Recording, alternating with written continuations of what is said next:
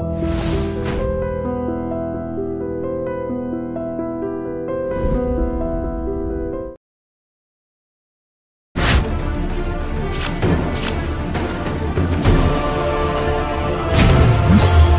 గంగుల ఈ ఫ్యామిలీలో. ఏ చిన్న విశేషం ఉన్నా కూడా అందరికీ తెలిసిపోతుంది కదా. ఆ రోజు అన్ని వాళ్ళు అన్ని కోల్పోయారు కాబట్టి ఈ పేరు ఇట్లా కొనసాగుతుంది అంతే సినిమాలో గంగుల ఫ్యామిలీ గురించి చూపించినటువన్నీ కూడా వాస్తవాలేనే మీరు నమ్ముతున్నారు. అంటే వాళ్ళకి తగ్గట్టుగా కొన్ని మార్చుకున్నారు కానీ అక్కడ జరిగిన విషయాలు అయితే అన్ని చూపెట్టలేదు. టీవీ బాంబు ఎపిసోడ్ మీకు తెలుసు బాగా? బాగా తెలుసు కొత్త టీవీ కావాలని చెప్పారా? లేక టీవీ రిపేర్ వచ్చింటే పంపించారా మీరు? లేదన్న టీవీ రిపేర్ అయింటే పంపించారు. ఇట్లా లెటర్ రాసి పంపించారనమాట మీ టీవీ రిపేర్ అవ్వడానికి ఇంకా త్రీ ఫోర్ డేస్ పడుతుంది. ఆ- ఆ లోపు మీరు పండగ కదా అందరూ ఇంట్లో ఉంటారు.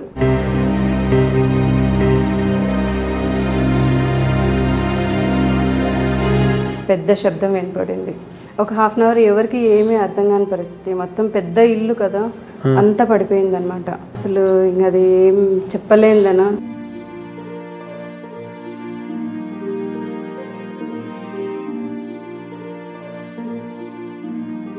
ఒక లాస్ట్కి ఒక కాలు ఒక చెయ్యి ఒక బాడీ ఒక అట్లా తీసి ఒక బాడీని సెట్ చేయాల్సి వచ్చింది. జూబ్లీ హిల్స్ కార్ బాంబ్ ఒకటి జరిగింది కదా?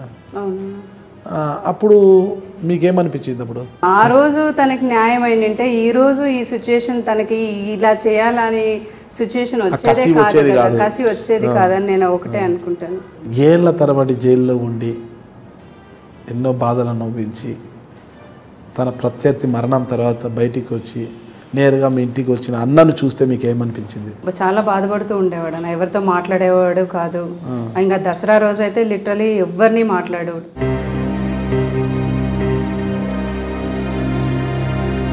ఇప్పుడు సమాధుల దగ్గర కాసేపు మౌనంగా ఒక గంట సేపు అక్కడ గడిపి మళ్ళీ వెళ్ళిపోయాడు అనమాట మీ అన్న సూరి రాజశేఖర రెడ్డి గారు చెప్పినట్టు విని రాజీ పడి ఉండింటే యువతల పరిటాల రవీంద్ర గారు ఉండేవారు యువతల మద్దతులు సూర్య గారు ఉండేవారు కదా అలాగే? అంటే కళ్ళ ముందర అన్ని పోగొట్టుకొని అన్ని చూసిన బాధ ఎవరి వాళ్ళకే తెలుస్తుంది పరిటాల రవీంద్ర గారు ఇక లేరు చనిపోయారు హత్య కావింపబడ్డారని ఒక వార్త అనేది ఒక బ్లౌట్ అయినప్పుడు మీకేమనిపించింది? తను ఎన్ని ఇబ్బందులు పడుతూ ఒకే కో- ఒకే దానికే బతికినాడు. తనకేం వందేళ్ళు బతకాలని ఉండలేదు. తన టార్గెట్ ఒకటే ఉండింది అంతే తన కోరిక అయితే తీర్చుకున్నాడనే నేను అనుకుంటున్నా. ప్రధానంగా భాను కిరణ్ని దగ్గర తీసి ఎంతో ఆదరించి ఇది చేశారు. అలాంటి భాను కిరణ్ మీ అన్నను చంపాల్సిన అవసరం ఏమొచ్చింది అనుకుంటున్నారు మీరు? డబ్బు అన్న. డబ్బు. డబ్బు. భానుమతి గారు కూడా మిమ్మల్ని విభేదిస్తున్నారు నా డబ్బు నా ఆస్తి అంతా యమలత దగ్గరే ఉంది అన్ని పెట్టుకోలేదంటున్నారని దాని మూలన వాళ్ళు చాలా నన్ను ఇబ్బంది పెట్టాలని కూడా చూశారు. మీపై దాడికి కూడా యత్నించారంటుంటారు ఊర్లో?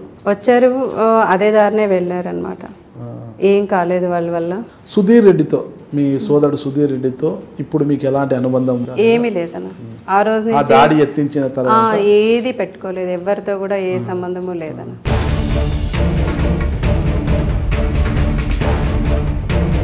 మీరు సూరి ఆస్తులకు బినామీనా కాదా? నేను సూర్య ఆస్తులకు బినామీ అయింటే ఈరోజు అన్న చనిపోయేవాడు కాదన్న. ఎలా? ఎలా? ఇప్పుడు ఆ ఆస్తులన్నీ భాను పేరు మీద ఉన్నాయి కాబట్టి ఆ ఆస్తులు కావాలి అని కోరుకున్నాడు కాబట్టి నమ్మినంత నమ్మినోడిని నమ్మించి చంపాడు. మద్దల చెరు సూర్యనారాయణ రెడ్డి సోదరిగా భవిష్యత్తులో రాజకీయాల్లోకి రావాలన్న ఒక కళ ఏమైనా మీకుందా? పెద్ద ఆయన ఉంటే వచ్చేదాన్ని నేను. Hundred percent. గంగుల కుటుంబం నుంచి ఎప్పటికైనా ఒకవేళ ఉన్నత విద్యావంతురాలైన హేమలత రెడ్డి గారిని రాజకీయాలకు తీసుకురావాలని ఒకటి టీడీపీను ఇటు వైఎస్ఆర్సీపీను. టీడీపీ అనే ఊసి కూడా ఎత్తకండి అన్న. నా నేనున్నంత వరకు. మీరు చెప్పారు కృష్ణ అన్న బాగా మాకు హెల్ప్ చేసేవారని. అంటే పులివెందలకు చెందిన దంతులూరు కృష్ణ. అన్న లోపల ఉన్నప్పుడు ప్రతి వ్యవహారము అన్నే చూసుకునేవాడు అనమాట భానుమతి గారు మా ఇంటర్వ్యూలోనే కృష్ణ గారి గురించి అడిగినప్పుడు కృష్ణ గారు ఎవరో నాకు తెలియదండి పేరు విన్నాను ఆయన ఎప్పుడు నేను చూడలేదు అన్నారు. అది ఆమె మరి ఏ కారణం చేత అలా అనిందో నాకైతే తెలియదనా మేమైతే ఆయన నుంచి లబ్ధి పొందిందైతే వాస్తవమే.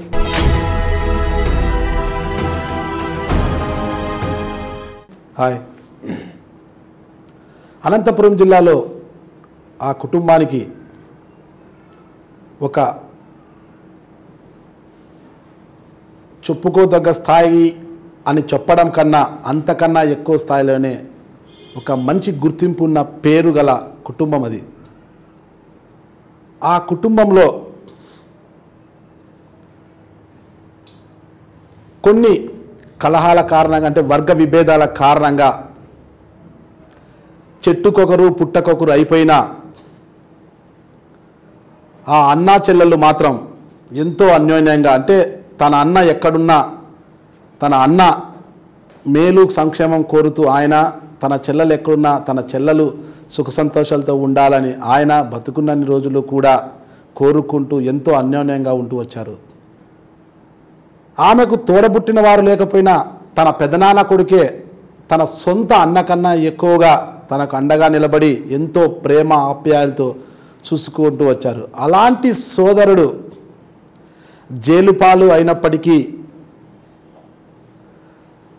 ఆ అన్నపై ఉన్న అభిమానంతో తనను అప్పుడప్పుడు పలకరిస్తూ చివరికి తన అన్న జైలు నుంచి విడుదలైనాక ఇక తన సోదరుడు జైలు నుంచి బయటకు వచ్చాడు. ఇక తనతో కలిసి సంతోషంగా జీవితాన్ని గడుపుతాడు అనుకుంటున్న తరుణంలోనే ఆయన హత్యకు అంటే నమ్ముకున్న వారి చేతిలోనే హత్యకు గురి కావడంతో మిగతా వారి పరిస్థితి ఎలా ఉన్నా తన అన్నను ఎంతగానో ప్రేమించే ఆ సోదరి పడ్డ బాధ వర్ణనాతీతం. ఎందుకంటే ఆ అన్న చెల్లెల మధ్య ఉన్న అనుబంధం అలాంటిది. అయితే తన సోదరుడు మరణం తర్వాత కూడా కొన్ని విమర్శలు ఆమెను వెంటాడినా అవన్నీ కూడా కేవలం విమర్శలే అని నిరూపించుకొని ఈరోజు తన జీవితాన్ని సజావుగా ముందుకు సాగించుకుంటూ పోతున్నారు. ఇంతకీ ఆవిడ ఎవరనుకుంటున్నారా? రాష్ట్రంలోనే సంచలనం లేపిన? మద్దల చెరువు సూర్యనారాయణ రెడ్డి అలియాస్ గంగుల సూర్యనారాయణ రెడ్డి సోదరి గంగుల హేమలతారెడ్డి గారు. ప్రస్తుతం గంగుల హేమలతారెడ్డి గారు మనతో ఉన్నారు. తనకు తన సోదరుడు మద్దల చెరువు సూరితో ఉన్న అనుబంధం ఎలాంటిది? అసలు సూరి పుట్టినప్పటి నుంచి ఎలా ఉండేవారు? ఎక్కడ చదువుకున్నారు? అసలు అతను హత్యకు దారితీసిన కారణాలు ఏంటి అన్న వివరాలను ఇప్పుడు ఆమె నుంచి మనం తెలుసుకోబోతున్నాం. నమస్తే హేమలతారెడ్డి గారు. నమస్తే అన్న. బాగున్నారు. చాలా రోజుల తర్వాత. చూస్తున్నాం. ఎక్కడున్నారు? ఎలా ఉన్నారు? ఇక మేమైతే హైదరాబాద్లోనే ఉన్నాం. ఎన్ని నెలలైంది హైదరాబాద్కి వచ్చి మేడం మీరు? మేము సెవెంటీన్ ఇయర్స్ అయిందన్న వచ్చి. మీ మ్యారేజ్ అయిన వెంటనే మ్యారేజ్ వచ్చేసారా? వెంటనే వచ్చేసి. సెవెంటీ ఐ థింక్ మీది రెండు వేల సంవత్సరంలో అనుకుంటా మ్యారేజ్ అయింది. టూ థౌజండ్ కాదన్న. వన్ టూ థౌజండ్ వన్ అదే ఇంకా అప్పుడే ఆ, రెండు వేల రెండు వేల ఒకటి అప్పుడు ఏదో విన్నాంలేండి. ఆ, ఆ, ఎందుకంటే ఆ ఫ్యామిలీ అలాంటిది ఆ మధ్యల చెరువు ఆ, అవునా. గంగుల ఈ ఫ్యామిలీలో ఏ చిన్న విశేషం ఉన్నా కూడా అందరికీ తెలిసిపోతుంది కదా. అవునన్న ఆ విశేషం వెనక కూడా చాలా బాధలు ఆ, చాలా కోల్పోయాం కూడాను. ఆ, ఆ రోజు అన్ని వాళ్ళు అన్ని కోల్పోయారు కాబట్టి ఈ పేరు ఇట్లా కొనసాగుతుంది అంతే ఇంకా. అంటే కోల్పోవడంతోనే ఆ పేరు వచ్చింది అనుకుంటున్నారా మీరు? నిజంగా అంటే ఆ కుటుంబానికి ఆ పేరు ఉంది అనుకుంటున్నారా పేరు కూడా ఉంది కోల్పోవడంతో ఇంకా కొంచెం వెలుగులోకి వచ్చిందన్న ఆ, ఏం కోల్పోయారు మీరు? మీరు అంటే ప్రస్తుతం మొత్తం అంతా ఫ్యామిలీ అంతా కోల్పోవాల్సి వచ్చింది. మా పెద్దనాన్న అని ఇప్పుడు వాళ్ళ పిల్లలు పెద్దనాన్న కానీ అని చెప్పుకోవడానికి ఒక్కరు కూడా లేకపోయినారు ఇప్పుడు. అంటే మీ పెద్దనాన్నగారు అంటే మ్, పెద్దనాన్న అంటే ఎమ్మెల్యే నారాయణ రెడ్డి గారు. గంగుల నారాయణ గంగుల నారాయణ రెడ్డి గారు. వీళ్ళు ఐదు మంది. మీ పెద్దనాన్నగారు అంటే మీ నాన్న వాళ్ళంతా ఎంతమంది? నాన్న వాళ్ళంతా ఐదు మంది. పెద్దనాన్న సూరి వాళ్ళ నాన్న పెద్ద ఆయన అంతకన్నా పెద్ద ఆయన అందరికన్నా పెద్ద. మీ నాన్నగారి పేరు? తను గోపాల్ రెడ్డి. గంగుల గోపాల్. రెడ్డి. గంగుల గోపాల్ రెడ్డి వరుస నాలుగో వాళ్ళ పేర్లు చెప్పండి మీ పెద్దనాన్నగారి నుంచి వరుసగా అందరివి. గంగుల నారాయణ రెడ్డి గంగుల గోవింద్ రెడ్డి తిమ్మారెడ్డి గోపాల్ రెడ్డి కృష్ణారెడ్డి. ఓకే. ఎంతమంది ఉన్నారు ఇప్పుడు వాళ్ళలో? అంటే పెద్దవాళ్ళు పెద్ద నాన్న ఫ్యామిలీ మొత్తంగా టోటల్గా ఏమీ లేదన? ఎవ్వరూ లేరు. సెకండ్ ఇంకా అందరి ఫ్యామిలీలో అందరూ బతికే ఉన్నారు అందరూ ఉన్నారు ఇంకా. సెకండ్ ఫ్యామిలీలో. సెకండ్ పెద్దనాన్న ఇంకా అందరూ ఉన్నారన్న ఇప్పటి అందరూ. మీ నాన్నగారు అందరూ ఉన్నారు. పెద్దనాన్న వాళ్ళు అందరూ ఉన్నారు. రీసెంట్గానే మూడో పెద్దమ్మ చనిపోయినారు. ఓకే. పెద్దనాన్న ఫ్యామిలీలో మిగిలింది మీ మేనల్లుడు అదే గంగుల మద్దలచూరు సూర్య వారి కుమారుడు మాత్రమే ఇంకా. వాళ్ళు మిగిలారు అక్క కొడుకు బాబు మిగిలారు అనమాట ఆ రోజు టీవీ బాంబ్ ఇన్సిడెంట్లో వాళ్ళు ఏదో జీరంగి పురుగుతో ఆడుకుంటూ ఓ టేబుల్ మీద ఉన్న టేబుల్ కింద ఆడుకుంటున్నారు.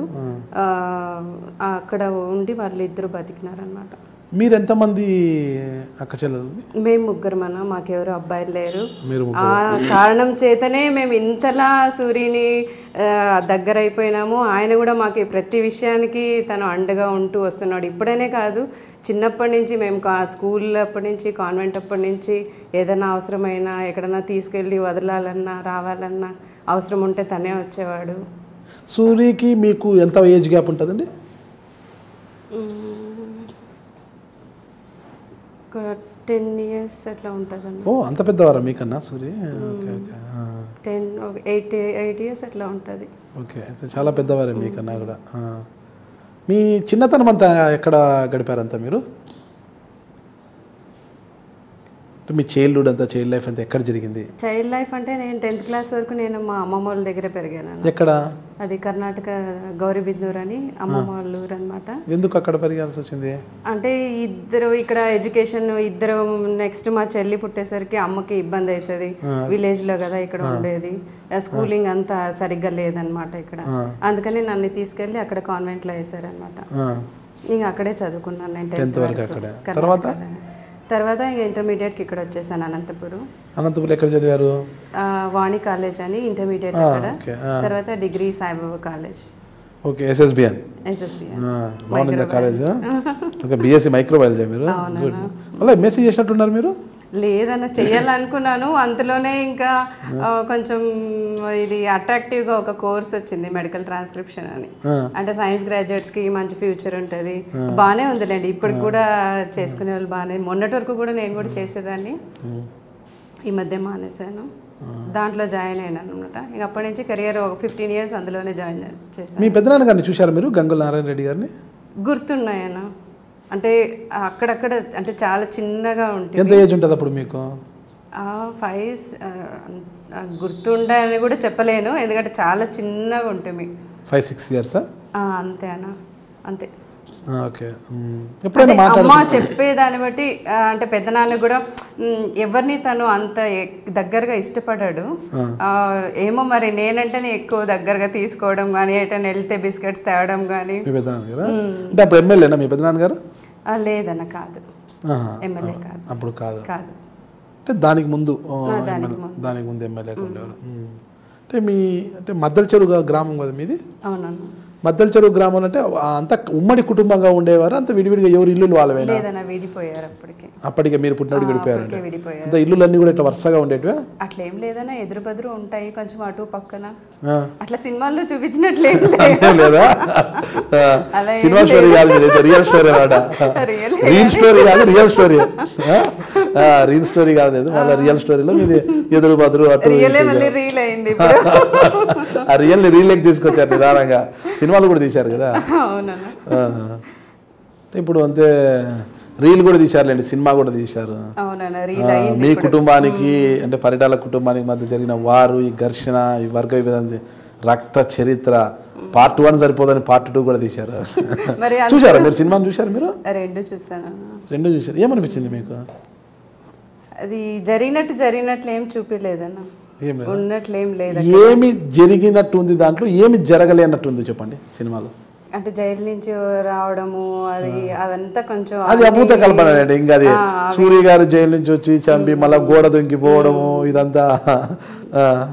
అవన్నీ కొన్ని అయితే వాస్తవాలు అయితే కావన్న దాంట్లో. ఆ. సినిమాలో గంగుల ఫ్యామిలీ గురించి చూపించినటువన్నీ కూడా వాస్తవాలేనే మీరు నమ్ముతున్నారా? నమ్మట్లేదన్న. కారణం ఏంటి? అంటే వాళ్ళకి తగ్గట్టుగా కొన్ని మార్చుకున్నారు కానీ అక్కడ జరిగిన విషయాలు అయితే అన్నీ చూపెట్టలేదు. అంటే ఇఫ్ డోంట్ మైండ్ మీరు ఏమి చూపించాలని మీరు ఆశిస్తున్నారు? అని మీరు గ్రహించారు చెప్పండి. అంటే సూర్యపడ్డ ఎలా ఎందుకు అలా చేయవలసి వచ్చింది ఏంటి అనేది క్లియర్గా అయితే చూపించలేదని నేను అనుకుంటున్నాను. ఇప్పుడు పరిటాల కుటుంబానికి మీ కుటుంబానికి మధ్య వర్గ విభేదాలు ఎందుకు వచ్చాయని మీకు తెలియదు విషయం. అంటే మీరు చిన్న అమ్మాయి అప్పటికే పెద్ద గొడవలు అని మీకు ఆ విషయాలని మీకు తెలియదు వాటి గురించి మేము అడగడం కూడా ఇక్కడ కరెక్ట్ కాదనుకోండి. అయినా అడగాల్సి వస్తుంది. ఎందుకంటే ఇంట్లో పెద్దలన్నా మాట్లాడుకుంటారు. మీరు పెరిగే కొద్దీ కూడా ఆ రోజు అలా జరిగింది ఇలా జరిగింది అని ఏదో ఏదో మాట్లాడుకోవడం మీరు వినింటారు కదా అక్కడ. అలాంటప్పుడు అక్కడ మీ పెద్దనాన్నగారు చెప్పుడు మాటలు విని పరిటాల శ్రీరామ అదే పరిటాల శ్రీరాములయ్యని చంపించడము ఇలాంటివన్నీ చూపించారు కదా వాళ్ళ ద్వారా చంపించారు ఇలాంటివన్నీ అనేసి. నిజంగా అలాంటి జరిగినాయని ఆడ చూపించిన దాని ప్రకారం అలా జరిగినాయని మీ పెద్దలు కానీ ఎవరన్నా వినుకు వింటు చెప్పున్నప్పుడు వినడం కానీ ఏమైనా చేశారు మీరు? లేదన్నా. అతను చెప్పుడు మాట వింటారు కదంటే సాని చెన్నారెడ్డి గారు వాళ్ళు చెప్పినట్లా విన్నారని వాళ్ళు వచ్చి ఇది చేశారనేసి అసలుకి ఫస్ట్ వీళ్ళిద్దరు పరిటాల శ్రీరాములయ్య కావచ్చు మీ పెద్దనాన్న గారు బాగా క్లోజ్గా ఉండేవాళ్ళు. వాళ్ళ మధ్య మళ్ళీ చెప్తుంటే నిజంటే అలా క్లోజ్గా ఉండేవారంటనా? ఉన్నారంట నా ఫ్రెండ్సేనంట ఫస్ట్కి. First friends. కాకపోతే మధ్యలో వాళ్ళ మాటలు అటు ఇటు అవి వాళ్ళిద్దరు కొంచెం ఎనిమీస్గా తయారయ్యారు అట్లా. అని అంటే ఇంట్లో మాట్లాడుకోవడమే మీకు అంతే మీకైతే తెలియదు ఎందుకంటే మీరు చిన్నగా ఉండి ఉంటారు కదా సరే ఇప్పుడు మీ ఏజ్తో తీసుకుంటే కూడా అప్పటి విషయాలు కూడా మీకు తెలిసి ఉండదు అంటే ఇంట్లో మాట్లాడడం వింటారు మీరు అందరూ వెల్ ఎడ్యుకేటెడ్ కదా అని చెప్తున్నాను. అవి తెలియదు కానీ మిగతా అదే పెద్దనాన్న చనిపోయిన తర్వాత పెద్దమ్మ ఉన్నప్పుడు పెద్దమ్మ పడ్డ కష్టాలు టెన్షన్స్ ఎవరన్నా ఇంటి మీదకి వస్తారని కానీ లేకపోతే అన్నని చంపడానికి ప్రయత్నిస్తున్నారు అన్నప్పుడు కానీ అవన్నీ అయితే ఇప్పటికీ గుర్తున్నాయి పెద్దమ్మ పడ్డ కష్టము. ఇప్పుడు మద్దల చేరు నారాయణ రెడ్డి గారు అంటే మీ పెద్దనాన్నగారు గంగుల నారాయణ రెడ్డి గారికి ఎంతమంది సంతానం వాళ్ళు? ముగ్గురు అబ్బాయిలు ఒక అమ్మాయి పెద్ద అబ్బాయి పెద్ద అబ్బాయి ట్రాక్టర్ యాక్సిడెంట్లో చనిపోయారు టెన్త్ క్లాస్ చదువుతున్నప్పుడు. యాక్సిడెంట్ యాక్సిడెంట్ యాక్సిడెంట్ ఏం పేరు? వెంకటేశ్వర రెడ్డి అని గంగుల వెంకటేశ్వర రెడ్డి రెండో వాళ్ళు సూర్య. సూర్యనారాయణ రెడ్డి లాస్ట్ రఘునాథ్ రెడ్డి. మా ఫస్ట్ అక్క. అందరికన్నా పెద్దవాడు అక్క. ఆవిడ ఎక్కడ ఉంటారు అని.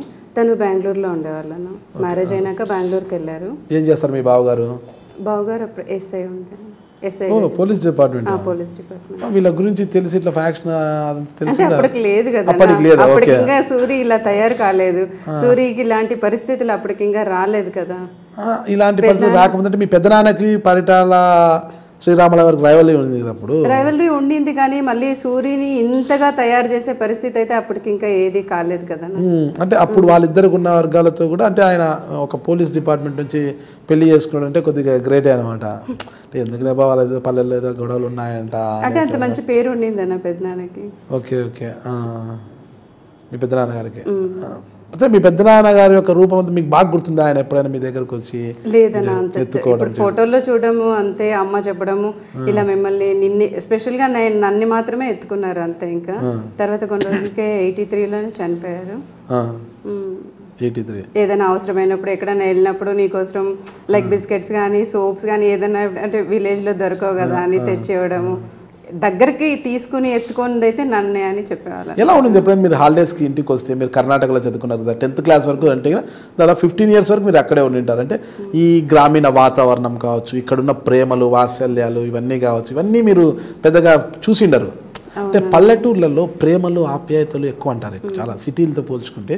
ఈ పల్లెటూరులో గ్రామీణ ప్రాంతాల్లో అక్కడ ప్రజలు కానీ అక్కడ కానీ చాలా ఆప్యాయతగా చాలా వాత్సల్యంతో ఉంటారు దసరా పండగ ఆల్మోస్ట్ ఎక్కువ చాలా ప్రాముఖ్యంగా జరుపుకునే వాళ్ళు ఆ, ఇంట్లో ఊర్లోనా? ఊర్లో. దసరా పండుగ అంటే ముందు రోజు టెన్ డేస్ బిఫోర్ నుంచే గౌరవం పండుగ అని చేసుకుంటారు అనమాట చిన్నపిల్లలు అందరూ చీరలు కట్టుకోవడం కానీ అట్లంతా. మీరు కట్టుకుండేవారు అప్పుడు? ఏదో తెలిసి ఒకసారి జరిగిందన? ఆ. మామూలుగా ఎట్లా అంటే చీరలు చిన్నపిల్లలు కట్టుకొని బెల్లం అడుగుతారనమాట అంటే బెల్లం అడగడం అంటే కొంచెం మనీ కలెక్ట్ చేయడం అనమాట. అట్లా మా అన్నను కూడా అడిగామన్నమాట వెళ్ళి వెళ్ళి అడిగితేనే బెల్లం చెప్పండి. తీసి కొంచెం డబ్బులు ఇచ్చేసి గమ్మున ఇంటికి వెళ్ళిపోయి ఇంకెవరిని అడగకు అని చెప్పాడు. అదే లాస్ట్ ఇచ్చాడు? ఎంతో గుర్తు. టూ హండ్రెడ్ త్రీ హండ్రెడ్ ఇచ్చాడు అప్పుడు. టూ హండ్రెడ్ త్రీ హండ్రెడ్ కలిపితే ఫైవ్ హండ్రెడ్ అవుతుంది. అప్పుడు గుర్తుకు లేదు కానీ చాలానే ఫైవ్ థౌసండ్తో సమానం. టూ హండ్రెడ్ అంటే పెద్ద అమౌంట్ అప్పుడు అంతా అలా అది మాత్రం చాలా బాగా గుర్తుంది. ఇప్పటికీ ఇంకా దాని తర్వాత ఇంక ఎప్పుడు ఆ ప్రయత్నం చేయలేదన్నమాట. ఎవరిని అడగాలని కానీ.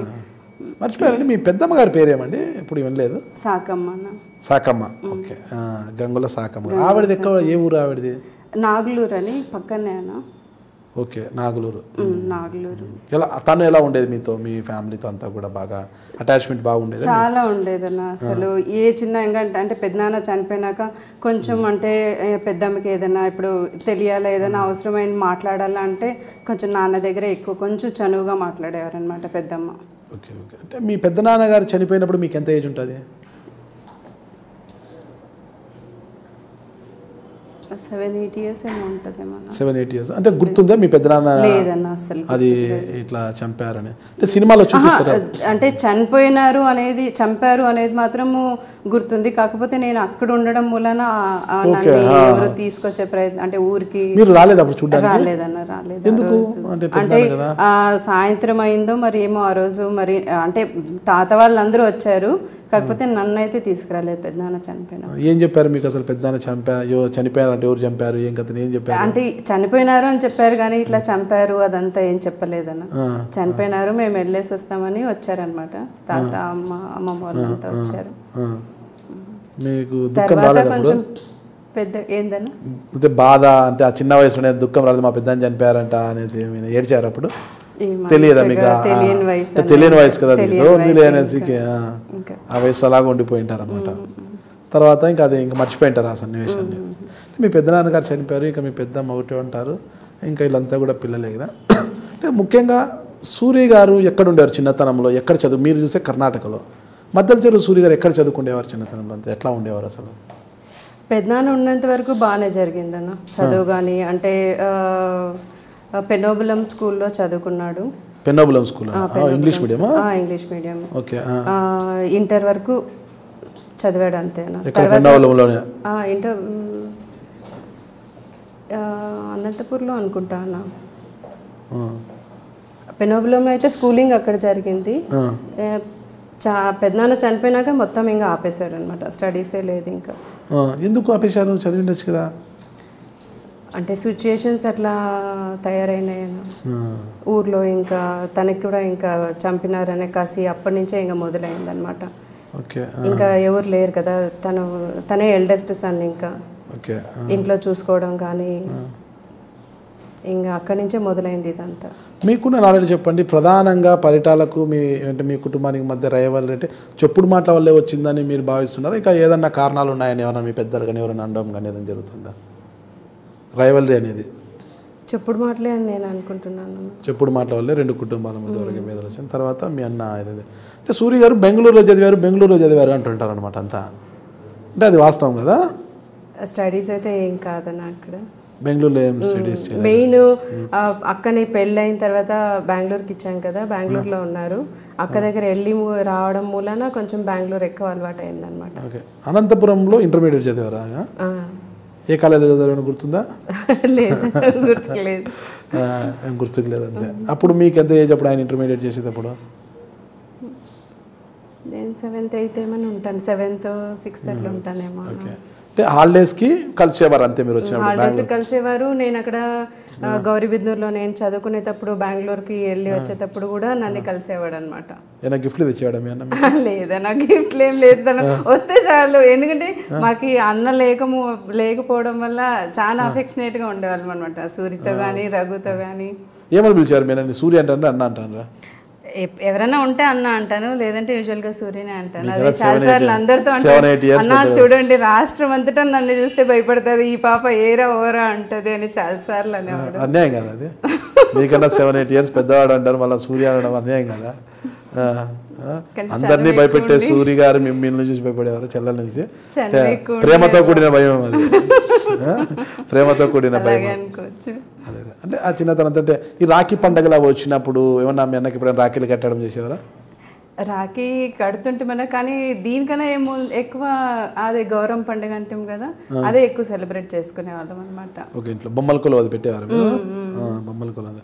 సూర్య గారు దానిలో పార్టిసిపేట్ చేసేవారా? అంత ఎక్కువ లేదన్న. ఎలా ఉండేది? ఆయన మెంటాలిటీ ఎలా ఉండేది చిన్నతనంలో? అంటే స్టడీస్ అప్పుడు ఎక్కువగా అంటే చదువు పట్ల ఆసక్తిగా ఉండేవారా? లేకపోతే ఏదన్నా ఒక ఫ్యాక్షన్ నేపథ్యము ఇట్లా ఏదైనా భయానకంగా ఉండడము అలాంటిది ఏమైనా ఉండేవారు ఆయన ఏమీ లేదన్న చాలా ప్లెజెంట్గా ఉండేవాడు.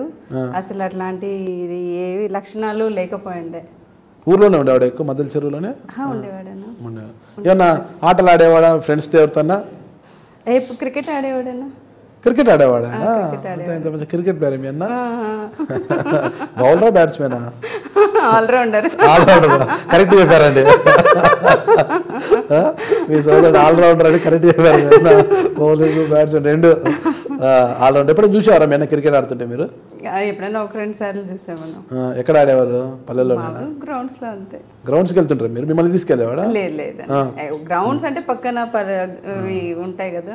నిన్న పెద్దవాడు కదా ఇప్పుడు మీరు అమ్మాయిలు. ఎక్కడికైనా వెళ్తుంటే ఎక్కడ వెళ్తున్నావు? ఏమి? అని ఇట్లా గద్దించడం కానీ ఏమా డ్రెస్సు? పో మంచి డ్రెస్ వేసుకోపో అని చెప్పడం కానీ ఇలాంటివి ఏమైనా చేసేవాడా? చాలా ఉన్నాయన్న ఎలాంటి తనకి ఇష్టమైనట్లే ఉండాలి నీట్గా ఉండాలి. మామూలుగా నీట్గా ఉంటారు. ఇన్ ద సెన్స్ ఎలా ఎలా చెప్పేవారు మీ మీకు సిస్టర్స్ ఎవరైనా ఇది అవుతుంటే ఎప్పుడైనా ఆ సన్నివేశం ఉందా? ఏదైనా మీరు పిచ్చి పిచ్చి డ్రెస్ వేసుకుంటే ఏందా డ్రెస్ ఎలా వేసుకున్నావు? హేమా వెళ్ళి డ్రెస్ మార్చుకో అని అలా అనే సందర్భం ఏమైనా ఉందా? లేదని అది ఎప్పుడు తెచ్చుకోలేదు. ఎందుకంటే తనకి ఇష్టం లేదని ముందే తెలుసుకుంటాం కాబట్టి తను బిహేవ్ చేయం మామూలుగా అమ్మాయిలు బొట్టు పెట్టడము చాలా ఇష్టపడరు అంత. చాలా పెట్టాలంటే చాలా చుక్కలు ఇప్పుడు కనిపించి కలిపినట్టు చుక్కలు పెడుతుంటారు అనమాట ఇప్పుడు అమ్మాయిలు అంతా కూడా. అలా అలాంటి సందర్భాలు ఏమైనా వచ్చినాడు? మకంలో బొట్టు పెట్టలేదేంటి? పో బొట్టు పెట్టు అన్న సందర్భాలు ఇట్లాంటివి ఏమైనా జరిగాయా? ఏం లేదన్న. ఆ విషయాలు ఏమి చెప్పించుకోలేదు. ఎందుకంటే ముందే తెలుసు తన మెంటాలిటీ ఎట్లా ఇష్టపడతాడో అని.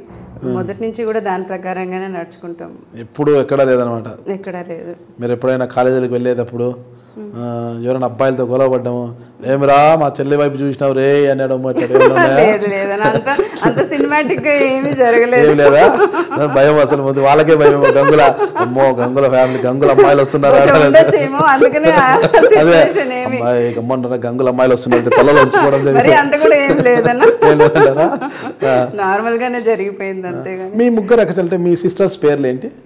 మమత లావణ్య అని. మమతారెడ్డి లావణ్యారెడ్డి వాళ్ళు బెంగళూరులోనే ఉన్నారు. సాఫ్ట్వేర్ ఇంజనీర్లు అంటే? అవునా అంటే మీ ఏజ్ గ్యాప్ ఎంత ఉంటుంది మీ ముగ్గురికి కూడా? Three three years three three years. బాగా gap. అంటే మీ ముగ్గురు వెళ్ళేవారా కలిసి బాగా? మీ ముగ్గురితో అలాగే ఉండేవారా? ఎస్పెషల్లీ మీతోనే అలా ఉండేవారు సూర్య గారు ప్రేమగా? ముగ్గురితోనే ఉంటారు. కొంచెం అటాచ్మెంట్ ఎక్కువ నాతోనే ఉండేది మీరు కొద్దిగా ఇంకా పెద్దవారు కాబట్టి వాళ్ళు ఎక్కడ చదివారు? మీ చెల్లెలు ఎక్కడ చదివారు చిన్నతనం అంతా కూడా?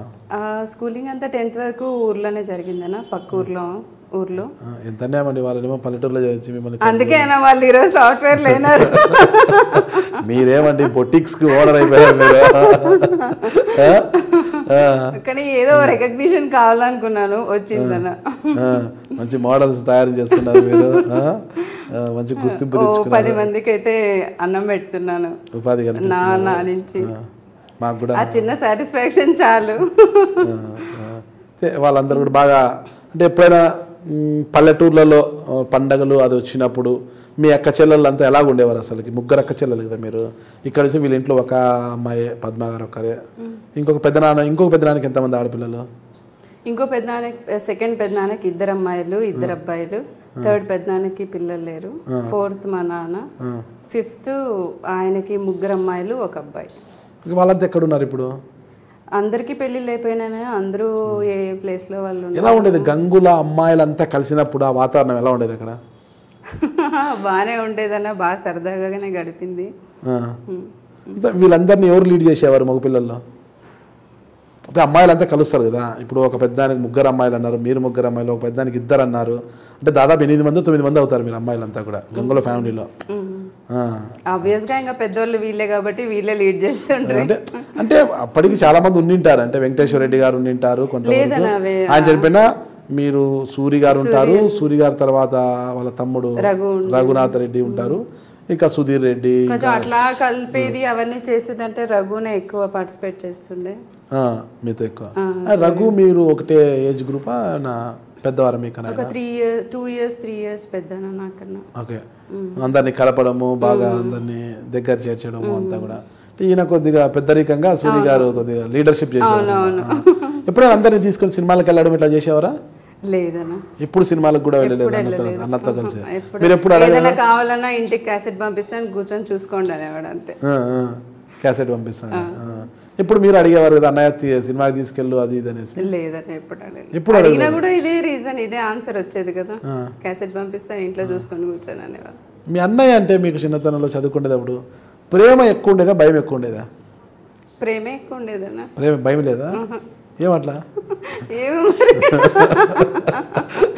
మీ అన్నయ్య అందరినీ భయపెట్టే మీ అన్నయ్య మిమ్మల్ని ఎందుకు భయపెట్టలేకపోయాడు? మీ అన్నయ్య అందరినీ భయపెట్టేవాడు. బయట ఉన్నా భయపెట్టాడు లోపల ఉన్నా భయపెట్టాడు. కానీ మిమ్మల్ని భయపెట్టలేకపోయాడా? నా ప్రేమ అట్లా తగ్గించేసిందేమో ఆయనకి. అంతేనంటారు? అందరి మీద అలాగే ఉండిందా? మిగతా సిస్టర్స్ మీద ఎందుకు అసలుకి దాదాపు మీరు చెప్పిన లెక్క ప్రకారం చూస్తే గంగోల ఫ్యామిలీలో ఎనిమిది మంది పేర్లు ఉన్నాయి అమ్మాయిలు. మీరు హేమలత మీరు ముగ్గురు ఇంకో పెద్ద ముగ్గురు ఇంకొకరు ఇట్లా తీసుకుంటే ఎనిమిది మంది ఉన్నారు. అంతే కదా? అమ్మాయిలతో ఎనిమిది మందా? ఎనిమిది మందిలో తీసుకుంటే సూర్య గారి సోదరి అంటేనే అందరూ హేమలత రెడ్డి పేరే చెప్తారు. చెప్తే కదా నా కాన్వెంట్ డేస్ నుంచి తను చనిపోయిన రోజు వరకు అటాచ్మెంట్ ఉంది నాకు. తను ఏదైనా సమస్య కానీ లేదా తనకు సంతోషం వచ్చినా దుఃఖం వచ్చినా. దేనికైనా నేను అటెండ్ అయినాను. అంతమంది అక్క చెల్లెళ్ళు ఉండగా ఒక్క హేమలత రెడ్డి సోదరిని ఆయన ఎందుకు అంత ప్రేమగా అంత భాషలో పెంచుకున్నారు అంటే తను జైలు నుంచి జైల్లో ఉన్నప్పుడు కానీ కొన్ని ప్రాబ్లమ్స్ సాల్వ్ చేయడానికి కొంతవరకు నేను హెల్ప్ అయినాను. అది ఎందుకంటే సిటీలో ఉన్నాను కాబట్టి కొంచెం తనకి ఏదైనా అవసరమైనప్పుడు వెళ్ళి చూడడం కానీ తనని బయటకు తీసుకురావడం కానీ దేనికైనా నేనే అని చెప్పుకోవచ్చు. అన్నిటికీ అన్నీ మీరే నడిపించారు ముందర మీ అన్న కోసం. భయపడలేదా మీరు? అంటే ఇవన్నీ జరుగుతున్నాయి కదా ఎందుకు నేను మ్యారేజ్ చేసుకున్నాను? నేను బేసిక్గా భయపడలేదనా? అంటే పేరెంట్స్ కొంతవరకు అబ్జెక్ట్ చేశారు. హేమలత రెడ్డి గారికి భయం లేదా? భయానికి మీనింగే తెలియదా లేదన్నా భయపడలేదు. లేదు, భయానికి మీనింగే తెలియదేమో? చిన్నప్పటి నుంచి అన్నీ చూసినాం. ఎందుకంటే పెద్దమ్మ ఆ, ఇంటికి వచ్చి చెప్పడం కూడా నాకు బాగా గుర్తుంది ఇప్పటికీ కూడా. అప్పుడు నక్సల్స్ వస్తున్నారు లేదా అప్పుడు రాడికల్స్ అనేది నక్సల్స్ తక్కువ.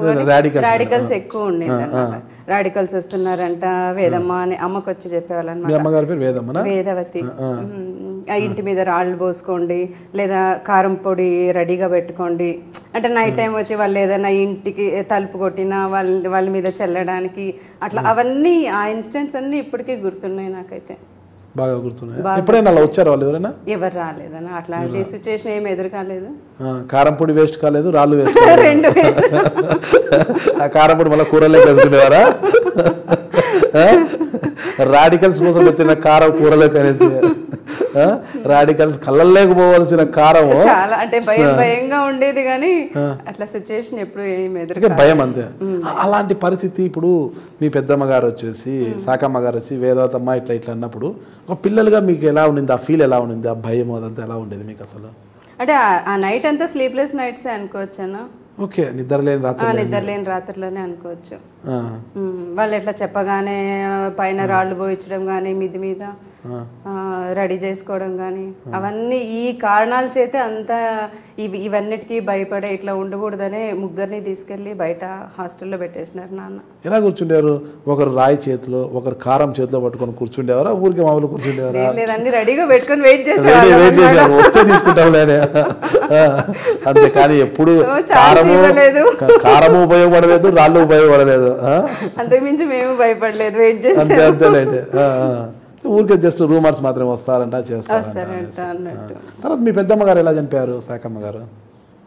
సా అది నైంటీ ఫైవ్లో అన్న. ఓ టీవీ బాంబ్ కేసులో. మర్చిపోయాను నేను కూడా. దసరా రోజు పెద్దమ్మ అయితేని అక్క ఇంకొక అబ్బాయి టీవీ పిల్లలతో ఆడుకుంటున్న అబ్బాయి టీవీ తీసుకొచ్చిన ఆయన. అందరూ ఒకటి అర్థం కాలేదు మేడం. ఇంటర్మీడియట్ వరకు సూర్య గారు అనంతపురంలో చదివారని చెప్తున్నారు మీరు. ఇంటర్మీడియట్ తర్వాత ఆయన ఎక్కడికి వెళ్ళిపోయారు?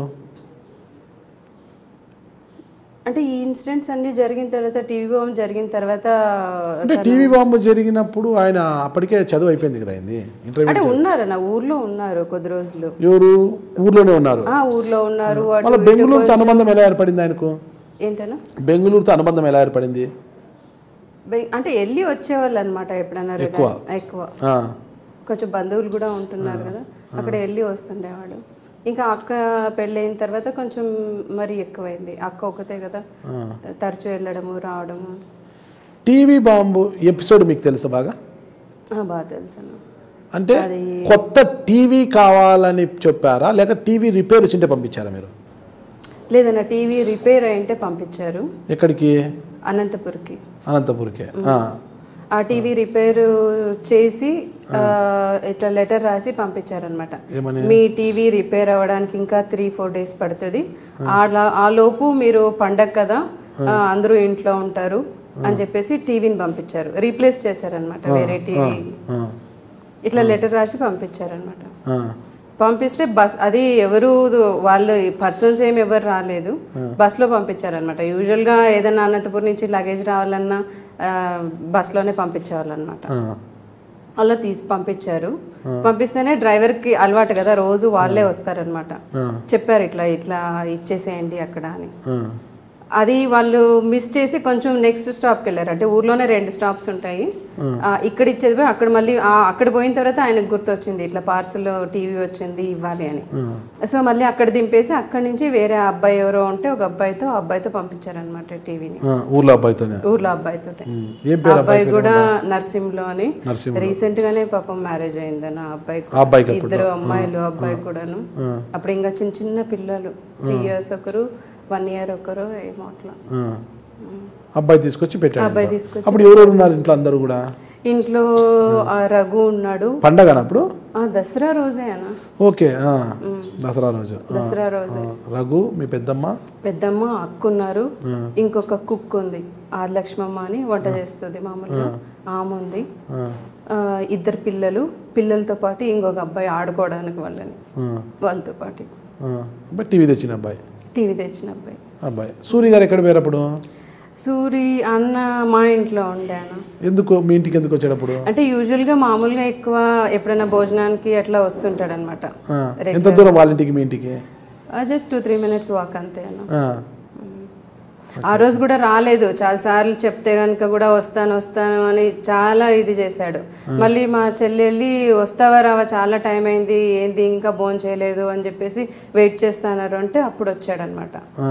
వచ్చాడు భోన్ చేశాడు. భోన్ చేసి చెయ్యి గడుతున్నాడు అని అంతే. పెద్ద శబ్దం వినపడింది. ఇంత వెంటనే తలిపేసామన్నమాట. సూర్య అన్న ఇంట్లో ఉన్నాడు కదా. అంటే మేము ఎవరైనా మాకు ఎట్లా అలవాటు అయిపోయిందంటే ఊరి మీద వస్తారు మనుషులు వస్తారు చంపుతారు.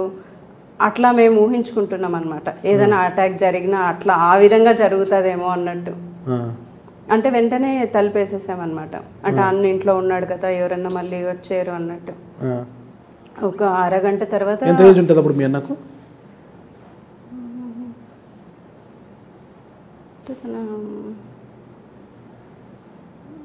ట్వంటీ ఫోర్ ట్వంటీ ఫైవ్ అట్లా ఉంటుందేమో. మీరేం చదువుతున్నారు అప్పుడు? అప్పుడు నేను టెన్త్ ఉంటున్నాను. మీరు టెన్త్ క్లాస్? అప్పుడు గౌరబిద్దనలో చదువుతున్నారు. ఓకే. ఆ శబ్దం వినిపించింది. శబ్దం మళ్ళీ తర్వాత ఏమైంది? ఒక హాఫ్ అన్ అవర్ ఎవరికి ఏమీ అర్థం కాని పరిస్థితి. మొత్తం పెద్ద ఇల్లు కదా. అంతా పడిపోయింది అనమాట దుమ్ము అక్కడ ఏం కనపడలేదు నాకు కాసేపు అంతాను. ఎవరికి ఏం అర్థం కాలేదు. తర్వాత కాసేపటికి అందరికి అర్థమైంది. ఇల్లు అంతా పడిపోయింది ఇంట్లో ఏదో జరిగింది అన్నట్టు. ఆ. ఇంకా అప్పుడు వెంటనే చూస్తే ఒక చిన్న రూమ్లో టేబుల్ ఉండింది. ఆ టేబుల్ కింద ఆ ఇద్దరు పిల్లలు తప్ప ఒక కుక్ మరి ఆ వంట చేస్తున్న ఆమె ఉంది వంటగదిలో. ఆమె ఉంది. ఇద్దరు పిల్లలు బతికారు? ఇద్దరు పిల్లలు బతికారు. ఆ టేబుల్ కింద ఎవరు ఆ పిల్లలు ఇద్దరు? అక్క పిల్లలను సింధు అని. ఇప్పుడు ఏం చేస్తున్నారు ఆ పిల్లలు? ఆ అమ్మాయికి మ్యారేజ్ అయింది అమ్మాయి హైదరాబాద్లోనే ఉంది. అబ్బాయి బెంగళూరులో ఉన్నాడు. పునర్జన్మ వాళ్ళది? పునర్జన్మ అనుకోవచ్చాను ఆ, చనిపోయింది ఎవరు అక్కడ? చనిపోయింది పెద్దమ్మ అక్క అన్న టీవీ తెచ్చిన అబ్బాయి ఈ పిల్లలతో ఆడుకుంటున్న అబ్బాయి. అక్క అంటే సూరి గారి వాళ్ళ ఓన్ సిస్టర్ పద్మ గారు. బెంగళూరులో ఉండేది ఎస్ఐ గారు ఓ ఓకే. ఆవిడ చనిపోయారు. ఆవిడ చనిపోయినారు ఆ. రోజు కూడా బావ రా ఊరికి వెళ్దాము అంటే సరే నేను అందరూ దసరా కదా పని చూసుకొని వచ్చేసేయని అన్నారనమాట అక్క మా ఆ బావ మాట వినిన్నా కూడా అక్క బతికేవారు. అంటే మీరు అక్కడికి వెళ్ళి చూసిన తర్వాత ఆ పరిస్థితి ఎలా ఉండింది అప్పుడు అసలు మీ కాడ అంటే టెన్త్ క్లాస్ అంటే మీకు అంత ఆలోచన ఉండే ఒక ఏజ్ అది. కరెక్ట్ ఏజ్ ఫిఫ్టీన్ ఇయర్స్ ఉంటాయి. ఒక ఎలా ఉండింది ఆ- వాతావరణం ఆ పరిస్థితి అంతా కూడా? అసలు ఇంక అది ఏం చెప్పలేందనా ఈ బాడీ తిను వీళ్ళేనా పెద్దమ్మేనా అక్కేనా అన్నేనా అని ఐడెంటిఫై చేయలేనంత స్థితిలో ఉన్నారు. ఒక లాస్ట్కి ఒక కాలు ఒక చెయ్యి ఒక బాడీ ఒక అట్లా తీసి ఒక బాడీని సెట్ చేయాల్సి వచ్చింది. ఎవరి కాలు అంటే మనుషులకి ఇంత కోపము ఇట్లా ఇంత ఇంతగా చూపిస్తారా అన్నట్టు అప్పుడే అర్థమైంది. ఓకే. అంటే పలానా వాళ్ళు చంపారు పలానా వాళ్ళు టీవీ బాంబు పెట్టారు అన్నది ఎలా తెలిసింది? అలా మీకు? అప్పటికే తెలుసనా ఇంకా. టీవీ బాంబు వల్లే టీవీ బాంబు వల్లే జరిగింది అని. మొత్తం అందరూ కూడా. మీ పెద్దమ్మ యొక్క కాలు అన్ని అవయవాలన్నీ దొరికాయా? మీ అన్న మీ దొరికాయను అన్నీ. కూడా.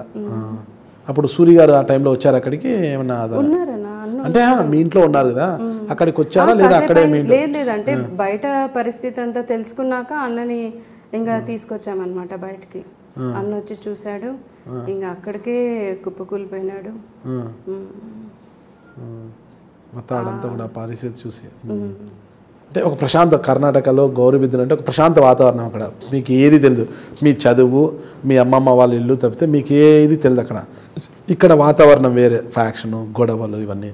ఏదో పండక్కి సరదాగా ఉంటామని అన్నతో సరదాగా ఉండాలని ఏ అన్నతో బెల్లం కోసం రెండు వందలు ఇప్పించుకోవాలని వచ్చారు మీరు ఊరికే. కానీ ఇక్కడికి వచ్చేసరికి భయానక వాతావరణము. చెట్టుకొకరు పుట్టకొకరు అయిపోయారు అక్కడంతా కూడా. ఆ పరిస్థితి ఎలా అసలు అది చూస్తేనే మీకేమనిపించింది?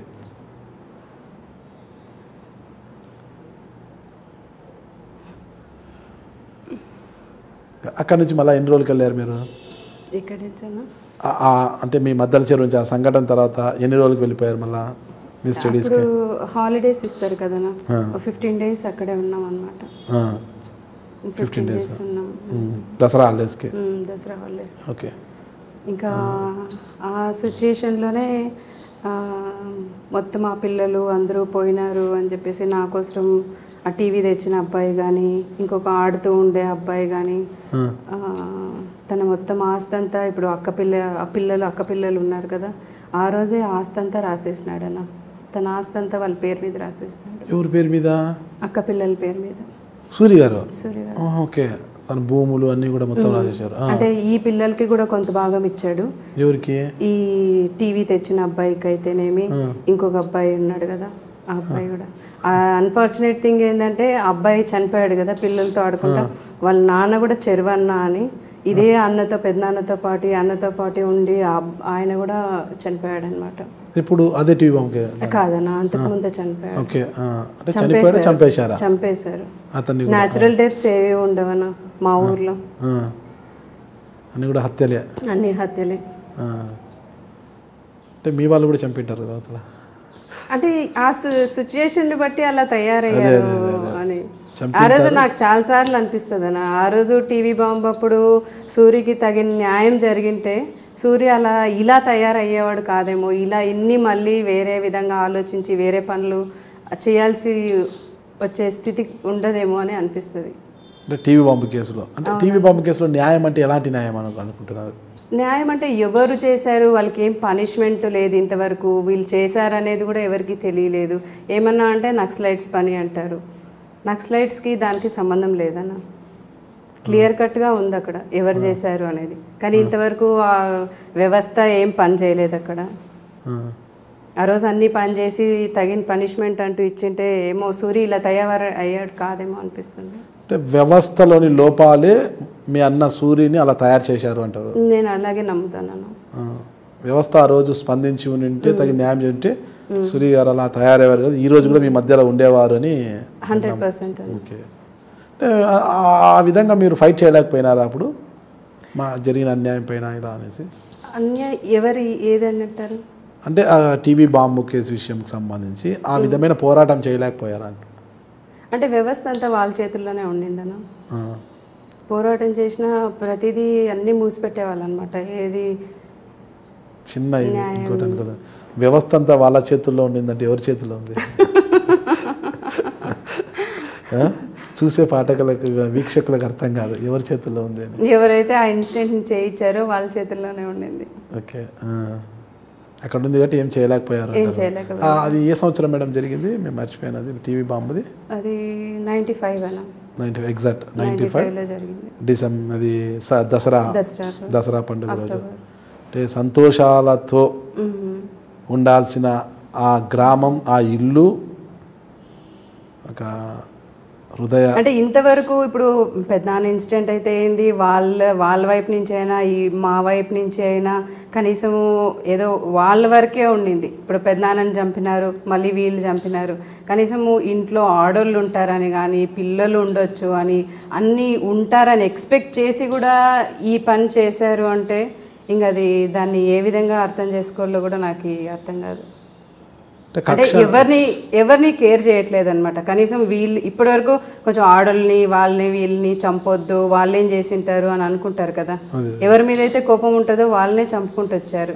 మరి ఇంట్లో అన్నీ తెలిసి ఆడోళ్ళు ఉంటారు పిల్లలు ఉంటారు ఎంతోమంది ఉంటారు దసరా పండుగ రోజు. తెలిసి కూడా ఇంత పని ఎలా చేస్తారు? ఇప్పుడు ఫ్యాక్షన్ ఎలా ఉంటుందంటే ఇప్పుడు ఫ్యాక్షన్ ఉన్నప్పుడు ఈ అంటే ఇంతవరకు వీళ్ళు ఇలా ఏం ఇలా ఏం చేయలేదు కదా నా ఇటువైపు నుంచి? అది చేయకపోయినా వర్గపోరు అనేది ఎలా ఉంటుందంటే ఒక్కరిని వదిలినా కూడా వాళ్ళు మన మనకెక్కడ ఇబ్బందికరం చేస్తారో అన్న అంటే చాలా సందర్భాల్లో చెప్తుంటారు కదా మేము ఆడోళ్ళ జోలికి పోము పిల్లల జోలికి పోము అని. మరి ఎక్కడ వర్తించింది ఆ మాట ఇక్కడ? అది మనం వాస్తవమే అనుకోండి. అంటే ఆ విషయంలో అవతల వర్గీయులు కూడా బాధపడ్డారని కూడా అప్పుడు వార్తలు బయటకు వచ్చాయి. అంటే అలా చేసిండకపోయి ఉండాల్సింది పిల్లల్ని మహిళల్ని చంపకుండా ఉండాల్సిందని అవతల వర్గం వాళ్ళు కూడా ఏదో బాధపడ్డారన్న వార్తలు కూడా అప్పుడు బయటకు వచ్చాయి. అవన్నీ వాస్తవాలను మీరు నమ్ముతున్నారా? లేదన్నా నేను నమ్మట్లేదు. అలా చేసి ఉండాల్సింది కాదని అవతల వర్గానికి ఎవరైతే నాయకత్వం బాధపడేంత మనస్తత్వం ఉంటే ఆ- సిచ్యువేషనే రాదని నేను అనుకుంటున్నాను. వేరే విధంగా వాళ్ళు ఏమైనా ఆలోచించుండొచ్చు కదా. ఓకే అంటే ఇంకా టీవీ బాంబ్ కేసు అంతా అయిపోయింది. మీ స్టడీస్ అంతా మళ్ళీ పోయి సజావు సాగాయా? మీకు అంతా కూడా ఇక్కడ పరిస్థితులు అనే మదిలో పెట్టుకొని కొంతవరకు డిస్టర్బ్ అయిందన్న కొన్ని రోజుల వరకును. మళ్ళీ ఇంకా అమ్మమ్మ వాళ్ళ ఇంట్లో ఉన్నాను కదా కొంచెం వాళ్ళు టెన్త్ క్లాస్ రెగ్యులర్ పాస్ అయ్యారా మీరు?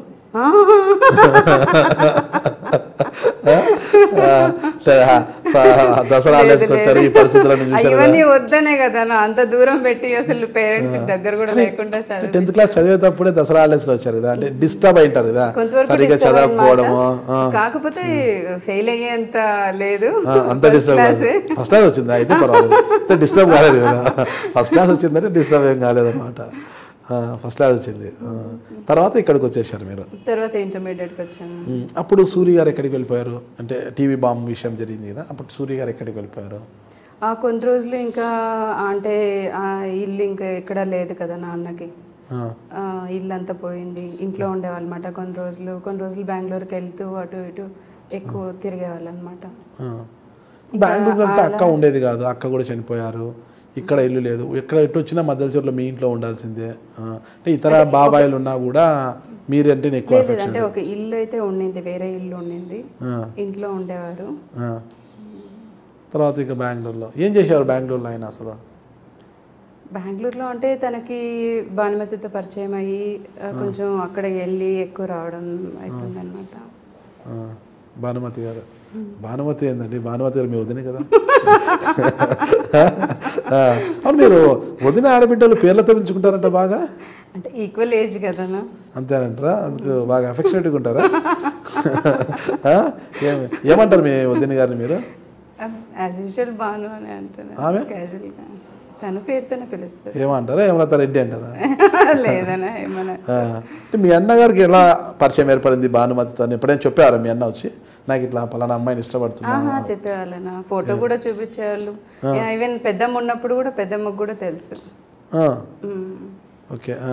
మీతో ఎప్పుడైనా షేర్ చేసుకుంటేవాడు వచ్చి ఏమా చూడు మీ వదిన ఫోటో చూడు చూపించేవాళ్ళు బెంగళూరులో ఉంటుంది ఎక్కడ పరిచయం అయింది ఏం కథ అని చెప్పారా? తెలుసు కదనా చెప్పేవాళ్ళు.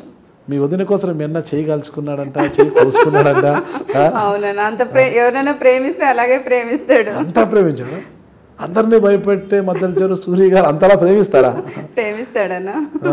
అంత ప్రేమ ఉందా ఆయన గుండెల్లో అని? చాలా ఉందన్న. ఆ, ప్రేమ అంతా చెల్లెల మీదే కదా.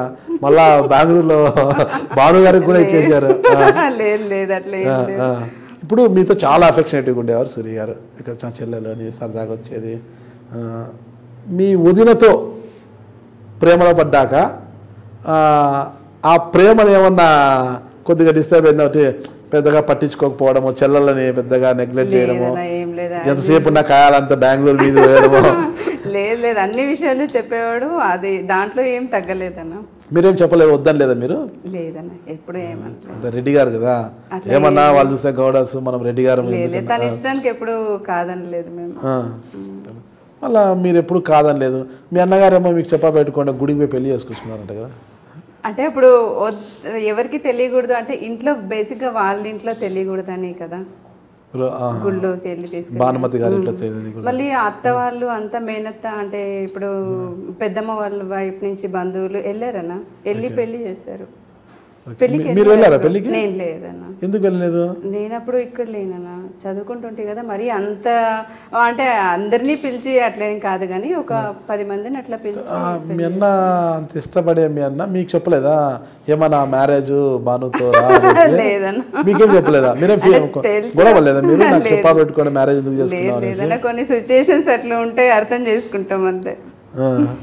ఏం బాధపడలేదు. మా అన్నయ్య పెళ్ళి అలా చూడాలి ఇలా చూడాలనుకున్నాము ఏంది గుళ్ళో పెళ్ళి చేసుకోవచ్చు మరి మీ మ్యారేజ్కి వచ్చాడు మీ అన్న? లేదన్నా తను జైల్లో ఉన్నారు తను జైల్లో ఉన్నారు. మీరు మ్యారేజ్ అయినాక మీరు మీ హస్బెండ్ ఎప్పుడైనా వెళ్ళి కలిసారా? చాలా సార్లు. కలిసినప్పుడు కూడా కొన్నిసార్లు ఆ, నాన్న కూడా కొంచెం భయపడ్డాడు అనమాట ఏమని? ఎందుకు అమ్మాయి కదా అంటే వీళ్ళు ఇంకా అప్పుడు ఉన్నారు కదా పరిటాల వాళ్ళంతాను.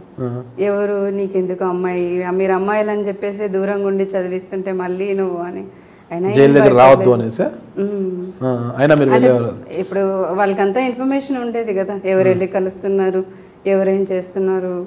ఎవరు ఉన్నారు ఇంకా సూర్యకి అన్నారు. అంటే సూర్య గారు మ్యారేజ్ చేసుకున్నారు. మ్యారేజ్ అయినాక ఆయన బెంగళూరులో ఉండిపోయారు కదా? ఆ, బెంగళూరులో ఉన్నారు బెంగళూరులో ఉండిపోయారు. ఈ జూబ్లీ హిల్స్ కార్ బాంబ్ ఒకటి జరిగింది కదా. అప్పుడు మీకేమనిపించింది అప్పుడు? మద్దరిచెరు సూరి గారు చేయించారు అన్నప్పుడు మీరు ఇప్పుడు ఒక మాట అన్నారు. అమాయకులైన ఇంట్లో ఆడవాళ్ళు ఉంటారు చెంటి వాళ్ళు చిన్న వాళ్ళు ఉంటారు వీళ్ళంతా ఉంటారు. ఇలా చేయకూడదు కదా. ఎవరికి శత్రుత్వం ఉందో వాళ్ళనే చంపాలి కానీ అని. ఓకే. నే మనం ఏకీభవించచ్చు దాంట్లో ఎవరైనా ప్రజలు హర్షిస్తారు కరెక్ట్ వాస్తవం మీరు అనేది సరే. ఎవరైనా కూడా దాన్ని స్వీకరిస్తారు. అదే సిచ్యువేషన్లో ఒక సినిమా షూటింగ్. పరిటాల శ్రీరాముల శ్రీరాములయ్య సినిమా షూటింగ్ అప్పుడు అక్కడ మీడియా వాళ్ళు ఉంటారు మీ సినిమా వాళ్ళు ఉంటారు అందరు ఉంటారు కదా. అక్కడ ఈ కార్ బాంబ్ ఒకటి జరిగింది. అప్పుడు అమాయకులంతా ఇదైపోయారు. అది చేసింది మదల్జర్ సూరి గారు అనేది అందరికి ఇదైపోయింది.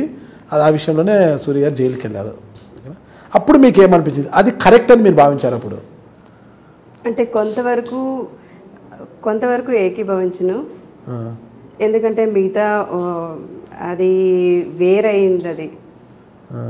ఇక్కడ మీరు చెప్పింది ఎవరైనా స్వీకరిస్తారు. అంటే ఇంట్లో ఆడవాళ్ళు ఉంటారు పిల్లలు ఉంటారు. అంటే తెలిసి కూడా లేదన్నా అది తన టార్గెట్ కాదు అది.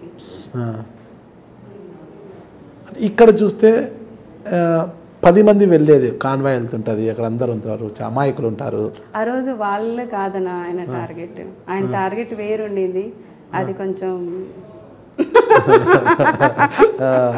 అంటే మీరు సమర్థిస్తున్నారా మీరు దాన్ని? అంటే మీరు ఇక్కడ బాధపడ్డారు. ఓకే. కానీ. ఆ కారు బాంబు కేసులో ఎంతమంది అమాయకులు బలయ్యారు? అవునన్నా నేను సమర్థించాను అది.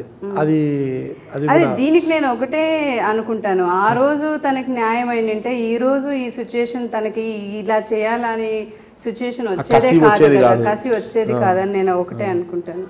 ఎప్పుడైనా మీరు మీ సూర్య అన్నతో చెప్పేవారా? అన్న అయిపోయింది అయిపోయింది. పెద్దనాన్న చనిపోయారు పెద్దమ్మ చనిపోయారు అన్న చని అన్న అంతా ఇప్పుడు ఉండేది ఒక్కడు. ఇవన్నీ ఎందుకన్నా గొడవలు? మనకెందుకు ప్రశాంతంగా ఉండు అని ఎప్పుడైనా చెప్పేవారు మీరు? చెప్పేదాన్ని నాన్న. ఏమనేవారు ఆయన? ఎవరికి గమ్మున వినేవాళ్ళు అంతేగాని ఏం ఎక్కువ దానికి చెప్పేవాడు కాదు. అసలు ఎలా ఉండేవారు? ఆయన ఎక్కువ ఏదో ఆలోచనలో ఉండేవారట వాళ్ళ తల్లిదండ్రులు చనిపోయిన తర్వాత ఇప్పుడు సిగరెట్స్ తాకుండా ఇప్పుడు ఏదో ఒక ఆలోచనలో ఉండేవారట ఎవరితో ఎక్కువ మాట్లాడేవారు కాదంట. నిజంగా అలా ఉండేవారు ఆ పరిస్థితి ఉండేది. ఎందుకంటే తన కళ్ళ ముందే అన్ని జరిగినాక మనిషిని మీ పెద్దమ్మ వాళ్ళు కుటుంబం అంతా ఉన్నప్పుడు మీతో ఎక్కువ ప్రేమతో ఉండేవారు కదా? అంటే అందరినీ కోల్పోయిన తర్వాత ఆయనలో మీ మీద అదే ప్రేమ వాత్సల్యం ఉండిందా? లేదంటే ఏదైనా బాధపడితే ఎప్పుడైనా కనిపించేవారా? ప్రేమ అయితే అదే ఉండిందన్న. కాకపోతే ఇంకా మీ అన్నను చూస్తే ఏమనిపించేది మీకు అప్పుడు ఆయన బాధపడుతూ అంటే బాగా ఎప్పుడు జాలీగా ఉండేది ఎప్పుడూ ఒకటే ఫీల్ అయ్యేదాన్ని. కొంచెం అమ్మాయి కాకుండా అబ్బాయి అంటే కొంచెం చాలా వరకు మా అన్నకి సపోర్టివ్గా ఉండేదాన్నేమో అని చాలా ఫీల్ అంటే అలాంటి కడప రెడ్డమ్మ ఫీలింగ్స్ వచ్చాయన్నమాట. అనంతపురం రెడ్డమ్మ గారికి. ఏమి ఆడవాళ్ళు అయితే ఏం చేయలేరు మగవాళ్ళు అయితేనే ఎందుకు చేయాలి? ఈ ఆడవాళ్ళు అయితే ఏం చేయలేరండి? అలా ఏం కాదు. ఎట్లయినా రిస్ట్రిక్షన్స్ ఉంటాయి కదా. అంటే మీ అన్ననే కదా అక్కడ ఉండేది. మీ అన్నని రిస్ట్రిక్షన్ పెట్టాలంటే మీ అన్ననే పెట్టాలి? మీ అన్నే పెట్టేటప్పుడు ఎందుకుంటుంది అదంతా కూడా ఒక బాధ. అంటే ఇంకా భానుమతి గారితో ప్రేమలో పడ్డారు తర్వాత పెళ్ళి చేసుకున్నారు. తర్వాత ఎక్కడున్నారు ఆయన? బెంగళూరా? బెంగళూరులోనే ఉన్నారు మీరు వెళ్ళి కలిసేవారు ఎప్పుడైనా కూడా? అంటే నేను చదువుకుంటా ఉంటాం కదా మేము హాస్టల్లో ఉంటాం అప్పుడు. హాస్టల్లో ఉంటే ఇక్కడ పంపించేవాళ్ళు చాలా స్ట్రిక్ట్ అనమాట నాన్న వస్తేనే బయటికి పంపించేవాళ్ళు అది ఒక టూ డేస్ తర్వాత టూ డేస్ అనమాట అట్లా అయ్యి ఎక్కువ అంత అక్కడికి వెళ్ళి కలిసి ఉండే అవకాశం రాలేదన్నమాట. ఇంటర్మీడియట్ కదా. హేమలత రెడ్డి గారికి వాళ్ళ అన్న అంటే చాలా ప్రేమ. వాళ్ళ అన్న సూరి వాళ్ళ మేనమామ కూతుర్ని వివాహం చేసుకోవాలని ఒక చాలా ఆశ ఉండేది. కానీ వాళ్ళ అన్న మేనమామ కూతుర్ని కాదని భానుమతి గారిని చేసుకున్నారు. పెద్దగా ఇష్టపడలేదు హేమలత రెడ్డి గారు అంటారు? అంటే ఇష్టమైతే ఉండిందనా? కానీ చేసుకున్నాక దాన్ని ఏం మనం కాదనలేదు. ఎందుకంటే ఈవెన్ అన్నకేనే కాదు కానీ పెద్దమ్మకు కూడా చాలా కోరికగా ఉండింది. ఆ, మేనత్త కూతుర్నే చేయాలి అని. అంటే అంత తెలిసిన వాళ్ళు అయి ఉంటారు కదా అర్థం చేసుకుంటారు అన్నిటిలో బాగుంటారు అని. మీరు ఆవిడ కూడా మంచి ఫ్రెండ్స్ అదే మీ మేనత కూతురు మీరు మంచి ఫ్రెండ్స్ ఆవిడనే మీ అన్నకు చేసుకోవాలి. మీ ఫ్రెండ్ అంటే మీ బంధువు ప్లస్ ఫ్రెండ్ అయిన అమ్మాయే మీకు వదినగా రావాలని కూడా మీరు కలలు కన్నారు. కొద్దిగా ఆ విషయంలో మీరు ఫీల్ అంటుంటారు. తన ఇష్టానికి మన తను ఇష్టపడి అడగలేదా కనీసం? అన్నయ్య నువ్వు ఏంది ఇట్లా చేసావు నువ్వు అమ్మాయిని చేసుకోకుండా అని అడగలేదా మీరు? ఏం పోట్లాడలేదు లేదు. ఆ. మళ్ళీ మీ అన్నయ్య మ్యారేజ్ చేసుకున్నాక ఎప్పుడు చూశారు మీ వదిన్ని మీ బాను వదిన్ని? పెళ్ళికి ముందే చూశారా పెళ్ళి తర్వాత చూశారా మీ బాను రెండు చూసాం మనం రెండు చూశారా? రెండు పెళ్ళికి ముందు ఎక్కడ చూశారా? మీరు బలవాలండి యువతలేమో మేనమామ కూతురు పెళ్ళి చేసుకుంచుకోవాలని ఆశ పెట్టుకుని పెళ్ళికి ముందే మీ ఉదయంతో పరిచయాలు పెట్టుకున్నారా? అది మన కోరిక అంతేనా తనకి ఫైనల్గా డిసిషన్ తీసుకోవాల్సింది ఆయనే కదా. లేదు తననే చేసుకుంటానంటే ఇంకా మేమేం కాదనలేదు. చెప్పారా? లేదా? ఎప్పుడైనా చెప్పారా మీరు? మీరు నువ్వు అమ్మాయిని చేసుకోవాలి కదా నువ్వు ఎందుకు ఈ అమ్మాయిని ఇష్టపడుతున్నావు అని చెప్పారా? లేదనే ఎప్పుడు చెప్పలేదు తను ఫైనల్ అనమాట. ఇంకా ఫైనల్ ఒకసారి ఫైనల్ అంటే ఇంకా అయిపోయింది. మీ వదినతో ఎక్కడ కలిసారు? బెంగళూరులో మళ్ళా? మీ బాను వదినతో అంటే అది నేను అమ్మమ్మ వాళ్ళ ఇంట్లో ఉన్నప్పుడే వాళ్ళు ఎక్కడో ఒకరోజు అందరూ కలిసి వెళ్తున్నారు అనమాట వాళ్ళు ఒకరే కాదు అక్కతో పాటే వచ్చారనమాట అక్క వాళ్ళు అంటే పైనే ఉండేవాళ్ళు అనమాట. ఇంటి పైనే ఉండేవాళ్ళు అక్క వాళ్ళ ఇంటి పైన. అక్క వాళ్ళ ఇంటి పైన వాళ్ళు ఉండేవారా? వాళ్ళ ఇంటి కింద లేదు కింద ఉండేవాళ్ళు అక్క వాళ్ళు. అక్క వాళ్ళు. టెనెంట్స్ అనమాట అక్క వాళ్ళు టెనెంట్స్ అక్క వాళ్ళ ఓకే. టెనెంట్స్ అంటే కలిసి ఇట్లా ఎప్పుడు వీకెండ్ ఏమో వచ్చారనమాట వచ్చినప్పుడు ఆన్ ద వేలో నన్ను కలిసారనమాట ఆ. అప్పుడు చూపించాడు. అంటే ఫోటో తెచ్చి చూపించాడు. తనని అప్పుడే పరిచయం చేయడం. ఏమని చేశారు? మీ వదిన అనేసా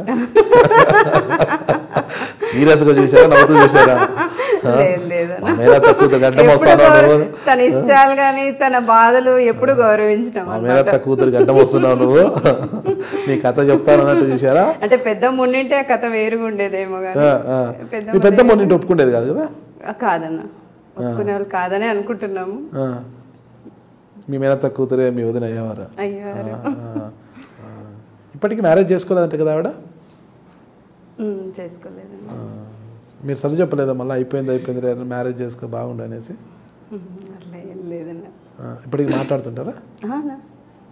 బాగానే క్లోజ్గా. నేను ఎంత ఫీల్ అయ్యానో సూర్య విషయంలో తను కూడా ఈక్వల్లీ అంతే అన్న చిన్నప్పటి నుంచి తను కూడా అంతే.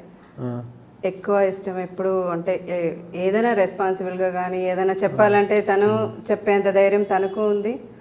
నేను ఒకదాన్ని నేను చెప్తుంటే ఏదైనా కానీ ఆమె భావం మీద ఆమె పెంచుకున్న ప్రేమ ఎలాంటిదో చెప్పడానికి మాకు ఒక ఇంటర్వ్యూ ఇస్తారా ఆవిడేమన్నా ఆ ప్రేమను ఎక్స్ప్రెస్ చేయడానికి ఆమె భావం మీద పెంచుకున్న ప్రేమ ఎంతలా ఉందో నిండు కుండలా ఎంత ఉందో అది ఎంత పొంగి పొర్లిందో? తన బావ ఇక లేడు. అంటే తనకు దక్కకపోయినా ఎక్కడున్నా తన బావ బాగున్నాడు అనుకొని ఆనందపడుతుంటారు ఆవిడ. అలాంటి బావ ఇక లేరు అని తెలిసినా ఇప్పటివరకు వివాహం చేసుకొని ఉన్నారు. అంత ప్రేమతో ఉంది కదా ఆవిడ. మాకేమైనా ఇంటర్వ్యూ ఇస్తారా? చెప్తున్నాను ఆ? బావ మీద ఎంత ప్రేమ ఉందో ఒకసారి చూపిస్తాము ఆవిడతో మాట్లాడి బావ కళ్ళల్లో ఆనందం చూడాలని ఒక ఆయన ఇచ్చేసాడు కదా. అట్లా ఈ బావ కళ్ళల్లో ఆనందం కోసం ఆవిడ ఏం చేశారు అనేది కూడా ఒకసారి కనుక్కుంటాం అనేసి. చెప్తాను. మాట్లాడుతుంటారా మీరు? ఓకే ఇక టీవీ బాంబే ఎపిసోడ్ అయిపోయింది. అటు నుంచి ఆయన వెళ్ళాడు. మ్యారేజ్ చేసుకున్న బెంగళూరు వెళ్ళారు కదా. జూబ్లీ కార్ బాంబు కేసు విషయంలో జైలుకి వెళ్ళారు తర్వాత ఎన్నిసార్లు కలిసి ఉంటారు మీరు అక్కడ? అంటే హైదరాబాద్కి వచ్చిన తర్వాతే కలిసామన్న మేము. హైదరాబాద్లో చించలగూడ ఉన్నప్పుడే కలిసాము. మిగతా బెంగళూరులో ఉన్నప్పుడు కానీ అక్కడ ఎక్కడ కలవలేదు. ఇక్కడికి వచ్చాక ఇంకా రెగ్యులర్గా కలుస్తూనే ఉన్నాయి ఏదైనా అవసరమైనప్పుడు. అంటే మీరు బెంగళూరులో చదువుకున్నారు కదా డిగ్రీ వరకు ఇక్కడ చదివారు. మీ వివాహం టూ థౌజండ్ వన్లో జరిగింది. మీది ప్రేమ వివాహమా పెద్దలు చేసిన వివాహమా? రెండోదే రెండోదేనా అదేదో నోటితో చెప్పచ్చు కదా.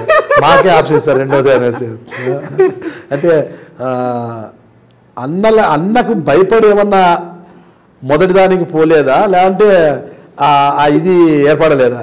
ఏర్పడలేదు అంతే ఆ ఇది ఏర్పడలేదా? వాస్తవం చెప్పండి ఏమన్నా అన్నకు భయపడి ఏమన్నా ఇచ్చేదా? అమ్మో మా అన్నకు తెలిసి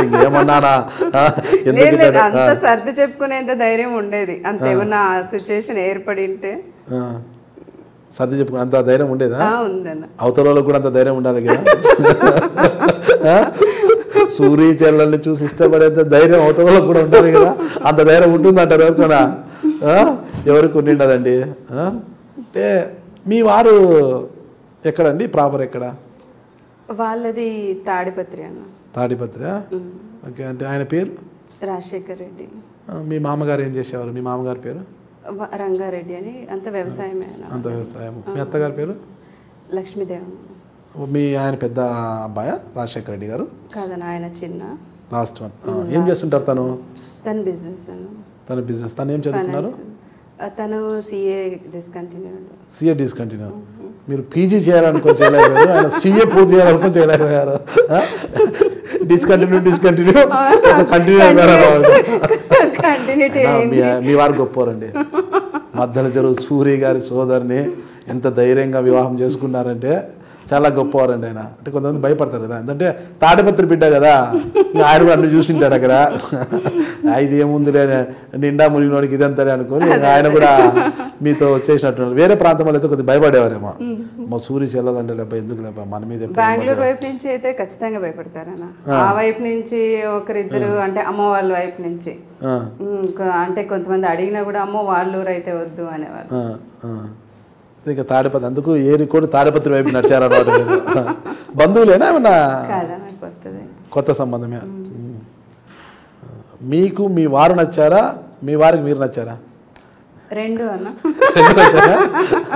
మీరు నచ్చలేదు నాకు అది ఏమైనా మారాం చేసి మీ ఇంట్లో వాళ్ళు సర్ది చెప్పడము? లేదంటే మీ వారు లేదు నాకు అమ్మాయి బాగా నచ్చింది నేను అమ్మాయినే చేసుకుంటాను ఏమైనా చేయడము. అలాంటివి ఏం లేదు. హ్యాపీగా జరిగింది. ఎంత కట్నం ఇచ్చారేంటి మీ వారికి? లేదన్న. కట్నం లేదా? లేదు. భయపడి తీసుకోలేదా ఎలా అండి లేదు లేదు అట్లా లేదు. రెండు వేల ఒకటి అంటే కట్నాలు బాగానే ఉన్నాయండి. అందులో రెడ్డి గారి కట్నాలు ఆయన కూడా అంటే చెప్పాలంటే మా ముగ్గురు ఎవరు తీసుకోలేదు అమ్మాయిలు. నేను కానీ మా చెల్లెలు ఎవరు. చాలా మీ అవునన్నా తల్లిదండ్రులు. మా ఆ, వచ్చిన అల్లుళ్ళంతా కూడా మంచి పుణ్యాత్ములే అనమాట అంతా కూడా? అంటే భయపడి తీసుకోలేదేమో అండి? ఎందుకంటే కట్నం డిమాండ్ చేస్తాం మళ్ళా మా బావ బయటకు వస్తే మమ్మల్ని ఏమని మళ్ళీ లేదు ఎలా ఉండేది? ఈ ముగ్గురు అంటే మీ హస్బెండ్తో సూరి గారు ఎలా ఉండేవారు రిలేషన్ బాగానే ఉండేవాళ్ళు అన్న సరదాగా ఉండేవాళ్ళు. కొంచెం అప్పుడప్పుడు సెటైర్లు వేసుకుంటా. అంటే అప్పుడు మీ మ్యారేజ్ అయినప్పుడు సూర్య గారు బయట ఉన్నారా? లేదు కదా అప్పుడు ఎవరిని లేదు. మొన్న రీసెంట్గా బయటకు వచ్చినప్పుడే ఫస్ట్ టైం అందరినీ కలవడం. అప్పుడే డైరెక్ట్ మీ హస్బెండ్తో కలవడం. అప్పుడే చూడ అంటే మధ్య మధ్యలో జైలుకి వెళ్తున్నప్పుడు చూశారు. అంటే మీ వివాహం అయినప్పుడు ఆయన జైల్లో ఉన్నారు కదా? అంటే వివాహం అయినాక మీ హస్బెండ్తో కలిసి వెళ్ళారా మీరు? తొలిసారిగా ఏమన్నారు బావగారిని చూసి? ఏం బావ మా చెల్లిని బాగా చూసుకో కష్టపెట్టద్దు అన్నారా? ఫస్ట్ అన్న. ఫస్ట్ ఏమన్నారు? చెప్పండి మేడం వింటాం మేము? గట్టిగా ఏమన్నా దండించేవారా? అట్లా ఏమన్నా జాగ్రత్త మా చెల్లెలు అనేసి? అంత అంతే. ఏం లేదు. భయపడేవారా మీ వారు? మీ మీ అన్నం చూసి? ఏం లేదు. రైట్ బావా రైట్ బావా. లేదు. అంతా వినయం ఏం చూపించారు. వినయం ఏం లేదా? వినయం చూపించేవారు కదా? ఏం లేదు. చాలా అన్యాయం అండి ఇది? మామూలుగా మాట్లాడేవారేమో. మామూలుగా ఉండేవాళ్ళు. ఓకే ఇక సూరి జైల్లో ఉన్నప్పుడే మీ సోదరుడు సూరి గారు జైల్లో ఉన్నప్పుడే రెండు వేల నాలుగు ఎన్నికలకు ముందు పరిటాల రవి గారిని ఎవరైతే ప్రత్యర్థిగా మీ సోదరుడు అంటే మీ కుటుంబానికి ప్రత్యర్థిగా ఉన్నారో పరిటాల రవీంద్ర గారిని కాంగ్రెస్ పార్టీలోకి తీసుకోవాలి. I think two thousand four ఎన్నికల తర్వాత అనుకుంటా. కాంగ్రెస్ పార్టీలోకి తీసుకోవాలి పరిటాల రవీంద్రను రవీంద్ర గారిని అనేసి. రాజశేఖర్ రెడ్డి ఒక ప్రతిపాదన చేశారు. అవునన్నా పిలిచి కూడా చాలాసార్లు చెప్పారు. ప్రతిపాదన చేసి అందుకు సూర్య గారు అంటే మీ సోదరు సూర్య గారు ఒప్పుకోలేదు అందుకు ససేమిరా అన్నారంటారు. అది వాస్తవమేనా? వాస్తవమన్నా ఎందుకు ఒప్పుకోలేదు ఆయన? చెప్పారనమాట ఎందుకంటే రెండు వైపులా నష్టపోయారు కదా. అవతల వాళ్ళ తండ్రి నష్టపోయారు వాళ్ళ సోదరుడు హరి నష్టపోయారు వాళ్ళ వర్గీయుని నష్టపోయారు కొంతమందిని. యువతల ఇంకా తల్లి తండ్రి తమ్ముడు అక్క కొంతమంది పిల్లల్ని నష్టపోయారు. అంటే యువతలు ఎక్కువ నష్టపోయారు అనుకోండి కుటుంబంలో. ఇక అయిపోయింది అయిపోయింది. ఇక ఏదో లైఫ్ సాఫీగా సాగిపోని ఇక ఫ్యాక్షన్ వద్దు గొడవలు వద్దు అనంతపురంలో అనుకొని ఉండి ఉండొచ్చు కదా. ఎందుకు వద్దన్నారు ఆయన? ఈ పెద్ద పిలిచి చెప్పిన మాట అయితే వాస్తవేనన్నా ఎవరిని? మాకి పిలిచి చెప్పిన చెప్పండి ఇలా తనకి. ఆల్రెడీ ఎందుకంటే నేను మా నాన్నని కోల్పోయాను. అంతకన్నా నా మీకు ఇంకా చెప్తున్నాను కదా మా నాన్నకన్నా గొప్పవాడా? మంచి భవిష్యత్తు ఉంటుంది. చెప్పిన మాట వినమని చెప్పండి. అదే సూరి గారు ఒప్పుకోకపోతే మిమ్మల్ని పిలిపించి రాజశేఖర్ రెండు సార్లు మా నాన్నకన్నా గొప్పవాడా? మీ చెప్పిన పెద్ద మీ అన్న మేమే గమ్మనున్నాము ఇలా చంపుకుంటూ పోతే ఎంతవరకు అనేది మీతో గట్టిగా చెప్పారంట గట్టిగా చెప్పారు. అదే విషయం చెప్పాం కూడా తనకి. తను వినలేదన్నమాట. విన్నట్టే విన్నాడు కానీ ఏం దానికి ఒప్పుకోలేదు. అందుకు గాను పెద్ద ఆయనతో చాలా పెద్ద ఆయన మళ్ళీ చాలా కోప్పడ్డాడు కూడా. ఏమన్నారు పెద్ద ఆయన మిమ్మల్ని పిలిచి మళ్ళా? మీ- చెప్తున్నాను మీకు మంచి భవిష్యత్తు ఉంటుంది వాడికి చెప్పండి. నేను చెప్పినట్టు ఉండమనండి. ఏం కావాలన్నా నేను చూసుకుంటాను అని. మీరు సరి చెప్పలేదు ఆయనకు వెళ్తే మంచిది కదా అనేసి. ఇప్పుడు మీరు ఒక మాట అన్నారు. టీవీ బాంబు విషయంలో అన్నకు న్యాయం జరిగి ఉండి ఉండింటే ఇంత ఇష్యూ జరిగేది కాదు అన్న ఉండేవాడు ఈరోజు అనేసి. సూర్య అలా మా మారిపోయేవాడు కాదు అనేసి. సరే అప్పుడు జరిగిపోయింది అది. అదే మీ అన్న సూరి రాజశేఖర రెడ్డి గారు చెప్పినట్టు విని రాజీ పడి ఉండింటే ఈరోజు ఇంత ఇష్యూస్ జరిగేది కాదు కదా? ఒప్పుకుంటాను అన్న దానికి. కానీ ఏమో తను అంగీకరించలేదు అంతే. అంటే ఒక సోదరిగా మీ మీద ఉన్న అఫెక్షన్తో మీరు ఎందుకు సరి చెప్పలేకపోయారు అంటే కళ్ళ ముందర అన్నీ పోగొట్టుకొని అన్నీ చూసిన బాధ ఎవరి వాళ్ళకే ఆ, దాని మూలన తను అంగీకరించలేకపోయినాడు. ఒప్పుకోలేదు అంతే. ఫైనల్గా రాజశేఖర రెడ్డి గారు మీతో ఏమన్నారు అప్పుడు? కోప్పడి కొన్ని రోజులు అయితే అసలు ఇంకేం పలకలేదన్న తనైతే. చాలా కోప్పడ్డారు. అంటే తను వింటాడు అనుకున్నారు కానీ అది జరగలేదు. ఇంకా మీరు ఏం చెప్పారు ఫైనల్ రాజశేఖర రెడ్డి గారికి? చెప్పాం కానీ ఏమంతా వినలేదన్న ఇంకా పెద్ద ఆయన కూడా. మాకు కూడా ఇంకా చెప్పడానికి కూడా కాలేదు అసలు. పెద్ద ఆయనేనా? పెద్ద ఆయనేనా అసలు. ఎప్పటికీ పెద్ద ఆయన అసలు. ఎలా చాలా రుణపడి ఉంటాం అసలు ఆయనకి అసలు. ఎందుకు ఎందుకు అంత అంత ఇంటమసి అంత పరిచయం ఎలా ఏర్పడింది మీకు రాజశేఖర రెడ్డి గారు? మీరు పెద్ద ఆయనగా భావించే రాజశేఖర రెడ్డి గారితో అంత ఇది. విషయంలోనే ఈ ఒకే అన్న కోసమే ఎక్కువ వెళ్తుంటాం అన్న. రాజశేఖర రెడ్డి గారితో ఫస్ట్ మీరు ఎప్పుడు కలిశారు? అదే ఈ విషయంగానే పిలిపించారన్న ఆయనే పిలిపించారు రాజశేఖర రెడ్డి గారు? ఫస్ట్ ఎప్పుడు ఎక్కడికి పిలిపించారు? క్యాంప్ ఆఫీస్లోకి. హైదరాబాద్ క్యాంప్ ఆఫీస్లోకి. పిలిపించి ఏమన్నారు? అది ఈ విషయంగానే మాట్లాడారు. చెప్పండి ఇలా వాడిని నేను చెప్పినట్టు ఉండమనండి. వాడికి కావాల్సిన భవిష్యత్తు నేను ఇస్తాను. అంటే పరిటాల రవీంద్ర గారిని పార్టీలోకి తీసుకుంటాము. అని చెప్పారు మీతో. మీరు అందుకు ఓకే అన్నారా మీరు? మేము ఓకే అన్నామన్న ఇంకా. నేను చెప్తున్నా కదా మీకు ఇంకా అవన్నీ అయిపోయినవి. ఇంకా ఎంతమంది నన్ను చంపుకుంటూ పోతారు? మీరు పోగొట్టుకుంటారు వాళ్ళు పోగొట్టుకుంటారు? నేను చెప్పినట్టు గమ్మున ఉండండి. ఆ. నేను చెప్పిన మాటగా చెప్పండి వాడికి అన్నారు ఆ. ఆ. తర్వాత వినలేదు ఆయన. ఆ రోజు విని ఉండింటే ఈరోజు రెండు కుటుంబాలు హ్యాపీగా ఉండేటివి యువతల పరిటాల రవీంద్ర గారు ఉండేవారు యువతల మద్దరిచలు సూర్య గారు ఉండేవారు కదా అలాగే? అంటే ఈరోజు మీ అన్న మీతో ప్రేమతో చాలా బాగుండేవారు. ఆ రోజు కారు బాంబు కేసు విషయంలో ఆయనకి న్యాయం జరిగి ఉంటే అలా మారేవారు కాదు. రాజశేఖర రెడ్డి గారు చెప్పిన విధంగా విని ఉండింటే ఈరోజు ఈ పరిస్థితి వచ్చిందంటే ప్రతి చోట కూడా రెండు బ్యాలెన్స్ అవుతూ వస్తున్నాయి. ఒక సన్నివేశం అటు అయినది డౌన్ అయినప్పుడు మళ్ళీ ఒకటి జరిగి ఇట్లా రెండు బ్యాలెన్స్ అవుతూ వస్తున్నాయి. మీ రెండు కుటుంబాల మధ్య జరిగిన విషయంలో కూడా. ఇవన్నీ అనిపిస్తే మీకు ఏమనిపిస్తుంది? ఎప్పుడైనా అనిపించిందా? ఆ రోజు రాజశేఖర రెడ్డి గారు చెప్పినట్టు మా సూర్య అన్న విని ఉండింటే ఈరోజు మా అన్న ఉండేవారు కదా అని మీకేమని అనిపించిందా? చాలాసార్లు అనిపించింది అన్న. చెప్పాము కూడా. చాలా ప్రయత్నం చేసినాము అసలు అన్ని విషయాలు అన్ని విధాలుగా చేసాము కానీ ఇంకా ఇన్ని ఇంత కోల్పోయి ఇంత చేసి నేను ఇంకా ఇట్లా తనకి అంగీకరించలేదు అది ఓకే ఆయన అంగీకరించలేదు అంతా ఓకే. ఆ రోజు రాజశేఖర రెడ్డి గారు చెప్పినట్లు విని ఉండింటే మా అన్న ఈరోజు మాతో హ్యాపీగా ఉండేవారు కదా ఈ రక్తపాతాలన్నీ లేకుండా హ్యాపీగా ఉండేవారు కదా అని ఎప్పుడైనా మీకు అనిపించిందా?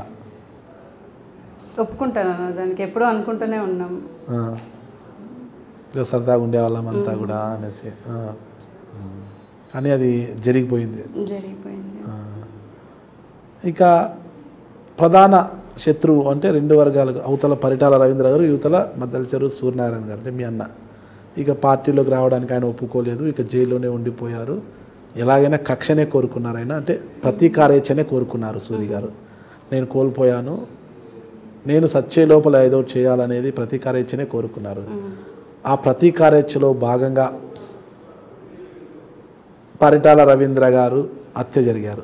సరే అది సూర్య గారు చంపారా ఇంకోరు చంపారా ఎవరు చంపారు ఎవరు చంపించారు అనేది తెలుసు. ఎందుకంటే చంపింది మొద్దు కత్తి. ఆ పిడికిలి ఎవరిది అనేది అందరికి తెలుసు. కత్తి మొద్దుసీనిదైతే ఆ పిడికిలి ఎవరిది?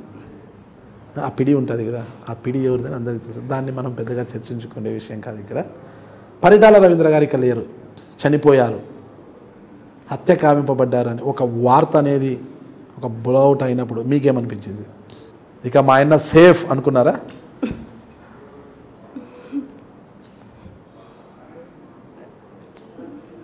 కోరిక అయితే తీర్చుకున్నాడు అనుకున్నాము.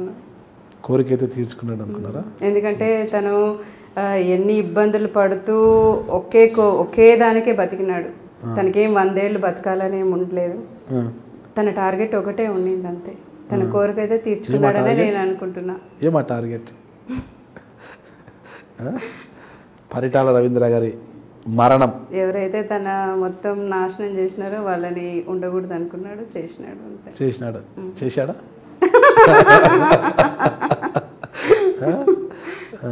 చేసిన దానికే కదన్నా మళ్ళీ పనిష్మెంట్ కూడా అనుభవించాడు. అంటే బావ కళ్ళల్లో ఆనందం చూడాలనేసి జైల్లో పరిచయమైన మొద్దు సీనునే బయటకు వచ్చి ఇదంతా చేసి అంటే మీరు రక్త చరిత్రలో సినిమా చూసారు కదా మీ అన్న సూరి గోడ దూకి వచ్చి తలపాగా కట్టుకొని వచ్చి దగ్గరకు వచ్చి కాల్చి వెళ్ళిపోవడము అలా కాకపోయినా ఏదో వేరే ఎపిసోడ్లో జరిగిందని మీరు చెప్తున్నారు కదా. మొద్దు సీన్ ఎప్పుడైనా కలిసారు మీరు? లేదన్నా. ఎప్పుడు కూడా? అసలు అట్లాంటివి ఎవరికి పరిచయాలు కానీ వాళ్ళతో మాట్లాడివ్వడం కానీ డివైడ్ చేసేవాడు అనమాట వాళ్ళతో కానీ మాకు ఏ ఫ్యాక్షన్ ఉన్న వాళ్ళతో కానీ ఎవరితో కలిపేవాడు కాదనమాట. రెగ్యులర్గా మాట్లాడే వాళ్ళతో ఆ విషయాలు మాట్లాడేవాడు కాదు. వాళ్ళతో మమ్మల్ని ఇన్వాల్వ్ చేసేవాడు కాదనమాట. ఇక దాని తర్వాత సూర్య గారు బెయిల్పై ఎప్పుడు వచ్చారు బయటికి? ఏ ఏ తర్వాతనా? ఎప్పుడు? ఇప్పుడు అంటే కారు బాంబు కేసులో జైలుకి వెళ్ళారు జూబ్లీ విల్స్ కారు బాంబు కేసులో. ఆ కేసులో జైలుకి వెళ్ళిన ఆయన పరిటాల రవీంద్ర హత్య తర్వాత బయటకు వచ్చారు బెయిల్ మీద. సూర్య ఎప్పుడు వచ్చారు బయటికి? నైన్లో టూ థౌజండ్ నైన్లో. ఇంటికి వచ్చారు ఫస్ట్? ఏళ్ళ తరబడి జైల్లో ఉండి ఎన్నో బాధలను అనుభవించి తన ప్రత్యర్థి మరణం తర్వాత బయటికి వచ్చి నేరుగా మీ ఇంటికి వచ్చిన అన్నను చూస్తే మీకు ఏమనిపించింది ఆ రోజు ఇంకంత పండగలాగే ఎందుకంటే ఏం భక్షాలు చేశారా? పండగలు అయితే భక్షాలు చేశారు. చాలా ఏళ్ళ తర్వాతే కదన్నా. ఎప్పుడో చిన్నప్పుడే గుర్తుండేది. తర్వాత అంటే ఇంకా మొన్ననే వచ్చిండేది. మొన్న కాదండి చాలా రోజులు అయింది అది. మీరు మళ్ళీ మొన్న అంటే మళ్ళీ నాకు ఆశ్చర్యం మొన్న అంటే పోయింది ఆయన చనిపోయి కూడా సంవత్సరాలు అయిపోయింది. మళ్ళీ మొన్న అంటున్నారు అనేది అంటే ఒక్కసారిగా సూర్య గారు మీ కళ్ళ ముందుకు నేరుగా జైలు నుంచి నేరుగా మీ ఇంటికి రావడంతో మీకు అప్పటికే మీ అంటే చాలా ప్రేమ కదా. ఎలా ఉండింది మీ ఫీల్ ఎలా ఉండింది అసలు అన్నం చూడగానే? ఒక్కసారిగా ఆనంద బాష్పాలు రాలిపోయా అన్నయ్య అనేసి. అంత సరే అన్నాచల అనుబంధానికి కేర్ ఆఫ్ సూరి హేమలత రెడ్డి గారు అంటారు మీరు చూసి ఏం లేదంటారు ఎట్లా అంటే ఎట్లా అంటే ఈయన ఉన్నారు ఆడంతా పండగ వాతావరణం చేసుకున్నారు రోజు? భక్షాలు చేశారా లేదా? భక్షాలు చేశారా? మీకు వస్తుంది భక్షాలు చేయడము? కొద్ది కొద్దిగా. కొద్ది కొద్దిగా కాదండి. పూర్తిగా చేస్తేనే భక్షాలు బాగా వస్తాయి. కొద్ది కొద్దిగా చేస్తే అది విరిగిపోతాయి కదా. లేదు లేదు. అంటే అంత పర్ఫెక్ట్గా ఏం కాదు. ఆ. తినగలిగేట్లే చేస్తాం. ఆ. మీ అన్న చిన్నతనం నుంచి ఏ వంటకాలు ఎక్కువ ఇష్టపడేవాడు సూరి బ్రేక్ఫాస్ట్లో అయితే ఉప్మా అన్న. ఉప్మా తినే ఎవరైనా ఉప్మా పెరుగు అంటే మహా ఇష్టం. ఉప్మా పెరుగు. ఉప్మా పెరుగు. ఇదేంటండి డిఫరెంట్ కాంబినేషన్ ఇది వెరైటీ కాంబినేషన్ ఇది ఉప్మా పెరుగు. ఇది కొత్త వెరైటీ అండి. ఉప్మా పెరుగు. ఇంకా నాన్ వెజ్లో అంటే మటన్ ఇష్టం. మటన్? ఏట తేగాల్సిందే. పండగ వస్తే ఆట తేగాల్సిందే. అన్నకు బాగా వడ్డించారు మీరు తిను తిను అని. నాన్ వెజ్ బాగా. ఉప్మా పెరుగు ఇది రాగి సంగటి. ఆ, సంగటి ఇష్టం. సంగటి ఇష్టం. నాటుకోడి పులుసు. నాటుకోడి పులుసు. మేము చెప్తుంటే అన్నీ అవును చెప్తారు కదండి మీరు మీరేం చెప్పరు? అవును రాగి సంగటి రాగి సంగటి అంటారు. మమ్మల్ని అనుకరిస్తున్నారు మీరు. మీరు చెప్పండి వింటాము. ఏమేమి ఇష్టంగా తినేవారు? ఇంకా అదే అన్న. ఎక్కువ సంగటి తినేవాడు. సంగటి చట్నీ తినేవాడు. శనక్కాయల చట్నీ. పల్లీల చట్నీ. ఓ మీరు హైదరాబాద్ వాళ్ళు కదా పల్లీల చట్నీ అంటున్నారు. పల్లీల చట్నీ అంటుంటే హైదరాబాద్ వాళ్ళు కదా మీరు. మీ భాషలోనే పల్లీల చట్నీ తినేవారు. ఇంకా నెక్స్ట్ చెప్పండి. Mutton chicken. నాటుకోడి ఎక్కువ ఇష్టపడేవాడు. నాటుకోడి. కోళ్ళు పెంచేవారా మీరు? ఊర్లో ఉంటాయన్నా. ఎప్పుడు కావాలంటే అప్పుడు ఊర్లో ఉంటే ఊరు పడితే వాళ్ళు కోసేస్తారేమండి? మీరు పెంచేవాళ్ళ? ఎక్కడన్నా ఊర్లో ఉండంటే ఊర్లో చాలా మంది ఉంటారండి ఊరు పడితే వాళ్ళు కోసేస్తారా? ఏం ఇక్కడ కదా అడుగుతున్నారా? ఊర్లో గురించి. ఊర్లో గురించి అండి. ఊరిలో అయినా కూడా మీరు పెంచుతారా లేదా? లేదంటే ఊర్లో ఉంటాయండి అంటే ఊర్లో ఎవరికి చాలా మంది కోండి ఊరి పడితే కోసేస్తారా ఏంటి? మీ కోళ్ళని మీరు కోరుకుని తినాలా? పక్కింటి ఏమనరు. భయ కదా. రెడ్డికి ఇష్టం కదా పాపం రెడ్డి కోసం. అయ్యో రెడ్డి నువ్వు తినకపోతే ఎట్లా అంటారు? రెడ్డి అనేవారు మీరండి బాగా? లేదు మామూలుగా బయట వాళ్ళు. రెడ్డి రెడ్డి అని పిలిచేవారా? రెడ్డి వాళ్ళని. ఆ, ఆ, తిను రెడ్డి తిను రెడ్డి అని. రెడ్డి బాగా తినేవాడు నాటుకోళ్ళు. ఎన్ని నాటుకోళ్ళు భలే పాపం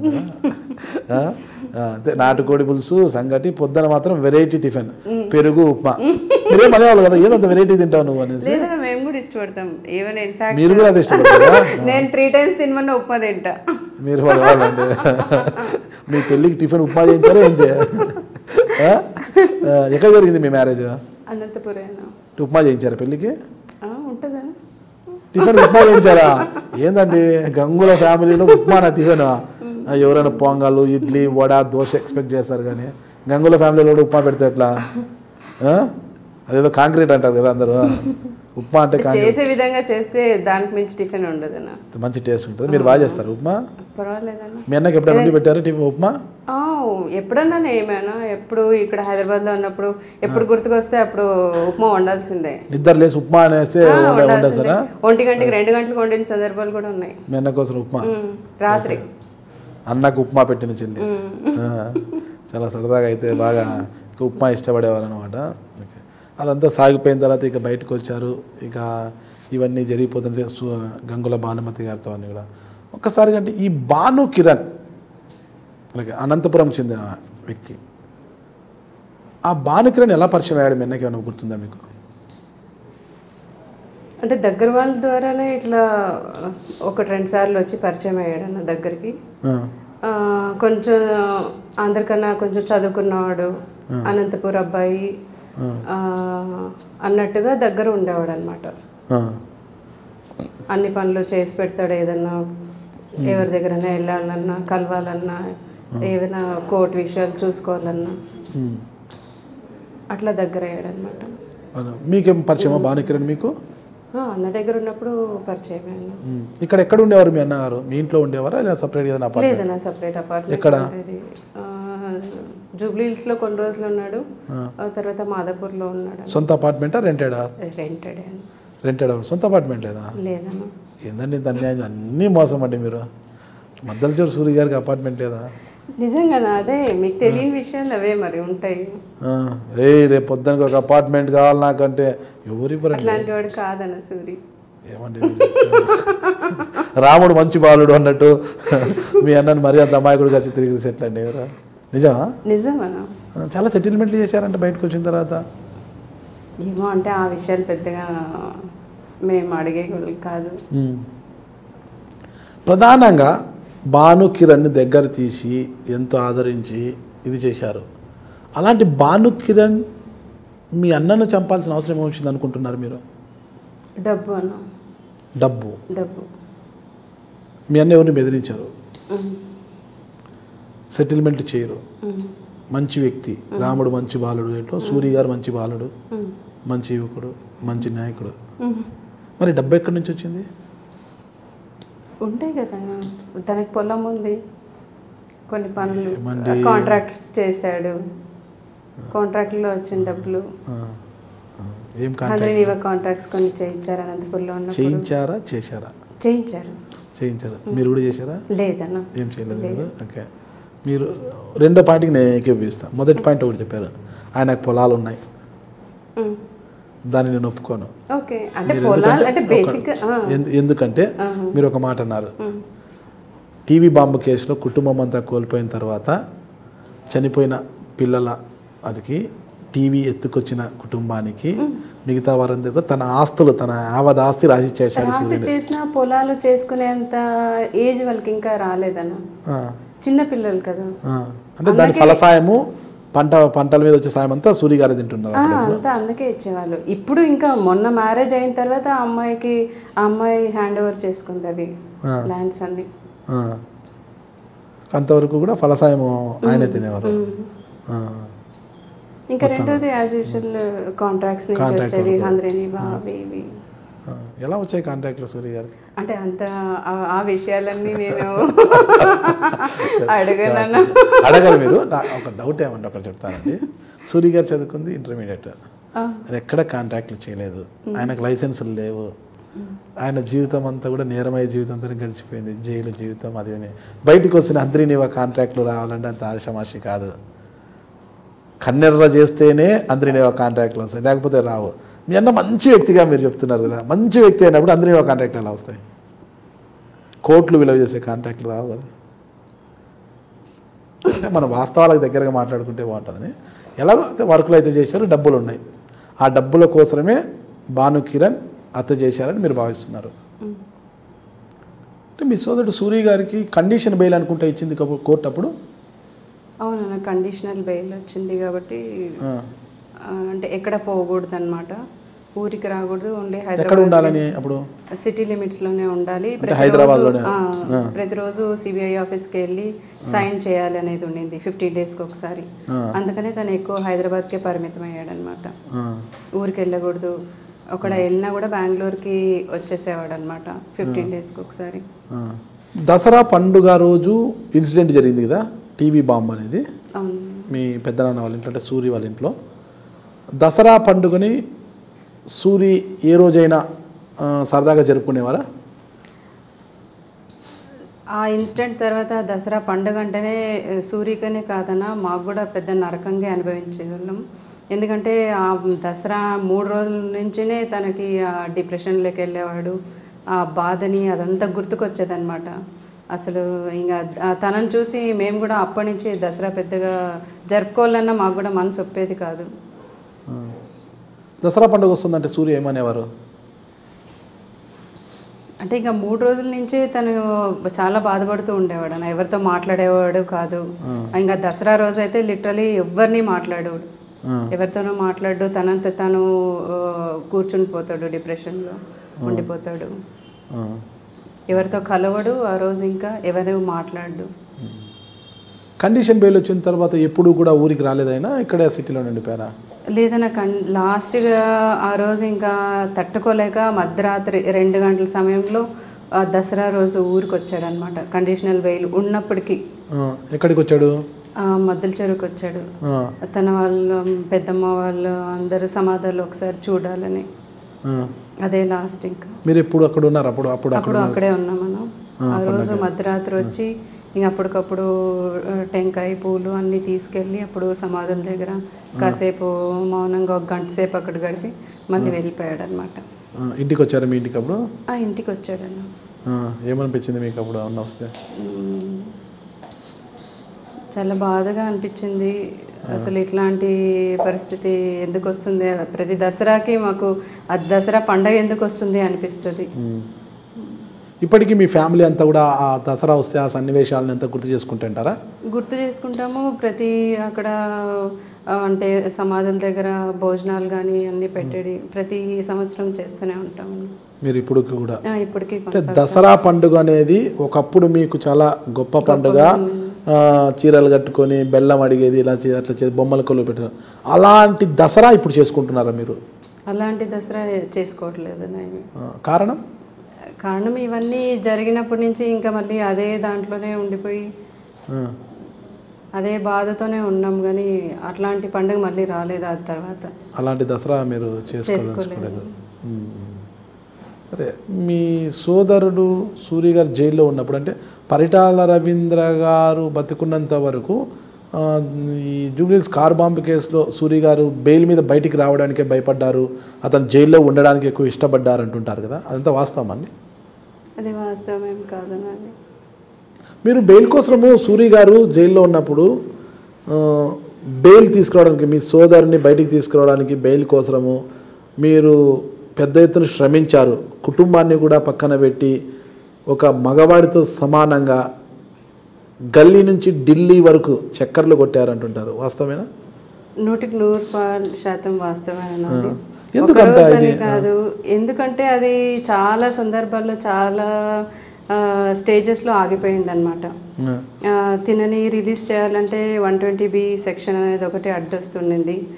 తినతో పాటు ఆ సెక్షన్ కింద తిన్ రిలీజ్ కావాలంటే తినతో పాటు ఉన్న నక్సలైట్స్ అంతా రిలీజ్ అవుతారు అని చెప్పేసి అది ఆగిపోయింది అనమాట అది ఆగిపోయిన దాన్ని ఏ స్టేజ్లో ఆగిపోయింది? ఎక్కడికి వెళ్తే అది దాన్ని ఫార్వర్డ్ చేయొచ్చు అని చెప్పేసి ప్రతి చోట ప్రతి డిపార్ట్మెంట్ దగ్గర అడిగి క్లియర్ చేసుకోవడం.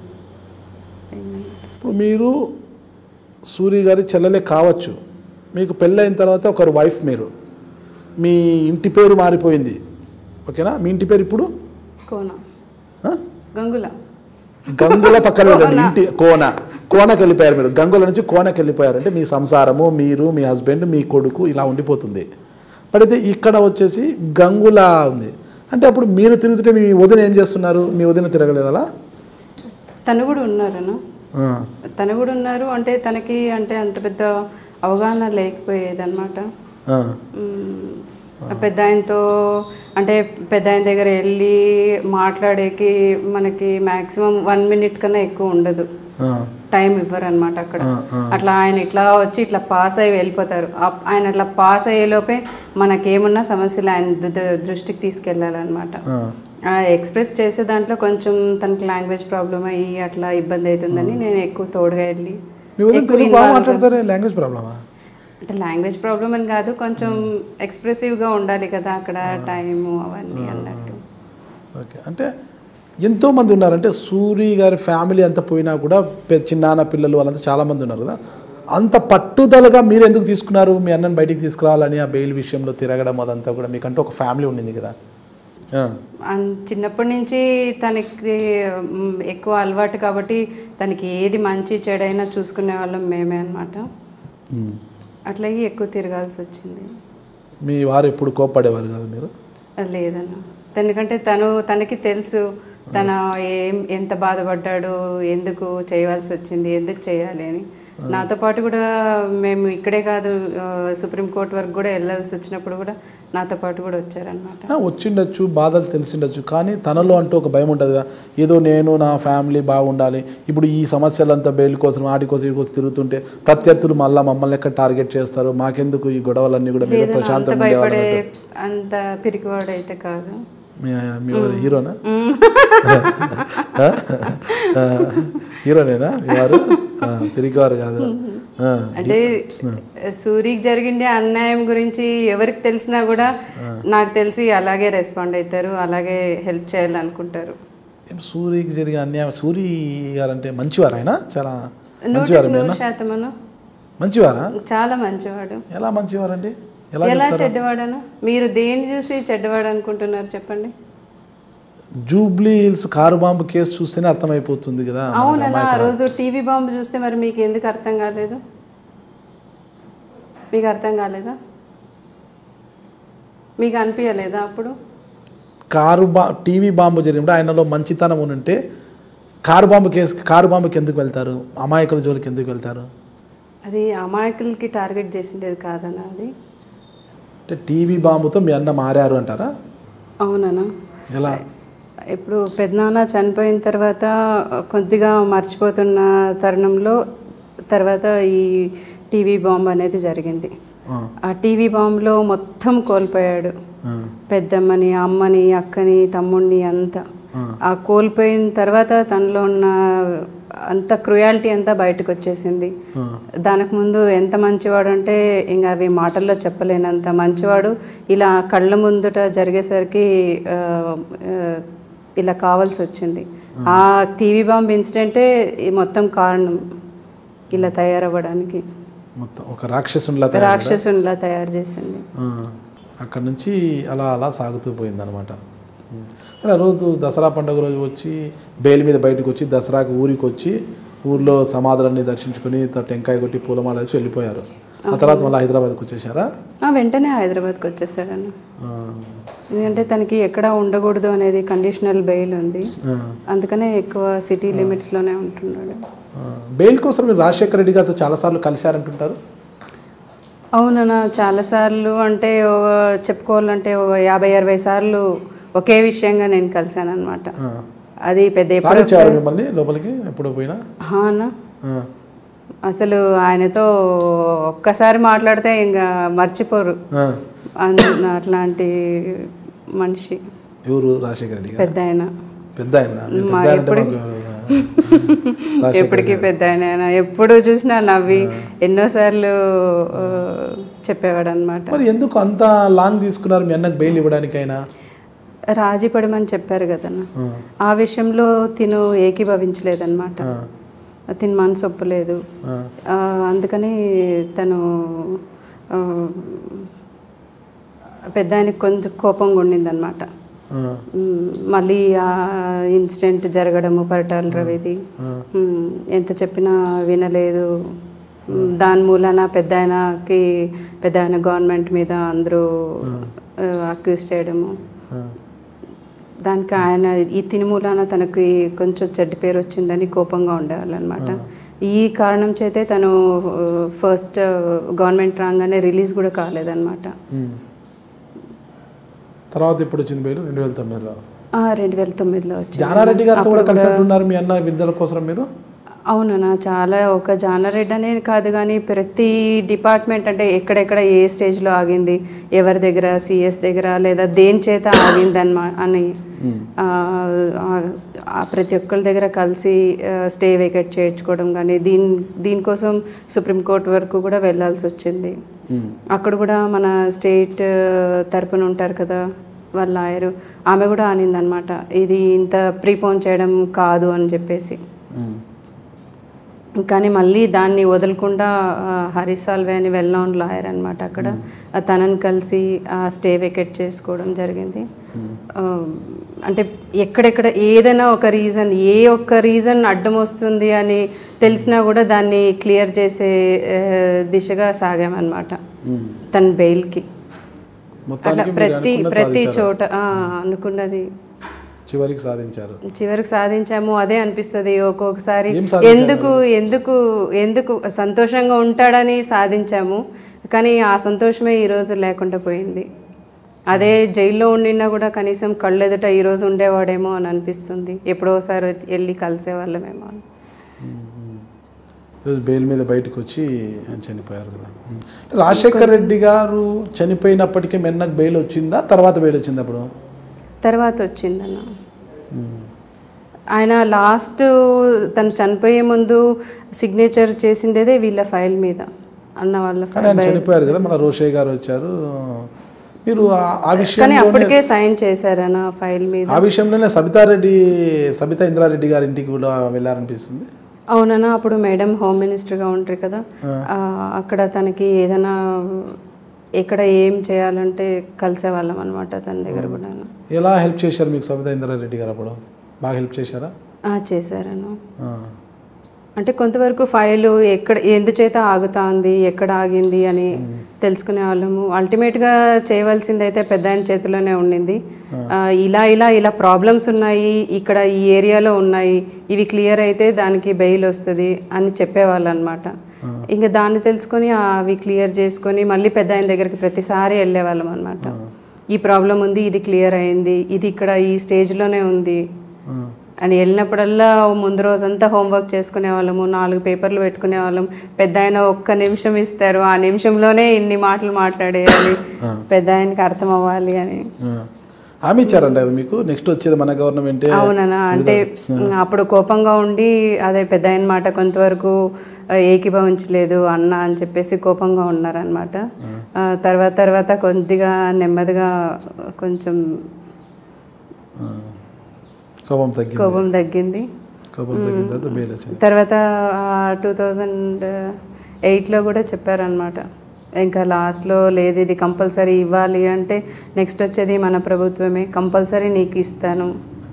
బెయిల్ బెయిల్ మీద తెస్తాను బయటకు వస్తాడు. నీకు మాట ఇస్తున్నాను కదా అన్నారు. మీకు చెప్పారా? మీకు మాట ఇస్తున్నాను చెప్పారన్న. అదే మాట ఇచ్చిన మాట అయితే పెద్ద ఆయన నిలబెట్టుకున్నారు. ఇక ఆయనకి ఎన్ని జన్మల్లో అయినా రుణపడి ఉంటాం ఆ విషయంగా. టూ థౌజండ్ నైన్లో రాజశేఖర్ రెడ్డి గారు సూరి గారికి అంటే సూరి గారి తరపున గంగుల భానుమతి గారికి టికెట్ ఇస్తాము అంటే రాప్తాడు నుంచి వద్దన్నారంట? అంటే బేసిక్గా ఏ మేము పెద్ద ఆయన నుంచి ఎక్స్పెక్ట్ చేస్తుండేది ఒకటే అన్న. అన్న బయటికి రావాలి అన్నకి ఇబ్బంది లేకుండా ఉండాలని.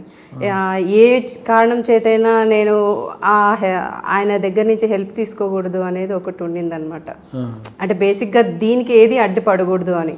సపోజ్ నేను సీట్ ఇచ్చాను కదా ఇది బెయిల్ తర్వాత చూసుకుందాంలే అని ఒక్క మాట ఎక్కడన్నా పెద్ద ఆయన అంటారేమో అని భయపడి అది కూడా వద్దు అని చెప్పేసి అన్న బయటికి రావాలి అనే కోరికతోనే దీనికి అదే వద్దనుకున్నాం దానికి. తొలుత టూ థౌజండ్ టూ థౌజండ్ ఫోర్లో కూడా తొలుత ఇస్తామని అంటే వద్దన్నారు. అవునన్నా అప్పుడు ఇదే కారణమే అన్న. టూ థౌజండ్ ఫోర్లో మీ వదిన గారు నిలబడ్డారనుకుంటా. అప్పుడు అప్పుడు తనే కంటెస్ట్ చేశారు కంటెస్ట్ చేశారు టూ థౌజండ్ నైన్లో వద్దన్నారు. నైన్లో వద్దనేది. టూ థౌజండ్ నైన్లో వద్దన్నారు. టూ థౌజండ్ ఫోర్లో మీ కంటెస్ట్ చేశారు. టూ థౌజండ్ నైన్లో వద్దన్నారు. వద్దన్నాను. ఓకే. ఎందుకంటే ఏ కారణం చేత కూడా దీనికి అడ్డు రాకూడదు అని చెప్పేసి. టూ థౌజండ్ ఫోర్లో మీ వదిన కంటెస్ట్ చేసిన ప్రచారానికి మీరు వెళ్ళారా? మేం వెళ్ళలేదు కానీ అమ్మ వాళ్ళంతా వెళ్ళారనా ఇంట్లో? మీరు ఎందుకు వెళ్ళలేదు? మేబీ ఏమో అంత వెళ్ళలేదనా అమ్మ వాళ్ళు ఉంటారు కదా. లేదా? కానీ అమ్మ వాళ్ళు యూజువల్గా ఎక్కువ ఇప్పటి నుంచేనే కాదు. పెద్దనాన్న ఎలక్షన్స్ అప్పటి నుంచి కూడా అమ్మ వాళ్ళు వెంట వెళ్ళే అలవాటు ఉందన్నమాట. పెద్దమ్మ వెంట. అట్లా ఈ తినొచ్చినా కూడా సపోర్టివ్ గానే ఉన్నారు వాళ్ళు. కాదులేండి అన్న మీద ఉన్నంత ప్రేమ హేమ గారికి లేదు లేదన్న అట్లా అట్లా లేకపోతే ఇన్ని రోజులు ఇన్ని కష్టాలు అన్న కోసం పడతానా చెప్పండి? అదే చెప్తున్నా ఆ కష్టం అంతా అన్నగారి మీద ప్రేమతోనే కదా వదిన మీద ప్రేమ కాదు కదా. అట్లా ఏం లేదనా అంటే కొంతవరకు వాళ్ళు చూసుకునే వాళ్ళు చూసుకుంటారు. నేను ఎక్కువ ఈ పనుల్లోనే ఎక్కువ చూసుకుంటా అంటే అన్న. ప్ర- ప్రచారానికి అంటే మీ చరిష్మా కూడా కొద్దిగా తోడైండేమో లేదు లేదన్న. అన్న భార్య అంటేనే చాలు ఇంకా? ఎవరు అవసరం లేదు. రాజముద్ర పడినట్లే అంతే. సరే ఇక ఎట్టకేలకు టూ థౌజండ్ నైన్లో బెయిల్ మీద బయటకు వచ్చారు. కండిషన్ బెయిల్ వచ్చారు. ఇక ఇక్కడే ఉండిపోయారు. భానుకిరణ్ గారు అంటే సూరి గారు జైల్లో ఉన్నప్పుడు పరిచయం అయ్యారా? బయటకు వచ్చిన తర్వాత పరిచయం అయ్యారా? ఉన్నప్పుడు ఉన్నప్పుడే పరిచయం కొద్ది అంటే భానుకిరణ్ అనే ఒక వ్యక్తి అనంతపురం వాసి. ఆయన సూరి గారు జైల్లో ఉన్నప్పుడు పరిచయం అయ్యారా? బయటకు వచ్చిన తర్వాత పరిచయం అయ్యారా? బయటకు వచ్చి ఉన్నప్పుడే పరిచయం అన్న. జైల్లో ఉన్నప్పుడే. ఉన్నప్పుడే పరిచయం భానుకిరణ్ మీతో కలిసి ఢిల్లీ అంతా వచ్చారంటుంటారు బెయిల్ కోసము వాస్తవమేనా? అవునన్నా అంత నమ్మకస్తుడు అంత ఇంట్లో మమ్మల్ని ఎలా చూసుకునేవాడు అంతకన్నా ఎక్కువ ప్రేమతో చూసుకునేవాడు అసలు. ఎందుకంటే వాడు నా కోసరం ఉన్నాడు నా కోసరము అసలు ఫ్యామిలీని వదిలేసినాడు నా కోసరం ఏం చేయట్లేదు రాత్రి బగులు నా గురించి ఆలోచిస్తాడు అంతలా నమ్మినాడు. భానుకిరణ్కి పెళ్ళయిందా? లేదన్న పెళ్ళి కాలేదు. పెళ్ళి కాలేదు. ఇక్కడే ఉండి అన్ని చూసుకు అంతలా నమ్మేలా నటించాడు. ఎవరు తీసుకొచ్చారు అసలు భానుకిరణ్ని సూర్య గారి దగ్గరికి? నాకు తెలిసినంత వరకు కృష్ణన్న వాళ్ళ జతలో ఉన్నాడు అనుకుంటున్నానన్న ఆ, వాళ్ళ వెంట ఉన్న వ్యక్తి అనుకుంటున్నా. అలా పరిచయం అయ్యాడు? ఆ, కృష్ణన్న తోటి పా- పరిచయం అయ్యి కృష్ణన్న అంటే? కృష్ణన్న అంటే సూరన్న బాగా ఇష్టపడే వ్యక్తి. పులివెందులో. ఒక రకంగా చెప్పాలంటే భానుమతికి కొంతవరకు రాజకీయ భవిష్యత్తు కొంతవరకు ఏంది పెద్ద ఆయన దగ్గర తీసుకెళ్ళాలన్నా లేదా పులివెందులకి వెళ్ళినా అన్నోళ్ళ ఇంట్లోనే ఉండేది. నేను కూడా వెళ్ళానన్న త్రీ టైమ్స్ అన్నోళ్ళ ఇంట్లోనే ఉన్నాము. జగనాన్ని కలవాలన్నా లేదా పెద్ద ఆయన దగ్గర ఏదన్నా అపాయింట్మెంట్ ఇప్పించాలన్నా కృష్ణన్నే. ఇంకా అన్న కూడా బావా అనంతలా ఇష్టపడ్డాడు అనమాట కృష్ణన్నని. మీ సూర్య అన్న. ఎప్పుడు బావా బావా అనుకునేంత చనువు కూడా ఉండేదన్నమాట బావ కదా? అంటే ఆ బావ వేరేనా? అది చెప్పాను కదా రెండు సెక్షన్స్ ఉంటాయి. ఆ ఫ్యాక్షన్ సెక్షన్ని ఇట్లా ఫ్రెండ్స్ సెక్షన్ని కలవనీయడు అనమాట అది వేరు ఈ బావ వేరు. ఆ, వేరు ఇది వేరు. ఆ బావ కూతుర్ని మీ అన్న కొడుకు చేసుకుంటామని హామీ ఇచ్చారంట కదా అప్పుడు? లేదనా అంత అవన్నీ అవన్నీ అబద్ధాలు అనుకుంటాను. అవునా. నేను బయటికి వచ్చిన వెంటనే నీ కుమార్ నా పెద్దగా నీ కూతురు నా కొడుకు చేసుకుంటాను హామీ ఇచ్చాడు అనేసి. ఎప్పుడు అంటే ఆ టాపిక్స్ ఎప్పుడు రాలేదన్న అవేం అంతగా తెలియదు. అవన్నీ ఎప్పుడు మమ్మల్ని ఆ దాంట్లో కలిపేవాడు కాదనమాట మా అంతవరకు కూడా మొద్దుసూని ఎవరు అనేది కూడా మాకు తెలియదు అంటే బారుకిరాను ఇక అలా పరిచయం అయ్యి ఇక మీతో పాటు మొత్తం కూడా తిరిగారు మొత్తం చేశారు కదా. అలాంటి భాను కిరణ్ డబ్బు కోసమే చంపారు అని అంటున్నారు కదా మీరు. ఆ డబ్బు ఎక్కడ ఉండింది? ఎవరి దగ్గర ఉండిందండి? మీరు భావిస్తున్నారు డబ్బు తన దగ్గరే ఉండిందను. ఎంత డబ్బు ఉండింటుంది? మీకేమైనా ఇచ్చారా? లేదనా. సూర్య గారు బయటకు వచ్చిన తర్వాత కొన్ని భూదందాలు ఎక్కువ చేశారు అంటుంటారు అనమాట సెటిల్మెంట్స్ పంచాయతీలు చేశారు ఎక్కువ. అందులో భాగంగానే మహేశ్వరానికి చెందిన ఒక ల్యాండ్ సెటిల్మెంట్ చేశారు. దానికి హేమలతారెడ్డి ద్వారా పది లక్షల రూపాయలు ఇన్వెస్ట్ చేయించి ఆ సైట్ ఇచ్చేసి కొనుగోలు చేయించారు హేమలతారెడ్డికి సూరి గారు చనిపోయిన తర్వాత ఆ ల్యాండ్ని ఎవరైతే అమ్మారో పది లక్షల రూపాయలు తీసుకుని అమ్మారో అతను రివర్స్ కావడము కేసు పెట్టడము ఇవన్నీ కూడా మీకు ఇబ్బందికరంగా మారిపోయాయి అన్నారు అప్పుడు. ఆ కేసు ఏమైంది ఇప్పుడు? కేసు క్లియర్ అయిపోయిందను? అది పూర్తిగా మొదటిగా చెప్పాలంటే తప్పుడు కేసు. ఉమ్. అసలు ఏంది ఆ ఎపిసోడ్ ఏందండి? అసలు ఇంత ఏం అది జరిగింది అది? అది యాక్చువల్గా ల్యాండ్ ఓనర్ కాదు పెట్టింది కేసు. పూర్తిగా డిపార్ట్మెంట్ వాళ్ళు పెట్టిండేదే ఇదంతాను. ల్యాండ్ ఓనర్ని కంపల్సరీ ఫోర్సిబుల్గా తీసుకెళ్ళి పెట్టించినారు. ఎందుకంటే ఎందుకంటే ఆ సమయంలో భాను కిరణ్ దొరకలేదు. వీళ్ళకి ఏదో చాలా ప్రెషర్స్ ఉన్నాయి. ఏదో ఒకటి భానుకిరణ్తో లింక్ ఏవేవి ఉన్నాయో వాటన్నిటికీ లింక్ చేసేసారనమాట అందులో భాగంగానే నా పేరు మీద అంటే బేసిక్గా తన పేరు నుంచి నాకు ట్రాన్స్ఫర్ అయింది అది అదేంటంటే ఒకటి తనకి ఫార్మింగ్ అన్న చాలా ఇష్టం అన్నకి. అక్కడ ఈము బర్డ్స్ పెట్టాలి ఫామ్ హౌస్ ఉండాలి తనకి అట్లా కోరిక ఉండింది అనమాట అట్లా పెట్టాలి అని స్టార్ట్ చేయాలి అని చెప్పేసి తీసుకున్న ల్యాండ్ అది. ఆ. ల్యాండ్కి తినతో సంబంధము ఉన్న తిన మీద ఉన్న పేర్ల మీద ఉన్నవన్నీ అట్లా కేసు పెట్టించారనమాట అంటే ఆ ల్యాండ్ మీ పేరు మీద రిజిస్టర్ అయింది కదా? నా పేరు మీద రిజిస్టర్ అయింది. రిజిస్టర్ అయింది. తొలుత ఎవరి పేరు మీద ఉన్నది అది? భానుకిరణ్ పేరు మీద భాను కిరణ్ మీద పేరున్న ల్యాండ్ని మీ మీదకి మళ్ళీ ట్రాన్స్ఫర్ చేశారు. అవునన్నా మీరు పది లక్షల రూపాయలు వెచ్చించారంటే వాస్తవేనా వాస్తవేనా ఆ, మరి ఇప్పుడు ఆ ల్యాండ్ పరిస్థితి ఏమైంది? అది ఇంకా ఏం కాలేదనా ఇప్పుడు ఇప్పుడు నెక్స్ట్ క్లియర్ చేసుకోవాలి ఇది. జుడిషియల్గా అయితే క్లియర్ అయింది. ఇంకెళ్ళి చూడాలి. ఇప్పుడు మీకు సపోర్ట్ మీ అన్న కూడా లేడు కదా ఇప్పుడు మీకు సపోర్ట్ చేసేవాళ్ళు ఎవరున్నారు? అవసరం లేదన్నా నాకు నేనే సపోర్ట్ చేస్తాను. ఇంతగల ఇంతగన తన కోసం ఫైట్ చేసిన దాన్ని నా కోసం నేను ఫైట్ చేసుకోగలననే కాన్ఫిడెన్స్ ఉంది. ఇప్పుడు రాష్ట్రము విడిపోయింది తెలంగాణ తెలంగాణ రాష్ట్రంలో ఆ ల్యాండ్ మీకు ఎవరు సపోర్ట్ లేకోకుండా? ఎలా సాధిస్తారనుకుంటున్నారు ల్యాండ్ మీరు? పది లక్షల రూపాయలు పెట్టారు. ఎలా వస్తుంది అనుకుంటున్నారు కాన్ఫిడెన్స్ అయితే ఉందనా? వస్తుందని. ఎందుకు అతను రివర్స్ ఎందుకు అయ్యాడంటారు అసలు ఆ సైట్ అంటే ఆయనేమే ఆయన ఇప్పటికీ ఏం రివర్స్ కాలేదనా? సైట్ ఓనర్ది కాదు ప్రాబ్లము. యాక్చువల్గా అది చెప్పాను కదా డిపార్ట్మెంట్ వాళ్ళు ఏదైతే తన పేరు మీద ఉన్నవి తన తన నుంచి ఏవైతే ట్రాన్స్ఫర్ అయినాయో అవన్నిటికీ చూసుకుంటూ వచ్చారనమాట దాంట్లో భాగంగా ఇది దొరికింది వాళ్ళకి. కేసు పెట్టిన విషయంలో కూడా మీరు చాలా ఇబ్బంది పడ్డారు. దీని విషయమై మర్రి శశిధర్ రెడ్డి గారు కావచ్చు సబితా ఇంద్రారెడ్డి గారు కావచ్చు వాళ్ళందరితో కూడా ఎక్కువ కలవాల్సి వచ్చింది. ఎక్కువ మీరు కొద్ది రోజులు అండర్ గ్రౌండ్ కూడా వెళ్ళారంటుంటారు? లేదనా లేదు? లేదు అంత పెద్ద వెళ్ళాల్సిన అవసరం అయితే నాకేం లేదు. అంత అప్పర్ గ్రౌండే అండర్. ఎప్పుడు ఉండదు. రెడ్డి సమస్య లేదు. సూర్యనారాయణ రెడ్డి చెల్లెలయ్యి అండర్ గ్రౌండ్ ఉండనే ఉండదు. ఎప్పుడు అప్పరే ఏమన్నారు అప్పుడు మరి శశిధర్ రెడ్డి గారు? వీళ్ళందరూ కూడా వాళ్ళని ఆశ్రయిస్తే మీరు? అంటే వీలైనంత వరకు సహాయం చేశారన్న దాని విషయంగా.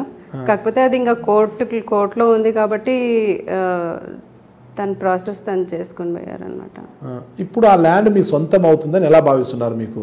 ల్యాండ్ ఓనర్ నుంచి ఎటువంటి ప్రాబ్లం లేనప్పుడు ఇక మీకు ఆ ల్యాండ్ సొంతం అవుతుంది ఇదా? ఇక వేరే ప్రాబ్లమ్స్ ఏమున్నాయి అనుకుంటున్నారు ఇప్పుడు దాని నుంచి ఏం ప్రాబ్లమ్స్ లేవన్నా ఇంకా. మళ్ళీ ల్యాండ్ ఎప్పుడు మీ సొంతం అవుతుంది? ఇంకా దానికి దాని గురించి నేను నా పర్సనల్ బిజినెస్లో బిజీ అయ్యి నేను పట్టించుకోలేదు. ఆ, కొద్ది రోజుల్లోనే మా అన్న కళ ఆయన ఏమనుకుంటే దేనికి అది చేసినాము అన్నీ తీరిపోతున్నాయి. ఏం మీ అన్న కళ ఏంటి? అంటే తనకి ఫామ్ హౌస్ ఉండాలి అనేది ఒకటి ఉండిందన్న ఆ, అట్లా ఏదైనా ఒకటి ఫార్మింగ్ కానీ ఏదో ఒకటి ఈమో బర్డ్స్ పెట్టాలి అని ఉండింది అప్పుడు. ఇప్పుడు మీరు పెట్టబోతున్నారు దాన్ని? ఇంకా దానికి ఏం ప్లాన్ చేయలేదన్న ఓకే. మీరు బీఎస్సీ మైక్రోబయాలజీయా? మైక్రోబయాలజీ. బీఎస్సీ మైక్రోబయాలజీ చేశారు పీజీ కూడా చేయలేదు. మళ్ళీ తర్వాత మెడికల్ రిలేటెడ్ కోర్స్ చేశారు మీరు. మీరు చదివిందే చాలా డిఫరెంట్ కోర్సెస్ అనమాట మీరు ఇప్పుడు బొటిక్ పెట్టారు చేస్తుంది? దానికి దీనికి సంబంధం లేదు. ఈ ప్రొఫెషన్లోకి ఎలా వచ్చారు మీరు అసలు? ఇండిపెండెంట్గా ఉండాలనే ప్యాషన్ ఎక్కువ ఉంది. ఇక్కడ హైదరాబాద్ అప్సిగూడలోనా మీరు? హైదరాబాద్ అప్సిగూడ ఎయిత్ బ్లాక్లో. బాగా పెద్ద ఎత్తున పెట్టారంట బొటిక్ లేదనా పెద్ద ఎత్తు లేదు. సూరి గారు దాచిపెట్టిన డబ్బులతో లేదనా అంత వాస్తవం అవి ఏమీ లేవు. బొటిక్ బాగా జరుగుతుందా? అంటే ఆ- రంగం వైపు ఎందుకు వెళ్ళారు మీరు? అసలుకి మీలో ఇది లేదు కదా ఆ బొటిక్ అనేది ఒక ఇది. మిమ్మల్ని చూసి అలా కనిపించారు అసలుకి? ఆ? మీరు చాలా సింపుల్గా ఉన్నారు. మీరు ఇంట్రెస్ట్ ఒకసారి అట్లా కలిగింది ఆ డ్రెస్సుల్ని అంత సుందరంగా మీరు ఎలా తీర్చిదిద్దుతారు అని మిమ్మల్ని చూసి ఎవరు నమ్మరు? మీరు చాలా సాదాసీదాగా ఉన్నారు? మనం అట్లా ఉండక్కర్లేదనా? వాళ్ళని ఉండేటట్లు చేస్తే చాలు. అసలు మీరు ఫస్ట్ ప్రయోగించుకొని వాళ్ళ మీద ప్రయోగిస్తే బాగుంటుంది కదా అన్ని వాళ్ళ మీద ప్రయోగిస్తే ఎట్లా? ఎలా మీకు అలవాడింది ఆ ఆ ప్యాషన్ అనేది ఎలా వచ్చింది ఆ ప్యాషన్ మీకు? అసలు ఆ కళ. అంటే ఏమో సడన్గా కొంచెం ఒక థాట్ వచ్చిందన్న అంతే అది. దానికోసం వన్ ఇయర్ కోర్స్ చేశాను అనమాట హ్యామ్స్టెక్లో ఓకే కోర్స్ చేశారు దాని మీద. ఓకే ఎందుకంటే బేసిక్ నాలెడ్జ్ దేనికైనా ఉండాలి కదా అని. ఓకే. మీకు ఎంతమంది సంతానం మేడం? ట్వెల్వ్ మెంబర్స్తో ఇప్పుడు రన్ అవుతుంది. ట్వెల్వ్ మెంబర్స్ ఉన్నారా? ట్వెల్వ్ మెంబర్స్ ఉన్నారు. ఎంత శాలరీస్ ఇస్తున్నారు అందరికి? మంత్లీ ఒక వన్ ఎయిటీ వరకు అవుతాయి అన్న one lakh eighty thousand salaries అవుతాయా? Salary okay good. అయితే ఒక ట్వెల్వ్ మెంబర్స్కి ఉపాధి కల్పించారు ఆ సాటిస్ఫాక్షన్ ఉంది చాలు. ఏదో నా నుంచి బాగానే ఉంటాయి మేడం ఆర్డర్స్ అన్నీ కూడా మీకు? పర్వాలేదన్న. ఇప్పటి వరకు డే అండ్ నైట్స్ ఎప్పుడన్నా చేసినవే ఉన్నాయి కానీ వర్క్ లేక కూర్చున్న రోజు అయితే ఇంతవరకు మీరే చేస్తున్నారా? అవేమన్నా ఎవరినైనా స్పెషలైజేషన్ చేసిన వాళ్ళని పిలిపిస్తున్నారా? లేదు లేదన్నా ఏదైనా బేసిక్గా నేనే ఆర్డర్స్ తీసుకుంటాను చేస్తాను. ఉన్న వాళ్ళతో చే చేపిస్తాను అనమాట మీకు ఎంతమంది సంతానం మేడం? ఒక అబ్బాయి అయినా ఒక ఏమో చిన్న కుటుంబం చింతలేని కుటుంబం? అవునా ఆ? అబ్బాయికి తోడొద్దా? మీ అన్న తోడుందా? మీ చెల్లెలు తోడున్నారు. ఆ అబ్బాయికి ఒక తోడు కావాలి కదా? వద్దనుకున్నామన్న చాలా ఒంటరిగా పెట్టాలనుకున్నారా? ఆ, అబ్బాయి కూడా అక్క చెల్లి ప్రేమ కావాలి కదా. ఎందుకు అలా ఫిక్స్ అయిపోయారు ఒకరే అనేసి? ఏమో నాకు ఒకరే చాలా అనిపించింది ఏం చదువుతున్నాడు బాబు ఇప్పుడు? టెన్త్. టెన్త్ క్లాస్ చదువుతున్నాడా? అప్పుడు అంటే ఇంకా అన్న కోసం తిరగాల్సిన పరిస్థితి కూడా చాలా ఉండేదన్నమాట. ఇంకా బర్డన్స్ వద్దనుకున్నాను అనమాట ఎట్లా అంటే ఫైవ్ ఓ క్లాక్కే లేయాల్సి వచ్చేది వెళ్ళిపోవాల్సి వచ్చేది ఈ రోజు ఇక్కడ ఆ రోజు అక్కడ. ఇంకా వద్దనుకున్నాం అంతే దాని మూలన. ఇప్పుడు మీరు ఒక మహిళగా ఎంతో కృషి చేశారు కదా మీ బ్రదర్ గంగుల సుధీర్ రెడ్డి ఉన్నారు. గంగుల సుధీర్ రెడ్డి ఎంతవరకు శ్రమించేవారు? మీ అన్న విడుదల కోసం కావచ్చు మీ అన్న యొక్క ఇదిలో కావచ్చు ఎలా? వాళ్ళంతా ఆఫ్ ద స్క్రీన్ వచ్చిన వాళ్ళేనా అన్న చనిపోయిన తర్వాత వచ్చిన వాళ్ళే. అంటే చనిపోక ముందు ఒక వన్ అవర్ వన్ ఇయర్ ఏమో ఉన్నాడు వన్ ఇయర్ కూడా లేడులేండి ఒక అన్న రిలీజ్ అయినాక ఒక సిక్స్ మంత్స్ ఉన్నాడు దగ్గర అంతే. అంతే. తర్వాత ముందు ఏం రాలేదు ముందేం రాలేదు. సరే. ఇదంతా ఎపిసోడ్ జరుగుతుంది మీ అన్న బయటకు వచ్చారు అందరూ కలిసి కూడా హ్యాపీగా ఉన్నారు కదా? ఒక్కసారిగా ఒక బ్లౌట్ మద్దల చెరువు సూరి హత్య కాబడ్డారు నమ్ముకున్న వారే కడతేర్చారు టీవీలలో ఒక పెద్ద ఎత్తున వచ్చేసింది. ఇక మీ అన్న లేరు. మీరు ఎంతో ప్రేమించే అభిమానించే మీ అన్న లేరు. ఎంతకాలం అయితే మీరు కష్టపడి కోర్టుల చుట్టూ తిరిగి మీ అన్నకి బెయిల్ తీసుకొచ్చారు అంతకాలం కూడా మీ అన్న జీవించకుండానే చనిపోయాడు అన్న వార్త తెలియగానే మీకు ఏమనిపించింది అప్పుడు మీరు ఎక్కడున్నారు ఆ రోజు ఇంట్లోనే ఉన్నామను అంతకు హైదరాబాద్లోనే ఉన్నాము. అంతకు ముందు మూడు రోజుల ముందు అంటే డిసెంబర్ థర్టీయత్ మా అత్త చనిపోయింది అనమాట చనిపోతే థర్టీ ఫస్ట్ వచ్చి పలకరించాడు అనమాట ఇంటికి. దాని తర్వాత త్రీ డేస్ థర్డ్న మళ్ళీ కాల్ చేశాడనమాట వన్ థర్టీకి కాల్ చేసి ఇంటికి వస్తాను అన్నాడు అన్న అంటే ఒక టెన్ డేస్ పీరియడ్ ఉంటుంది కదా అప్పుడు ఎవరు రాకూడదు అని. ఇంటికి రాకూడదు నువ్వు ఒక టెన్ డేస్ వన్ వీక్ వరకును అని చెప్పాను అనమాట చెప్తే సరేలే అయితే మరి ఇంటికి ఇక్కడ బోర్గా ఉంది అని చెప్పి బెంగళూరు కన్నా వెళ్ళేసి వస్తాను అని చెప్పేసి ఇంక అప్పుడు బెంగళూరుకి వెళ్తాను అనింది అదే లాస్ట్ మాట ఇంకా. అదే. అదే లాస్ట్ అని ఇంకా హత్యకు గురి అయ్యాడు. మీ అన్న చనిపోయాడు అన్నప్పుడు మీరు ఇంట్లో ఉన్నారు. ఎంతసేపటికి అక్కడ చేరుకున్నారు? మీ అన్న చనిపోయింది ఎక్కడ? ఇది యూసఫ్ కూడా అక్కడ కార్లో వెళ్తున్నప్పుడు ఎక్కడికి వెళ్తున్నారు ఆ రోజు వాళ్ళు? బెంగళూరుకి వెళ్తున్నాడు అని చెప్పాడన్న. బెంగళూరుకి? బెంగళూరుకి వెళ్తున్నాడు అని చెప్పాడు. ఇక అప్పుడు ఎయిర్పోర్ట్కి వెళ్తున్నారో మరి ఎటు వెళ్తున్నారో తెలియదు కార్లో ఉండడం అయితే బాను ఉన్నాడు అన్న ముందర కూర్చున్నాడు వెనక మధు అనేవాడు ఉన్నాడు. ఉమ్, డ్రైవింగ్లో మధు ఉన్నాడు. వెనక వెనక బాను ఉన్నాడు. అన్న ఫ్రంట్ సీట్లో ఉన్నాడు. ఇలా అన్న అన్న వెనకే వీడి బాను ఉన్నాడు. అంటే ఇద్దరిని తీసుకెళ్తున్నాడు బెంగళూరుకి. ఇద్దరిని తీసుకెళ్తాను. బాను ఒక్కడే చంపారని భావిస్తున్నారు? దాంట్లో మధు హస్తం కూడా ఉందనుకుంటున్నారు బాను ఒకడే చంపి చంపినాడు అన్న బాను ఒకడే చంపాడు. అడిగారా మీరు ఎప్పుడైనా వెళ్ళి ఎందుకు బాను చంపమైనానని అసలు ఎదురుపడలేదన్న ఎప్పుడు ఇప్పుడు జైల్లో మీరు జైలుకి వెళ్ళి కూడా ఏదైనా ములాఖాతులు కలిసి ఎందుకు బాను మా అన్నని చంపావు? ఇంతకీ ఇంక కలిసి మొహం చూసేంత ఓపిక లేదన్న నాలో. అంత సహనం లేదు నాకు. చూస్తే ఏం చేస్తారు? కొన్నిటికి కొన్ని ప్రశ్నలకు సమాధానం ఉండదు. అంతేనంటారా. సూరి చెల్లెళ్ళకి సమాధానం లేని ప్రశ్నలు ఉన్నాయంటారా? కాలమే నిర్ణయిస్తుందను. ఓకే. మీరు వెళ్ళినప్పుడు మీ అన్న ఏ పరిస్థితిలో ఉన్నారు? వెళ్ళేసరికి తను అంటే ఇట్లా మేమే చేతులతో తీసుకెళ్ళామన్న కార్లో లేదన్న? కార్లో నుంచి తీసుకెళ్ళారనమాట స్ట్రెచర్ హాస్పిటల్కి తీసుకెళ్ళారు ఎక్కడ కాల్చారు అసలు. ఇక్కడ మెడ దగ్గర. ఉమ్. అక్కడ ఒకటే ఉంది అంతే ఇంకేం లేదు. అక్కడ ఒకటే. అంటే కిరణ్ వెళ్ళిపోయాడు అప్పటికి బాగా కిరణ్ వెళ్ళిపోయాడు? కాల్ చేసి. ఆ. వీడొకడు ఉన్నాడు అన్న మధు. మధు. వాడు బనియన్ కూడా బనియన్ మీద అంతా బ్లడ్ ఉంది. వాడొకడే ఉన్నాడు ఇంకంతే. అన్నను మాత్రం హాస్పిటల్లో ఏమన్నాడు మధు అప్పుడు మీరు వెళ్తే? మేము వెళ్ళేసరికి కూడా పోలీసు వాళ్ళ దగ్గర పోలీసు వాళ్ళు తీసుకున్నారన్న లేడు అప్పుడు మేము మేము వెళ్ళేసరికి లేడు. మీ అన్న చనిపోయి ఉన్నాడు. అన్న చనిపోయాడు. అప్పుడు కూడా చనిపోయినాడని చెప్పలేదన్న. వీడు మధు నా పద్మక్క అనే ఆమె ఉంది అనమాట అంటే అన్న వాళ్ళకి చైల్డ్హుడ్ ఫ్రెండ్ అనంతపురం వాసి.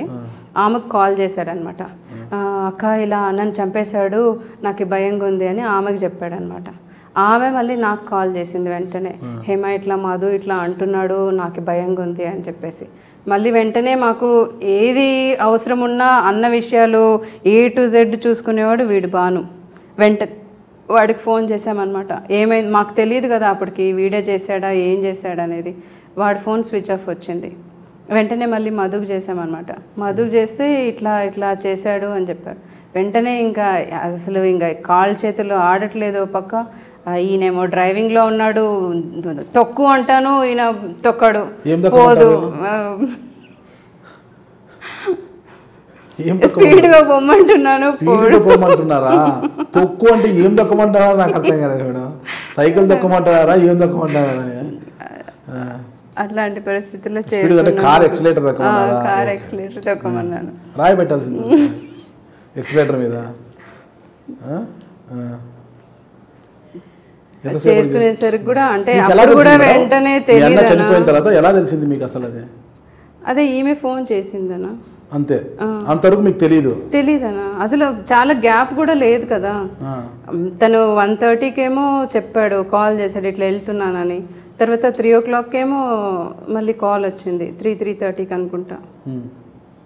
వెళ్ళంగానే ఇట్లా డాక్టర్స్ కూడా చెప్పలేదను. We're trying our level best అన్నారు. అదే ఆశతో చిన్న ఆశ అయినా ఉండింది అసలు. మీరు పోయినప్పుడు ఇంకా ఊపిరి అన్నకు? లేదన్న వాళ్ళు ఊరికే అలా చెప్పారు అంతే. సిచ్యుయేషన్ ఏమైనా కంట్రోల్ చేయాలనో మరి దేనికి ఒకేసారి చెప్తే ఎట్లా అని అనుకున్నారో మరి ఏమో. వాళ్ళైతే రివీల్ చేయలేదు అప్పుడు అన్న చనిపోయారని. ఒక పక్క ఫోన్లు మోగుతున్నాయి ఒక్క తెలిసినప్పటి నుంచి అప్పటికే అంత మెసేజ్ పోయింది అందరికీ. అసలు ఇంకా చెప్పడానికి కూడా రాదు ఆ రోజు సిచ్యుయేషన్ అసలు. కాళ్ళు చేతులు నిల్చునే పరిస్థితి కూడా లేదు అసలు మాకైతే. అక్కడ ఆ రోజు ఆ డెడ్ బాడీ దగ్గరే? నేను మా హస్బెండే ఉన్నాం మనం. మొత్తం రాత్రి మార్నింగ్ మార్చరీకి తీసుకెళ్ళేంత వరకు ఉన్నాం. కొద్దిసేపటికి సుధీర్ వచ్చాడనమాట. సుధీర్ అంటే మీ వదిన గారు అంతే ఎప్పటికి వచ్చారు అప్పటికి? తను బెంగళూరులో షిరిడీకేమో వెళ్ళి వస్తుంటారు మార్నింగ్ వచ్చారు తను. తను. తర్వాత అందరు కలిసి బై రోడ్ వెళ్ళారా? ముంబై రోడ్ ఊరికి వెళ్ళామని ఉమ్. సరే మీ అన్న అసలు అంత అంత తొందరగా ఇన్ని చూస్తామని అయితే నేను ఎక్స్పెక్ట్ చేయలేదన్న అట్లా ఏ మాత్రము చిన్న అనుమానం ఉండినా కూడా బెయిల్ మీద బెయిల్ రావాలని కూడా కోరుకునేదాన్ని కాదేమో. రెండు తొంభై ఐదా బా మీరు TV bomb case?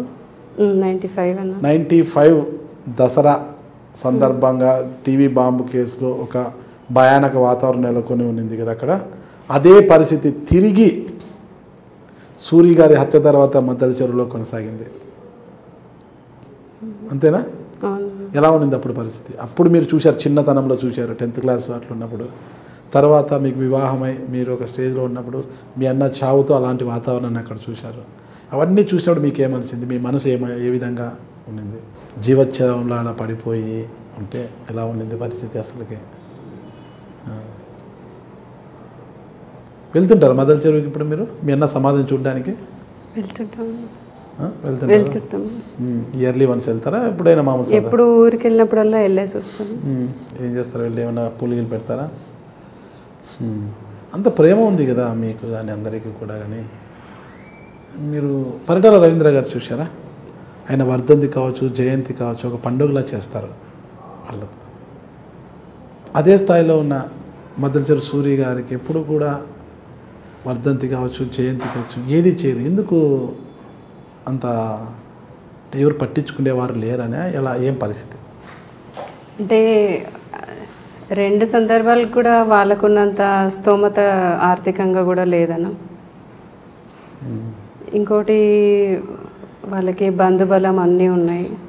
దానివల్ల చేయలేకపోతున్నారు. మీకు ఎప్పుడైనా బాధ అనిపిస్తుందా? మా అన్నకు కూడా చేయాలి మా అన్న వర్ధంతిని గొప్పగా చేయాలి అందరిని పిలిచి భోజనాలు పెట్టాలి అనిపిస్తుంటుందా మీకు?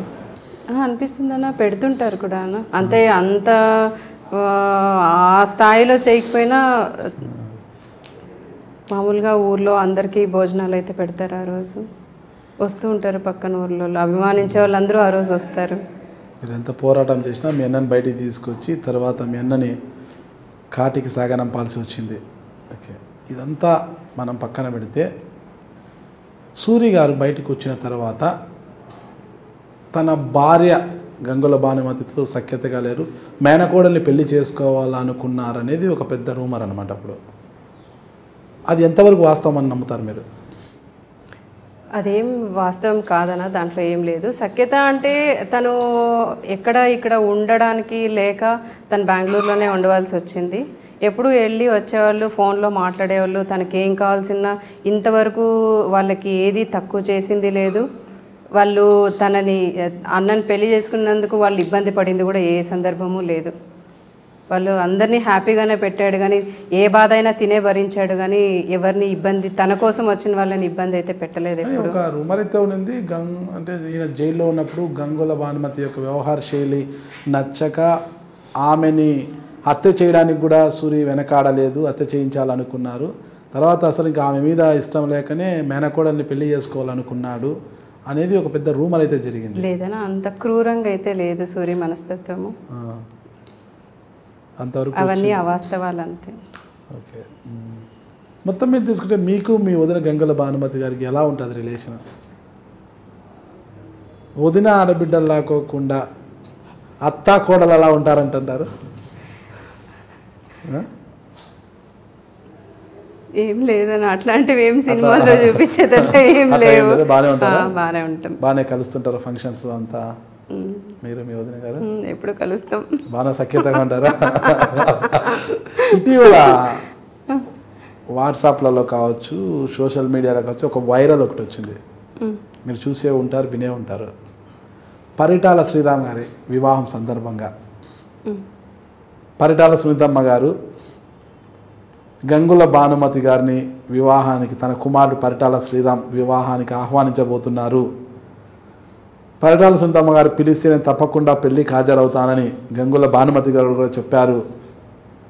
వీళ్ళు పిలిస్తే ఖచ్చితంగా ఆమె పెళ్ళికి వస్తారని సోషల్ మీడియాలో ఒక వైరల్ అయిపోయింది. అందరూ కూడా అంతా హాట్ టాపిక్గా మాట్లాడుకున్నారు. ఆ కొద్ది రోజులు పరిటాల శ్రీరామ్ మ్యారేజ్ జరిగేంత వరకు కూడా. అది మీ దృష్టికి వచ్చిందా? లేదన్న మా దృష్టికి ఏం రాలేదు. రాష్ట్రం యావత్తే కాదు ప్రపంచం యావత్తు తెలిసిపోయింది. అంటే మీ దృష్టికి రాలేదు అది? అంటే సునీతమ్మ గారు వెళ్ళి పిలవబోతున్నారు. పిలిస్తే ఆవిడ పెళ్ళికి రావడానికి సిద్ధంగా ఉన్నారు అనేది. ఇదే విషయమై మద్దల చెరువులో కూడా ఒక దావానంలా ఏర్పడి ఆమెను కూడా ప్రశ్నించారు అందరూ కూడా. సునీతమ్మ పెళ్ళికి వెళ్తున్నారంటేనే మీరు ఎలా వెళ్తారని కూడా ప్రశ్నించారంట. అది మీ దృష్టికి రాలేదా? అంటే ఇలా అంటున్నారు అనేది అయితే చెప్పారు. అప్పుడు ఎలా ఉండింది మీ ఫీలింగ్? అరే నిజంగా వెళ్తారా మా వదిన? పెళ్ళికి వెళ్తారా? అని ఏమైనా అనుకున్నారా? లేదన్న. ఆ. ఎలా అనుకుంటాను తను వెళ్తారని? అంటే ఆ రోజు అన్నా కదా టీవీలలో అంతా వచ్చింది ఒకవేళ సునీతమ్మ గారు వెళ్ళి పిలిస్తే భానుమతి గారు రావడానికి సిద్ధంగా ఉన్నారట. అవన్నీ వాస్తవాలని అయితే నేనేం అనుకోవట్లేదన్న మీ అన్న మద్దలచరు సూర్యనారాయణ గారు చనిపోయారు. సూర్యనారాయణ రెడ్డి గారు చనిపోయారు నమ్ముకున్న వారి చేతిలోనే. ఆయన కుమారుడు ఇంకా ఉన్నారు. ఆయన వారసత్వం మిగిలే ఉంది. ఆయన కుమారుడు అంటే మీ మేనల్లుడు. మీ మేనల్లుడు మీద అదే వాత్సల్యం మీకుందా? మీ మేనల్లుడు మేనత్త దగ్గరికి వస్తుంటాడు ఎప్పుడైనా? తక్కువనా? చాలా తక్కువనా? చాలా తక్కువ. ఎందుకంటే వాడు చిన్నప్పటి నుంచి అక్కడే పెరిగాడు అనమాట అన్న ఈ వాతావరణం కానీ ఈ నేను పడ్డ బాధలు ఇంకెవరికి వద్దని చెప్పేసి వాడికి ఏ మాత్రం కూడా ఈ విషయాలు కానీ ఈ ఈ పరిస్థితులు ఏవి తెలియని లేదనమాట. అట్లా వాడు కలవడము ఎప్పుడన్నా ఉంటుంది కానీ చాలా తక్కువ. ఎక్కువ వాళ్ళ అమ్మమ్మ వాళ్ళ దగ్గర అబ్బాయిని చూస్తే? గుర్తుపెడతాము. ఈ మధ్య కాలంలో ఎప్పుడైనా ఊర్లో కలిసారా? లేదన్నా అన్న చనిపోయినప్పుడు వచ్చిందే లాస్ట్. అప్పుడే చూసింది లాస్ట్.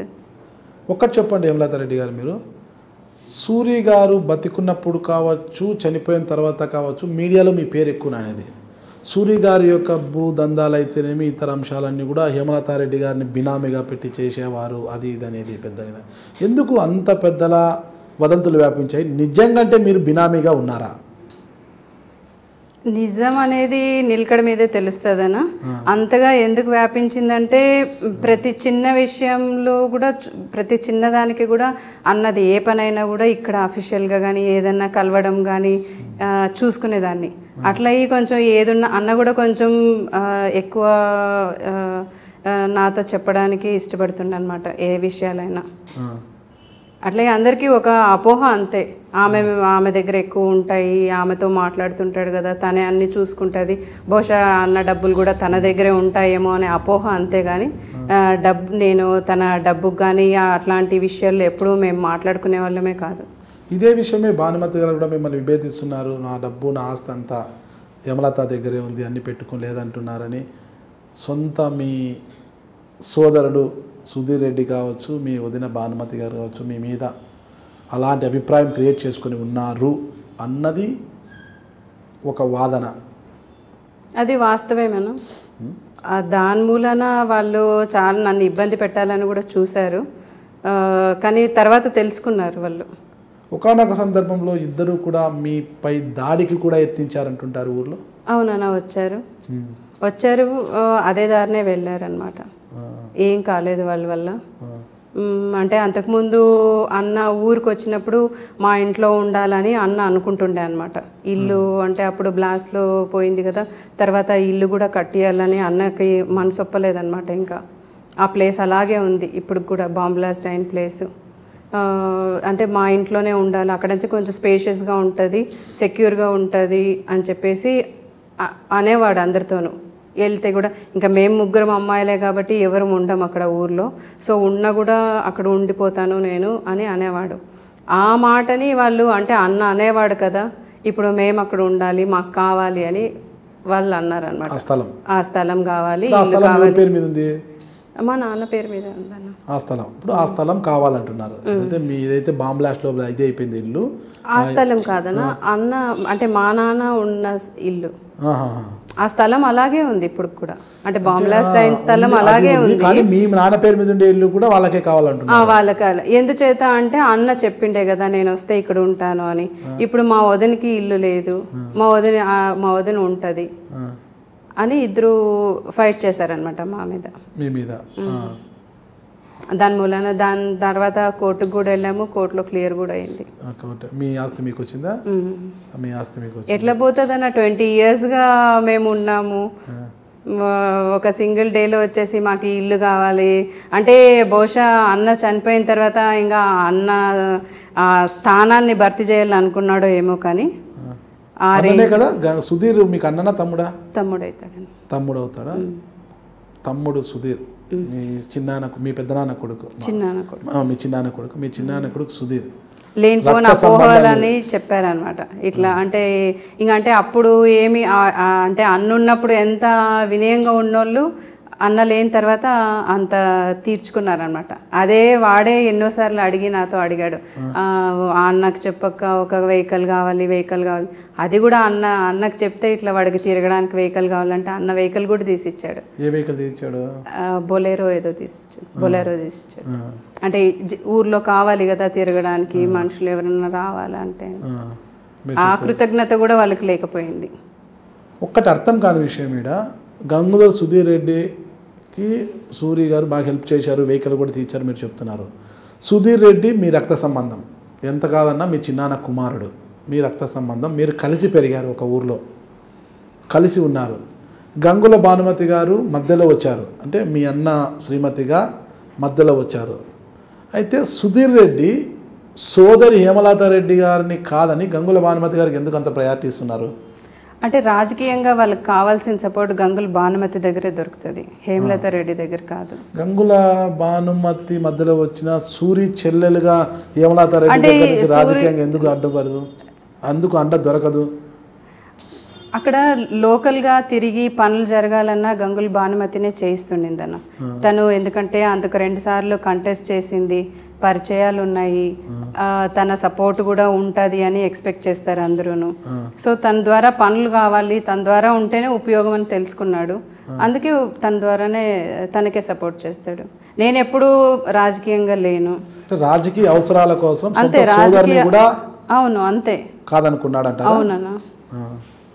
అక్కడ రాజకీయ లబ్ధి కోసమే తనకు తన పనులు కావాలి ఫండ్స్ రావాలి వాళ్ళకి. లేకపోతే వాళ్ళకి జరగవు. ఇవన్నీ నేను నాకు దానితో సంబంధం ఉండదు. ఎంతసేపు నేను అన్నకి అన్న బయటికి రావాలనే మోటో తప్ప నాకు వేరేది ఏది ఉండలేదు. కేవలం అది కూడా వీళ్ళ కొంచెం వీళ్ళతో కాదు అని చెప్పేసి నువ్వు వెళ్ళు కొంచెం ఏదైనా చెప్పడానికైనా కొంచెం ఈజీగా ఉంటుంది. అంటే వచ్చాను అంతే తప్పితే లేకపోతే ఈ మాత్రం కూడా నాకు అంత కావాలని ఏం కోరుకోలేదన్న. సూరి గారు బయటకు వచ్చిన తర్వాత గంగుల భానుమతి గారి మీద లేనిపోని అపోహలు సృష్టించారు హేమలత రెడ్డి గారు అన్న వాదన వినిపించారు. అపోహలు చెప్తే నమ్మే అంత వెర్రివాడు సూరి కాదన ఎందుకంటే చాలా బాధలు చాలా వాల్యూస్కి వాల్యూ ఇచ్చేవాడు. అట్లా ఎవరో చెప్తే నమ్మేంత వాడు సూరి కాదు. మీరు ఒప్పుకున్నా ఒప్పుకోకపోయినా ఈ అంశాల మీదనే మీకు మీ వదిన భానుమతి గారికి కొద్దిగా గ్యాప్ ఉంది అంటారు.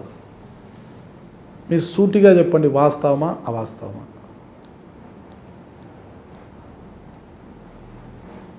కొంతవరకు కలిసే ఉంటారా అంటి ముట్టనట్లుంటారా కొంతవరకు కలిసే ఉంటామని సుధీర్ రెడ్డితో మీ సోదరుడు సుధీర్ రెడ్డితో ఇప్పుడు మీకు ఎలాంటి అనుబంధం ఉంది? ఏమీ లేదన్న. ఆ రోజు దాడి ఎత్తించిన తర్వాత? ఏది పెట్టుకోలేదు. ఎవరితో కూడా ఏ సంబంధము లేదన్న. ఎందుకంటే వాళ్ళు ఆ ఇంత రిలేషన్స్ కూడా రిలేషన్షిప్ కూడా వాల్యూ ఇవ్వలేదు ఆ రోజు వాళ్ళు. అన్న ఉన్నంత వరకు ఎలా ఉండేవాళ్ళు అన్న చనిపోయిన తర్వాత వాళ్ళ విశ్వరూపం అంతా చూపించారన్న. మీ వదిన భానుమతి గారికి మీకు బాగానే సఖ్యతగా ఉంటామండి అని మీరు అంటున్నారు. ఓకే అది కొంతవరకు నేను వాస్తవమే నేను నమ్ముతాను అనుకోండి.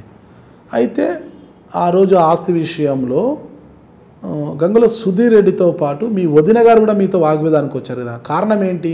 మీతో సఖ్యతగా ఉన్నప్పుడు ఆవిడ ఎందుకు సుధీర్ రెడ్డికి సహకరించాల్సి వచ్చింది? అంటే అక్కడ వాళ్ళిద్దరికి ఒకరితో ఒకరికి ఉపయోగాలు ఉన్నాయన్న రాజకీయంగా. ఆమె రాజకీయంగా అక్కడ నిలవాలి అంటే ఇప్పుడు అన్న లేనప్పుడు ఎవరో ఒకరు అవసరం ఉంది. అది ఆ అవసరం సుధీర్లో కనిపిస్తుంది. సుధీర్కి అక్కడ స్థానికంగా ఉండాలి సపోర్ట్ చేయాలి ఏదన్నా రాజకీయంగా అంటే ఈమె అవసరం కావాలి. అట్లా ఒకరికొకరు అవసరం ఉంది కాబట్టి వాళ్ళిద్దరికి. వాళ్ళిద్దరికి క్లోజ్నెస్ ఉంది అంటారు మీరు. అయితే వాళ్ళల్లో ఒక అపోహ అయితే పెద్దగా ఉంది. ఇప్పుడు ఇంతకుముందు మీరు అన్నట్టునే. సూరి గారు అంటే మద్దలచెరు సూర్యనారాయణ రెడ్డి మీ అన్న. అటు బెంగళూరులో కావచ్చు ఇటు హైదరాబాద్లో కావచ్చు రాష్ట్రంలో చాలా ఆస్తులు కూడబెట్టాడు. ఆస్తులకంతా కూడా హేమలత రెడ్డి బినామీగా ఉన్నారు. బయట పడ్డం లేదు అని అంటారు మీరు సూరి ఆస్తులకు బినామీనా కాదా? నేను సూర్య ఆస్తులకు బినామీ అయింటే ఈరోజు అన్న చనిపోయేవాడు కాదనా అన్న కళ్ళెదుటే ఉండేవాడు. ఎలా? ఎలా? మీరు సూర్య ఆస్తులకి బినామీ అయితే ఆయన మీ కళ్ళెదుట ఎలా ఉండేవాడు? ఇప్పుడు ఆ ఆస్తులన్నీ భాను పేరు మీద ఉన్నాయి కాబట్టి ఆ ఆస్తులు కావాలి అని కోరుకున్నాడు కాబట్టి నమ్మినంత నమ్మినోడిని నమ్మిచ్చి చంపాడు. ఎంతగా నమ్మినాడంటే ఆ రోజు బెంగళూరుకి వెళ్దామని తీసుకెళ్ళాడు కదా కారులో. ఆ రోజు వెళ్ళే ముందు కూడా ఏ అన్నం తినరా అని చెప్పేసి తనే ప్లేటు ఇచ్చి తిను ఫస్ట్ తిన్నాక వెళ్దామని చెప్పేసి తినమని తినిపించాడు అనమాట ఆ కనీసము అది కూడా వాళ్ళకి కృతజ్ఞత లేకపోయింది. ఆ ఒక్క ఏ విషయంలో కూడా మానవత్వం చూపలేకపోయినారన్న. ఎంతగానో ఎంతగా అంటే ఇంట్లో వాళ్ళని కూడా నమ్మలేదన్న అంతగా నమ్మాడు. అలా నమ్మించాడు. ఇంత కుట్ర పెట్టుకున్నాడు కాబట్టి డే వన్ నుంచి ఎవరన్నా ఊరు ఊర్లో నుంచి ఎవరైనా వచ్చినా కలిసేకి వచ్చినా పెద్దగా అందరినీ కలువనిచ్చేవాడు కాదు. ఎందుకంటే అన్న కొంచెం అన్ పైన ఉండేవాడు అనమాట వీళ్ళంతా కింద ఉండేవాళ్ళు అన్నని వెళ్ళి కలవాలన్నా వీడు పంపించాలి. అన్న ఇట్లా వచ్చినారు ఎవరన్నా కలుస్తావా అంటే అన్న అట్లా అన్న చెప్ వీడు చెప్తేనే కలిసేవాడు అనమాట ఒకనొక సందర్భంలో మీ సోదరుడు సూర్యుడిని మీరు కలవాలన్నా కూడా భానుకిరణ్ అనుమతి కావాలనేవారు? మా వరకు ఏం లేదన్న మా వరకు ఏం లేదు కానీ మిగతా ఊరు నుంచి ఎవరైనా వెల్ విషెస్ కానీ లేదా ఏ విషయాలకి చెప్పేకి వచ్చినా కూడా కలునిచ్చే వాడు కాదనమాట. ఎవరికైనా సహాయం చేయాలన్నా అడిగినా కూడా అన్న చెప్పినా కూడా చేసేవాడు కాదనమాట. భానుకిరణ్. భానుకిరణ్ చేసేవాడు. అంతలా మారిపోయాడేనా ఆ, అంతలా మారిపోయాడు. ఓకే. అన్నను చంపిన భానుకిరణ్తోనే సుధీర్ రెడ్డి మిలాక్ అయితే కొంత నగదు కూడా తీసుకున్నారు అనేసి కొంతమంది వైసీపీ నేతలే ఆరోపిస్తున్నారు. అంటే ఇది మీకు తెలియదు అంటారా ఆ విషయాలు ఇంక ఎక్కువ పట్టించుకోదలుచుకోలేదన్న. ఏవో సూరి భానుకిరణ్తో సుధీరు వీడు వాడు ఇద్దరు కలిసినారా లేదా అనేది ఇంకా మేము వదిలేసినాము. అన్నను పోగొట్టుకున్న తర్వాత ఇంకా ఆ విషయాల్లో పెద్దగా ఆలోచించట్లేదు. బతికినన్ని రోజులు నరకయాతన అనుభవించినాడు. ఇప్పుడు చనిపోయినాడు భరతమాత ఒడిలో ఉన్నాడు అక్కడన్నా ప్రశాంతంగా ఉండాలి అని చెప్పేసి ఆలోచించి ఇంకా ఈ విషయం వదిలేసేయండి అన్న ఇంకా ఇంకా అక్కడన్నా ప్రశాంతంగా ఉండని బతికినన్ని రోజులు అనుభవించినాడు. ఇప్పుడైనా ప్రశాంతంగా ఉండని ఇంకా. అలా ఎండ్ అయిపోయింది అది. చివరిగా ఒక చెప్పండి భాను కిరణ్ బయటికి వస్తే మీ అన్నని ఎందుకు చంపారని అడుగుతారా? మా అన్న ఆస్తులు ఏమైనా అడుగుతారా? రెండు రీజన్స్ నాకు అనవసరమను. ఎందుకు చంపాడు అనేది క్లియర్గా తెలుసు మాకి. ఆస్తి కోసమే చంపినాడు అనేది ఇంకా అడగాల్సిన అవసరం ఏముందన్న దీంట్లో మధుసూదన్ రెడ్డి ప్రమేయం ఉందని మీరు భావిస్తున్నారా? ఉందనే భావిస్తున్నాను తర్వాత మధుసూదన్ రెడ్డి మీతో ఎప్పుడైనా కాంటాక్ట్ కావాలని మాట్లాడడం కానీ ప్రయత్నం చేశాడా? లేదన్న. తర్వాత ఆ తర్వాత ఉందనే భావిస్తున్నాడు మరి మధుసూదన్ రెడ్డి ఏం లేకుండా హ్యాపీగా బయట తిరుగుతున్నాడు కదా బెంగళూరులో? కేసు అయితే జరుగుతూ ఉంది. మీ అన్నను చంపిన విషయంలో శిక్ష పడాలి నేరస్తులకు శిక్ష పడాలి. ఆ రోజు మీ అన్నని బయటికి తీసుకురావడంలో మీరు ఎంతో శక్తివంచన లేకుండా కోర్టుల చుట్టూ తిరిగారు కదా. మీ అన్నను చంపిన వారికి శిక్ష పడాలి అనే విషయంలో కూడా ఏమన్నా లీగల్గా మీరు ప్రయత్నాలు చేస్తున్నారా? ఇక అయిపోయింది ఇక నేను మా అన్నతోనే అయిపోయిందని వదిలేశారా? కోర్టులో కేసు అయితే జరుగుతుందన్న. ఆ, శిక్ష పడాలనే నేను కోరుకుంటున్నాను. ఆ విధంగా ఎవరితోనైనా మాట్లాడడం కానీ మాకు న్యాయం చేయండి మా అన్నకు న్యాయం చేయండి అని అడగడం కానీ కోర్టులో జరుగుతుందన్న ఇంకా చూద్దాం. ఓకే మీకు న్యాయం జరుగుతుందనే అందరూ భావిస్తున్నారు. ఇక ఇవన్నీ మనం పక్కన పెట్టేస్తే రక్త చరిత్ర సినిమా చూశారు వాస్తవాలకు చాలా దూరంగా ఉన్నాయని చెప్పారు కదా. రక్త చరిత్ర సినిమా తీసేక ముందు రామ్ గోపాల్ వర్మ గారు మీతో వచ్చి కలిసారా? వచ్చారన్న. ఆయన ఊరికి కూడా వచ్చారు. జరిగిన ఆ ఇన్సిడెంట్స్ జరిగిన ప్లేసెస్ చూశారు. ఎవరెవరు ఏంటి ఎలా అని అన్నీ తెలుసుకున్నారనమాట. ఇక్కడ మదల్ చెరువుకి వచ్చారు బెంగళూరులో కూడా రెండు మూడు సార్లు కలిశారనమాట ఆ. కలిసి తెలుసుకున్నారనమాట ఊర్లో ఉన్న వాళ్ళు మిగతా పెద్దవాళ్ళు ఉంటారు కదా పెద్దనాన్న వాళ్ళతో వాళ్ళతో కూడా ఇంటరాక్ట్ అయ్యాడు రాత్రంతా రామాయణం విని పగలు ఆ? సీత రాముడికి ఏమవుతుంది అన్నట్టుగా మీరు చెప్పిందంతా విని ఆ రామ్ గోపాల్ వర్మ గారు చివరికి మీరు మీ వాస్తవాలకు దగ్గరగా తీయలేదని మీరు అంటున్నారు కదా అలా తీస్తే ఆయన రామ్ గోపాల్ వర్మ కాడన్న? ఇంకేమవుతారండి ఇంకేమవుతారు ఆయన? అది సినిమా సినిమానే.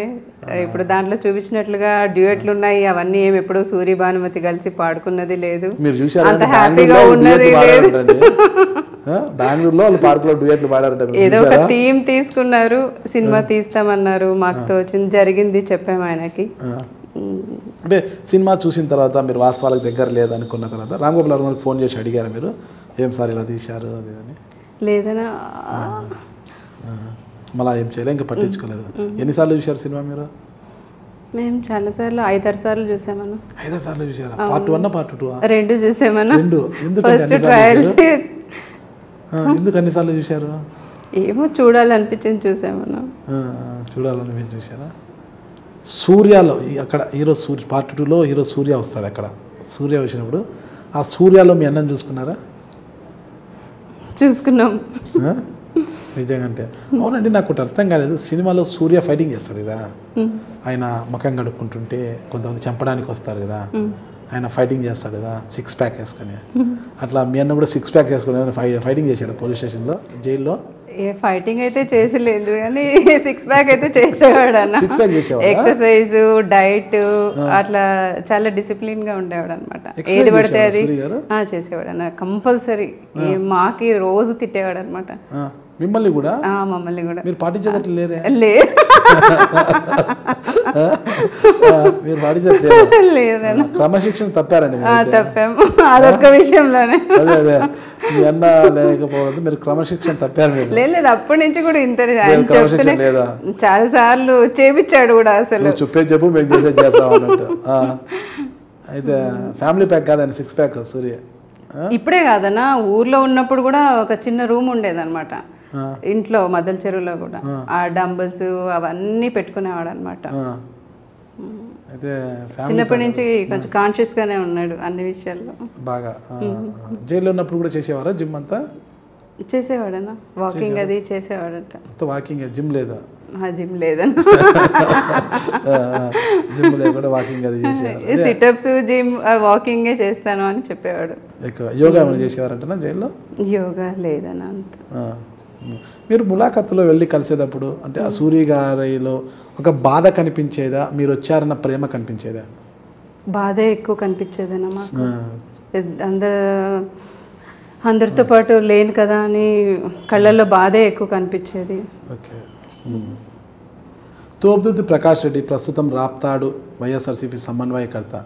తోపుదుద్ది ప్రకాష్ రెడ్డి కుటుంబంతో మీకు ఎలాంటి పరిచయాలు ఉన్నాయి రాజకీయంగా కావచ్చు వ్యక్తిగతంగా కావచ్చు. వ్యక్తిగతంగా ముఖ పరిచయమే అన్న ఒక పరిచయమే రాజకీయంగా అంటే భానుమతి వాళ్ళకే ఎక్కువ పరిచయం? మీకు చాలా తక్కువ చాలా తక్కువ పరిచయం. మద్దలచెరు సూర్యనారాయణ రెడ్డి సోదరిగా భవిష్యత్తులో రాజకీయాల్లోకి రావాలన్న ఒక కళ ఏమైనా మీకుందా? పెద్ద ఆయన ఉంటే వచ్చేదాన్ని నేను హండ్రెడ్ పర్సెంట్. పెద్ద ఆయన ఉంటే మాత్రం ఏదో ఒకటి అడిగి నేను నాకు సీట్ కావాలి అంకుల్ అని అడిగేంత చనువు ఉండేది నాకు అసలు ఏం సీట్ కావాలని? ఏదో ఒక సీట్ అన్న. అది ఎమ్మెల్యే సీట్ కావచ్చు లేదా ఇంకేదైనా సీట్ అంటే మేము సైకిల్ సీటు ఇంకో సీటు ఏదైనా కూర్చేమో అనుకుంటున్నాము లేదండి టికెట్ కావాలని అడిగేంత. ఎమ్మెల్యే టికెట్ మళ్ళీ టికెట్ కావాలంటే కూడా కదండి సినిమా టికెట్ అంటే సినిమా టికెట్ ఫ్లైట్ టికెట్ అనుకుంటారు అది కాదు కదా. ఎమ్మెల్యే టికెట్ అంటే అంత చనువు ఉండేదన్న ఆ. ఇప్పుడు పెద్ద ఆయన పెద్ద ఆయన తోటి ఇంకా అన్న చనిపోయిన తోటి ఇంకా అట్లాంటి కోరికలు ఏవి అవన్నీ సమాధి అయిపోయినాయి. ఇంకా నా పని ఏదో నేను. చివరిసారిగా మీ పెద్ద ఆయన అంటే మీ రాజశేఖర రెడ్డి గారితో మాట్లాడిన అంశం ఏది గుర్తు? మీ సోదరుడితో మాట్లాడే అంశం చెప్పారు ఇప్పుడు. నేను వెళ్ళొస్తా బెంగళూరు వెళ్ళొస్తాను అన్నాడు అదే లాస్ట్ అనేసి. రాజశేఖర రెడ్డి గారితో చివరిగా మాట్లాడిన మాట ఏది మీరు? ఈ విషయంగానే అన్న. అయిపోయింది ఇంకా నేను చేసేసినాను. పని అయిపోయింది ఇంకా నువ్వేం దాని గురించి ఆలోచన లేదులే అయిపోయింది పని అయిపోయింది అన్నారన్న.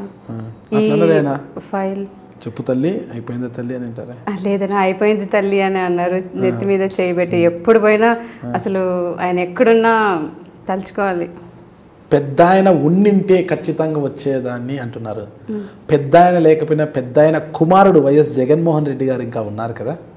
ఆయన ఆశీర్వాదాలు మీకు లేవంటారా? అంటే పెద్ద ఆయనతో ఉన్నంత చనువు జగనన్నతో అంత తక్కువనా? పెద్ద ఆయనతో చనువు ఎలా ఏర్పడింది? అంటే ఒక అరవై డెబ్బై సార్లు ఒకే విషయంగా కలిసి ఉంటాం మనం. ఎప్పుడు కలిసినప్పుడు కూడా ఒకే విషయాన్నే అడిగాం కానీ లేదా అన్నకి ఏదన్నా వేరే విధంగా లబ్ధి కావాలని కానీ అన్నకి వేరే పనులు కావాలని ఎప్పుడు ఏది అడగలేదు. ఇంకేదైనా ఇంకా అది తప్పితే ఇంకేదైనా కావాలా అని కూడా అడిగారు అనమాట ఒకసారి. లేదంకల్ నాకు అదొక్కటే కావాలి. అంతే అన్న బయటికి రా ఆ, అన్న బయటికి రావాలి. అదే విషయము జగన్ గారితో కలిసి మా కుటుంబానికి న్యాయం చేయండి. మేమంతా నష్టపోయామని. జగన్మోహన్ రెడ్డి దగ్గర ఎప్పుడైనా మీరు అడగాలని ప్రయత్నం చేయలేదా? లేదన్నా కలిసాం అన్నతో కూడా జగన్ అన్నతో కూడా. ఎలా ఉంటుంది? జగన్మోహన్ రెడ్డి గారితో ఎలా పరిచయం ఎలా ఉంటుంది మీ పరిచయం? జగన్ అన్నతో అంతే అఫెక్షనేట్గానే ఉంటారు అన్న సేమ్ పెద్ద ఆయన స్టైల్లోనే నెత్తి మీద చేయబెట్టి చెప్పు తల్లి అనే అంటారు. మళ్ళీ అంత ప్రేమ అంత వాత్సల్యాన్ని జగన్మోహన్ రెడ్డి మీ మీద ప్రదర్శించినప్పుడు మీరెందుకు వద్ద మద్దలచెరు సూర్యనారాయణ నా సూర్యనారాయణ రెడ్డి చెల్లెలుగా రాజకీయాలకు రావాలనుకోవడం లేదు? అంటే అన్న ఉండింటే ఆ సపోర్ట్ వేరేనా? అన్న అన్న ఉండింటే వేరు ఉండేది అన్న ఉండింటే ఖచ్చితంగా ఇప్పుడు కూడా జగన్ అన్న సహకారంతో వచ్చేదాన్నేమో. ఇంకా అన్న లేరు కాబట్టి నాకు ఆ రాజకీయం వద్దు ఇంకా అది ఏది వద్దు అనుకున్నాను ఇంకా. అంటే రాజకీయ ఆ కుంపటి ఆ కలహాలు వద్దనుకున్నారా? నిజంటే రాజకీయాల మీద ఇంట్రెస్ట్ పోయిందా? లేదన్న కుంప ఇంట్రెస్ట్ ఉంది. ఇప్పుడు కూడా అన్ని చూస్తూనే ఉంటాను. అన్ని న్యూస్లు ఎవరు ఏంటి అన్ని చూస్తూనే ఉంటాను. కాకపోతే సపోర్ట్ లేదు ఇంకా వద్దనుకున్నాను అవన్నీ గంగుల కుటుంబం నుంచి ఎప్పటికైనా ఒకవేళ ఉన్నత విద్యావంతురాలైన హేమలత రెడ్డి గారిని రాజకీయాలకు తీసుకురావాలని ఒకటి టీడీపీనో ఇటు వైఎస్ఆర్సీపీనో ఆహ్వానం పలికితే టీడీపీ అనే ఊస కూడా ఎత్తకండి అన్న. నా నేనున్నంత వరకు. ఆ, ఎందుకు అంత కోపం టీడీపీ మీద? ఇంకేం కోపం రాకుండా ఏముంటదన్న? అది నాకు పాటించదన్న. ఎందుకంటే పెద్ద ఆయనతో కలిసి ఆయనలో కొన్ని కొన్ని నేను కొన్ని ఆయన నుంచి తీసుకున్నాను అనమాట ఏదైతే మాట ఇస్తే ఏదైనా చేయడం కానీ ఆయనది ఇప్పటికీ నేను ఏదైనా ఎవరికైనా హెల్ప్ చేస్తానన్నా కూడా అదే ఫాలో అవుతాను. కంపల్సరీ చేస్తాను. ఇప్పుడు మా ఎంప్లాయీస్ ఉన్నారు ఏదైనా అవసరమైనప్పుడు కూడా ఇస్తానంటే కంపల్సరీ నాకున్నా లేకున్నా వాళ్ళకి ఇచ్చేస్తాను. అట్లా. టీడీపీ ఊసు మనం పక్కన పెట్టేస్తే వైఎస్ఆర్సీపీ నుంచి ఒకవేళ గంగుల కుటుంబం నుంచి ఉన్నత విద్యావంతులైన హేమలతారెడ్డిని రంగప్రవేశం చేస్తే బాగుంటుందని భావించి మీకు ఆహ్వానం పలికితే రాజకీయాలకు రావడానికి సిద్ధంగా ఉన్నారా? వద్దనుకున్నాను ఇంకా. అన్న లేకుంటే ఏది ఉన్నారు కదా జగన్ అన్న? ఇంకా వేరే ఎట్లయినా అంటే ఇప్పటికీ ఎప్పటికీ మా ఊర్లో ఉన్న వాళ్ళందరికీ చెప్తూనే ఉంటాను. వాళ్ళు కూడా వైఎస్ఆర్సీపీ వాళ్ళే అంటాను. అట్లా ఏ ఏ రకంగా ఏదన్నా చేయమంటే చేస్తా కానీ డైరెక్ట్గా ఇంకేమీ వద్దనుకున్నా.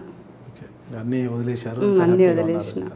ఎందుకంటే దాంట్లో దాంట్లో లాభం కన్నా ఎక్కువ నష్టమే ఎక్కువ చూసినామన్నమాట. పెద్దనాన్న ఎమ్మెల్యే అయినప్పటి నుంచి కూడా ఏది ఆస్తుల్లో కానీ లేదా ప్రాణ నష్టం కానీ అన్ని రకాలుగా నష్టపోయాం కానీ రాజకీయాల నుంచి లబ్ధి పొందింది అయితే ఏది లేదు. అదే మాలాగే రాజకీయాలు లేకోకుండా ఉండింటే ఈరోజు మాలాగే అదే ఆ మా ఆ పెద్దనాన్న వాళ్ళ కుటుంబం కూడా మాలాగా ఉండేది కదా ఒక కుటుంబంగా. కేవలం ఆ కంపు నుంచే కదా ఇంత అయింది అనిపిస్తుంది. ఇప్పుడు మీ తల్లిదండ్రులు వీరంతా కూడా మీకు బాగా సహకారంగా ఉన్నారు మేడం. అవునను. అంటే మీరు మీ సూర్య అన్న విడుదల కోసం చాలా కృషి చేశారు కదా అప్పుడంతా ఎందుకు నువ్వు ఆడపిల్లవి సంసారం చూసుకుని ఎందుకు కోట్ల చుట్టూ తిరిగేవారు అని వారించేవారా లేదా సహకరించేవారా? లేదనా ఏం అంటే కొద్ది వరకు భయపడేవాళ్ళు కానీ ఎప్పుడు వద్దని ఎప్పుడు చెప్పలేదు. ఎందుకంటే చిన్నప్పటి నుంచి పిలిచి అన్నం పెట్టి తెలుసు వాళ్ళకు కూడా సూర్య ఎన్ని బాధలు పడ్డాడు ఏం కోల్పోయాడు ఎలా ఉన్నాడు ఒకవేళ మనము చేయకపోతే సూర్యకి చేసేవాళ్ళు ఎవరు అనేది కూడా తెలుసు. భయపడేవాళ్ళు కానీ వద్దని ఎప్పుడు చెప్పలేదు. తప్పని పరిస్థితి. అదే ఒకళ్ళ లేదు అదే పద్మక్క సొంతం అక్క అన్నకి ఉండింటే నాలాగే తిరిగేది కదా. మీ పద్మక్క పిల్లలు ఏం చేస్తున్నారు? ఒక అమ్మాయికి మ్యారేజ్ అయిందని ఇక్కడే ఉన్నారు. ఒక అబ్బాయి అక్కడ వాళ్ళ నాన్న దగ్గర చదువుతున్నారు టుమ్కూరులో సార్ చివరిగా మీ లక్ష్యం ఏంటి? భవిష్యత్తులో ఏం సాధించాలనుకుంటున్నారు? ఇప్పుడు ఉన్నదాన్నే నేను కంటిన్యూ చేసి ఇప్పుడు పన్నెండు మందిది ఉండదాన్ని ఓ వంద మంది దాకా. ఓ వంద మందికి ఉపాధి కల్పించాలని అనుకుంటున్నా. ఒక చందన బ్రదర్స్ లేదని అట్లా బ్రదర్స్ సిస్టర్స్ ఏమి లేదు. గంగుల సిస్టర్స్ అని చేయాలనుకుంటున్నారా గంగుల శకం మీద ఒక కోనా బ్రదర్స్ అని ఏమైనా పెట్టాలనుకుంటున్నారా? కోనా సిస్టర్స్ ఎప్పుడు అన్నకు కూడా ఎప్పుడు ఉండేది. ఓ ఏదైనా మంచిగా ఫామ్ హౌస్ కానీ ఏదైనా ఉండాలి అన్నట్టు. నాకు ఒక్కటి తెలియదు మేడం. ఇక చివరిగా అనుకున్నాను కానీ ఇంకొక క్వశ్చన్ డౌట్ వచ్చింది నాకు. చెప్పండి అన్న అన్నలో రాక్షసునిగా మారిపోయాడు మా ఆయన అది ఇది అన్నారు కదా. మద్దల చెరు సూర్య గారికి దేవుడి మీద నమ్మకం ఉండేదా? ఉందనా? ఉందా? శివభక్తుడు. ఓకే. అంటే ఆ శివభక్తుడు కాబట్టి అలా ఆయనలాగే కొద్దిగా ఉగ్ర రూపం దాల్చేవారు. శివభక్తుడు గుడికి వెళ్ళేవారు ఆయన ఎప్పుడైనా? ఎప్పుడైనా వెళ్ళేవాడన్నా ఆ. అంటే ఆ సంఘటనలన్నీ జరిగిన తర్వాత కూడా దేవుణ్ణి పూజించేవారైనా ఆపారా. అంటే తగ్గిపోయిందన్న సగం. ఓకే సంఘటనల తర్వాత దైవభక్తి తగ్గిపోయింది. తగ్గిపోయింది. ఎప్పుడైనా మీ అన్న గుడికి వెళ్ళి గుండు కొట్టుకున్నారా లేదు. తెలియదా? లేదు లేదు. లేదా? గుండెలో ఎప్పుడు మెన్నని చూడలేదా? లేదు. ఓకే ఇకంటే ఉన్న లక్ష్యం అంతా కూడా మీది. మీ మీ బొటిక్స్ని ఇంప్రూవైజ్ చేయాలనేది ఉంది అంతే ప్రస్తుతానికి. రాజకీయాలు కానీ ఏది కూడా లేదు ఇక. అదే. పెద్ద ఆయన ఉండింటే ఉండేదేమో కానీ ఆ కోరిక చచ్చిపోయింది. మీరు ఓన్లీ వ్యాపారము ఇవేనా ఇకేమైనా ఫ్యామిలీతో కలిసి సరదాగా ఎప్పుడైనా బయటికి వెళ్ళడాలు ఏమైనా చేస్తుంటారా లేదన్నా సరదాగా కంపల్సరీ వెళ్తాం. ఎక్కడికి వెళ్తుంటారా? సిటీలో ఉంటే సిటీలోనేనా? సిటీలో అందరు తిరుగుతారు మేడం? బయటికి అంటే వెళ్తుంటాం అన్న ఎప్పుడన్నా. ప్రొవైడెడ్ ఇప్పుడు బాబు టెన్త్ క్లాస్ ఉన్నారా బయట కంట్రీస్లో ఏడన్నా ఉన్నారన్న. ఎక్కడ ఉంటారు? యూఎస్లో ఉన్నారు యూకేలో కూడా ఉన్నారు. వెళ్తుంటారు మీరు అక్కడికంతా కూడా? అంతా ఇంకా ఇంటర్నేషనల్ ట్రిప్స్ ఏం లేవన్నా. ఇంకా లేదా? ఒక్కసారి ఇంకా లేదు. ఆ, సూర్య ఆస్తులకు బినామీ మీరు? బినామీ కాదు కాబట్టే కదా. బినామీ కాదు కాబట్టి ఓకే ఓకే బినామీ అందరూ హాయిగా వెళ్ళే వాళ్ళము ఈరోజు. మూవీలకు వెళ్తుంటారు బాగా? వెళ్తామన్నా కంపల్సరీ. లేకపోతే వర్క్ ప్రెషర్ ఉంటుంది వీక్ అంతా. వీకెండ్స్ వెళ్తుంటారా? వీకెండ్. ఓకే. ఇప్పుడు బాబు టెన్త్ క్లాస్ కాబట్టి కొంచెం అన్ని తగ్గించేసాం. ఓకే. మీ వారు ఎలా అంటే మీతో బాగా ఒక హస్బెండ్గా ఉంటారా ఒక స్నే ఫ్రెండ్గా ఉంటారా? ఫ్రెండ్ అనే చెప్పుకోవచ్చాను. ఫ్రెండ్? ఆ, మళ్ళా ఇంటర్వ్యూ చూసి మీ వారు ఏమైనా అంటారని అంటున్నారా? లేదు లేదు ఒక ఫ్రెండ్గానే ఉంటారు? బిజినెస్లో అంతా సహకరించి అన్నిట్లో. అన్నిట్లో ఉంది కాబట్టే ఇంతవరకు నేను ఒకవేళ అన్న విషయంలో తిరిగినా కూడా ఎప్పుడు ఏమి ఉంటాయి మేడం. మీ అన్నలాగే మీరు కూడా నాటుకోడి అట్లేం లేదనా ఆకలేస్తే ఏది ఉన్నా తినేస్తాను అంతే. ఏదైనా కానీ దైవభక్తి ఉందా మీకు? కొంతవరకు ఏ దేవుని ఎక్కువ కలుస్తుంటారా? సేమ్ శివుడే ఎక్కువ మీరు శివుడేనా? మీరు శివుడిలా ఏం ఉగ్ర రూపం ఏమీ కనిపించడం లేదు ఆ? మీరు చూసే శాంతిమూర్తిలాగా ఉన్నారు మీరు? మీరు అలా చెప్తే ఎట్లా? శివుడే అనేసి. అంటే కాలం సమయం నిర్ణయిస్తుంది. కావాలా వద్దా అనేది ఆ ఉగ్ర రూపిని బయటకు వస్తుంది? కాకపోతే ఇప్పటి వరకు కూడా ఫీల్ అవుతుంటాను. అరే అబ్బాయి ఏంటంటే హండ్రెడ్ పర్సెంట్ సపోర్ట్ ఇచ్చింది కదా అన్నకి అమ్మాయి అయిపోయి కొన్ని లిమిట్స్ ఉండిపోయినాయి నాకు అని. ఈ జన్మకు అదొక్కటే బాధ. మీరు చెప్పారు కృష్ణ అన్న బాగా మాకు హెల్ప్ చేసేవారని. అంటే పులివెందలకు చెందిన దంతులూరు కృష్ణ. కృష్ణ గారు అనేది ఎలా మీకు మంచి రిలేషన్ ఉండేది ఆయనతో బాగా? ఎలా సహకరించేవారు మీకు ఆయన? రెండు వేల నాలుగులో టికెట్ ఇవ్వడము టికెట్ ఇప్పించడంలో కానీ ఏదైనా లేదా పెద్ద ఆయన అంటే భానుమతికి అంటే పెద్ద ఆయనతో వేరే వాళ్ళతో వేరే వాళ్ళ ద్వారా పెద్ద ఆయనకి చెప్పించడం కానీ ఇట్లా అవసరం వీళ్ళు అన్నీ కోల్పోయినారు. అంటే పెద్ద ఆయనకి తెలుసు అయినా కూడా సపోర్ట్ చేయాలి అవసరం అన్నట్టు. లేదా ఊరికి పోయినప్పుడు పులివెందులకి పెద్ద ఆయన్ని కలిసేకపోయినప్పుడు ఆ, కృష్ణన్న వాళ్ళ ఇంట్లోనే ఉండేవాళ్ళు అనమాట నేను కూడా రెండు మూడు సార్లు వెళ్ళినప్పుడు కూడా కృష్ణన్న వాళ్ళ ఇంట్లోనే ఉన్నాం మేమంతా ఉండేవారా? మేమిద్దరం కలిసి వెళ్ళామన్నాం రెండు మూడు సార్లు వెళ్ళామన్నమాట. పెద్ద ఆయనతో కలిసేకి రెండు సార్లు వెళ్ళాము. జగనన్నని కలిసినప్పుడు కూడా పులివెందుల్లో కృష్ణన్న వాళ్ళ ఇంట్లోనే ఉన్నాము ఆ పెద్ద ఆయన అప్పుడు వద్దన్నప్పుడు రాజకీయ ఇవన్నీ కాంప్రమైజ్ గమ్మని పెద్ద ఆయన అడిగినప్పుడు కూడా వెంటనే కృష్ణన్నకి అదే చెప్పామన్నమాట. ఇట్లా పెద్ద ఆయన ఇట్లా అంటున్నారు అంటే పెద్ద ఆయన మన మంచికే కదా చెప్పేది ఏదో ఒకటి చేసి నువ్వు ఆ అన్ననే కన్విన్స్ చేయండి మీరు. ఏదో ఒకటి అని ఆ- విషయంలో కూడా కృష్ణన్న చెప్పినారనమాట ఇప్పటికీ ఏదైనా జగనన్న అపాయింట్మెంట్ కావాలన్నా చెప్పేది వాస్తవమా కాదా అనేది మాకు అర్థం కావడం లేదు. ఎందుకంటే మీ వదిన భానుమతి గారు మా ఇంటర్వ్యూలోనే కృష్ణ గారి గురించి అడిగినప్పుడు కృష్ణ గారు ఎవరో నాకు తెలియదండి పేరు విన్నాను ఆయన ఎప్పుడు నేను చూడలేదు అన్నారు. ఏమా పొంతనది మీరు చెప్పేది వాస్తవమా? ఆవిడ చెప్పేది వాస్తవమా? అంటే నిజంగా అలా అన్నారనా? మా ఇంటర్వ్యూ మేము ఇంటర్వ్యూ చేసినప్పుడే మా ఇంటర్వ్యూలోనే కృష్ణ గారు ఎవరో తెలియదండి నాకు నేను చూడలేదండి ఉంటే చూసింటే ఎందుకు చెప్పమండి అన్నారు అనమాట ఆవిడ. మేము చేసిన ఇంటర్వ్యూలోనే అన్నారు కదా? అలాంటప్పుడు ఇప్పుడు ఆమె చూడలేదు నాకు తెలియదన్నది వాస్తవమా? కృష్ణ గారింట్లో మేము ఉన్నాము మా అన్నతో సమానంగా మమ్మల్ని చూశాడు అని మీరు చెబుతున్నది వాస్తవమా?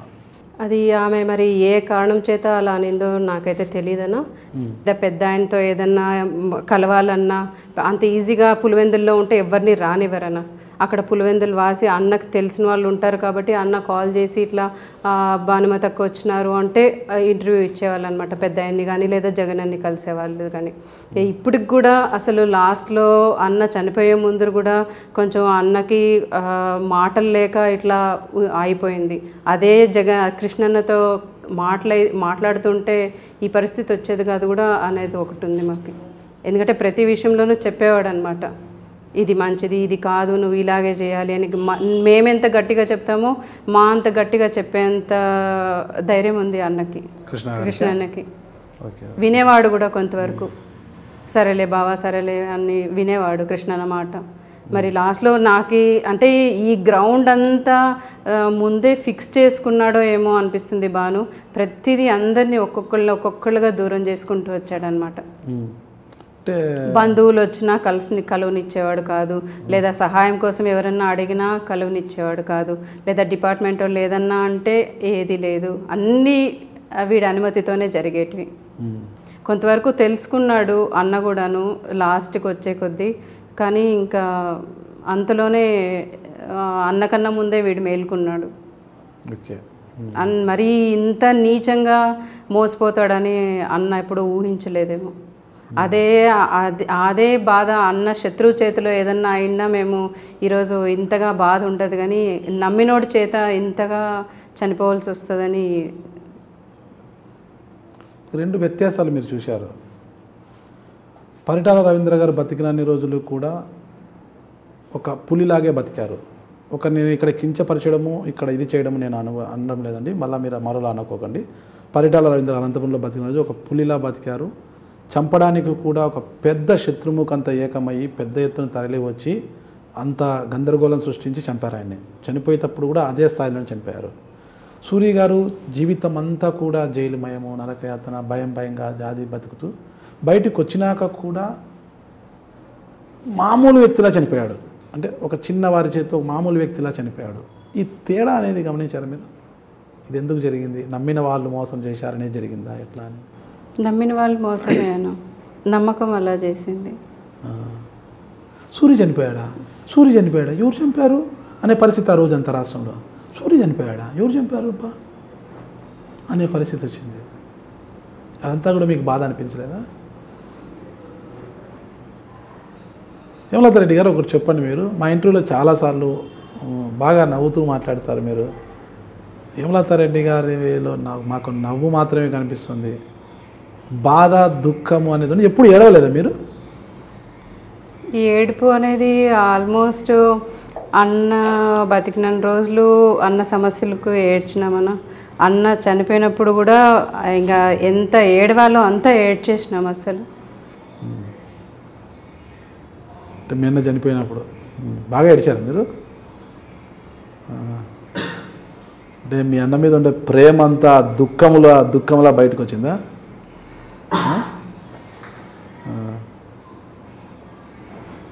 ఎప్పుడైనా అనిపిస్తుందా మీ అన్నకి గుర్తుకు వచ్చినప్పుడు మీ అన్న మీ మీద చూపించిన వాత్సల్యము? మీ అన్న ఇచ్చిన రెండు వందల రూపాయల గుర్తు? అలా ఎప్పుడైనా? అవన్నీ ఏమైనా నెమరు వేసుకుంటుంటారా? ఎప్పుడు గుర్తుకొస్తూనే ఉంటాయన్న. Okay madam thank you. Thank you అన్న. ఓకే ఇది అండి మద్దల చెరువు సూర్యనారాయణ రెడ్డి అలియాస్ గంగుల సూర్యనారాయణ రెడ్డి సోదరి గంగుల అలియాస్ కోన హేమలతారెడ్డి గారు చెప్పిన అంశాలన్నీ కూడా అంటే తన సోదరుడు సూరి అసలు చాలా సౌమ్యుడిగా ఉండేవాడని టీవీ బాంబు అనంతరమే ఆ సంఘటన అనంతరమే తనలోని రాక్షసత్వం బయటకు వచ్చిందని అసలు ఆ సంఘటన తర్వాత అసలు ఏ రోజు కూడా తన సోదరుడు మనశ్శాంతిగా లేకపోయాడు. అయితే తన సోదరుడు ఒక కారు బాంబు కేసులో జైల్లోకి వెళ్ళినా తన సోదరుని బయటకు తీసుకురావడానికి ఎన్నో ప్రయత్నాలు చేశాను చివరిగా వైఎస్ రాజశేఖర రెడ్డి గారి చలువతో రెండు వేల తొమ్మిదిలో బయటికి వచ్చినప్పటికీ కూడా ఆ ఆశలన్నీ కూడా నెరవేరక ముందే ఆయన నమ్ముకున్న వారి చేతిలోనే హత్య కాబడ్డారు.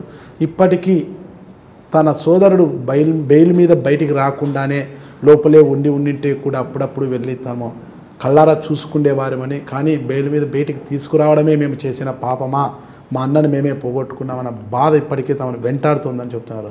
అయితే గంగుల సూర్యనారాయణ సోదరుడిగా తాను పెద్ద ఆయన అంటే రాజశేఖర రెడ్డి గారు బతికి ఉంటే రాజకీయాల్లో ఖచ్చితంగా వచ్చి ఉండేదానని ప్రస్తుతం తన సోదరుడు పెద్ద ఆయనగా భావించే రాజశేఖర రెడ్డి ఇద్దరి మరణంతో తనకు రాజకీయాల పట్ల ఆసక్తి అనేది లేకుండా పోయిందని ప్రస్తుతం తను చేస్తున్న వ్యాపారాన్నే వృద్ధి చేసుకొని మరింత మందికి ఆసరాగా నిలబడాలని మరిన్ని కుటుంబాలకు ఉపాధి కల్పించాలనే లక్ష్యంతోనే తాను ముందుకు పోతున్నానని చెప్తున్నారు.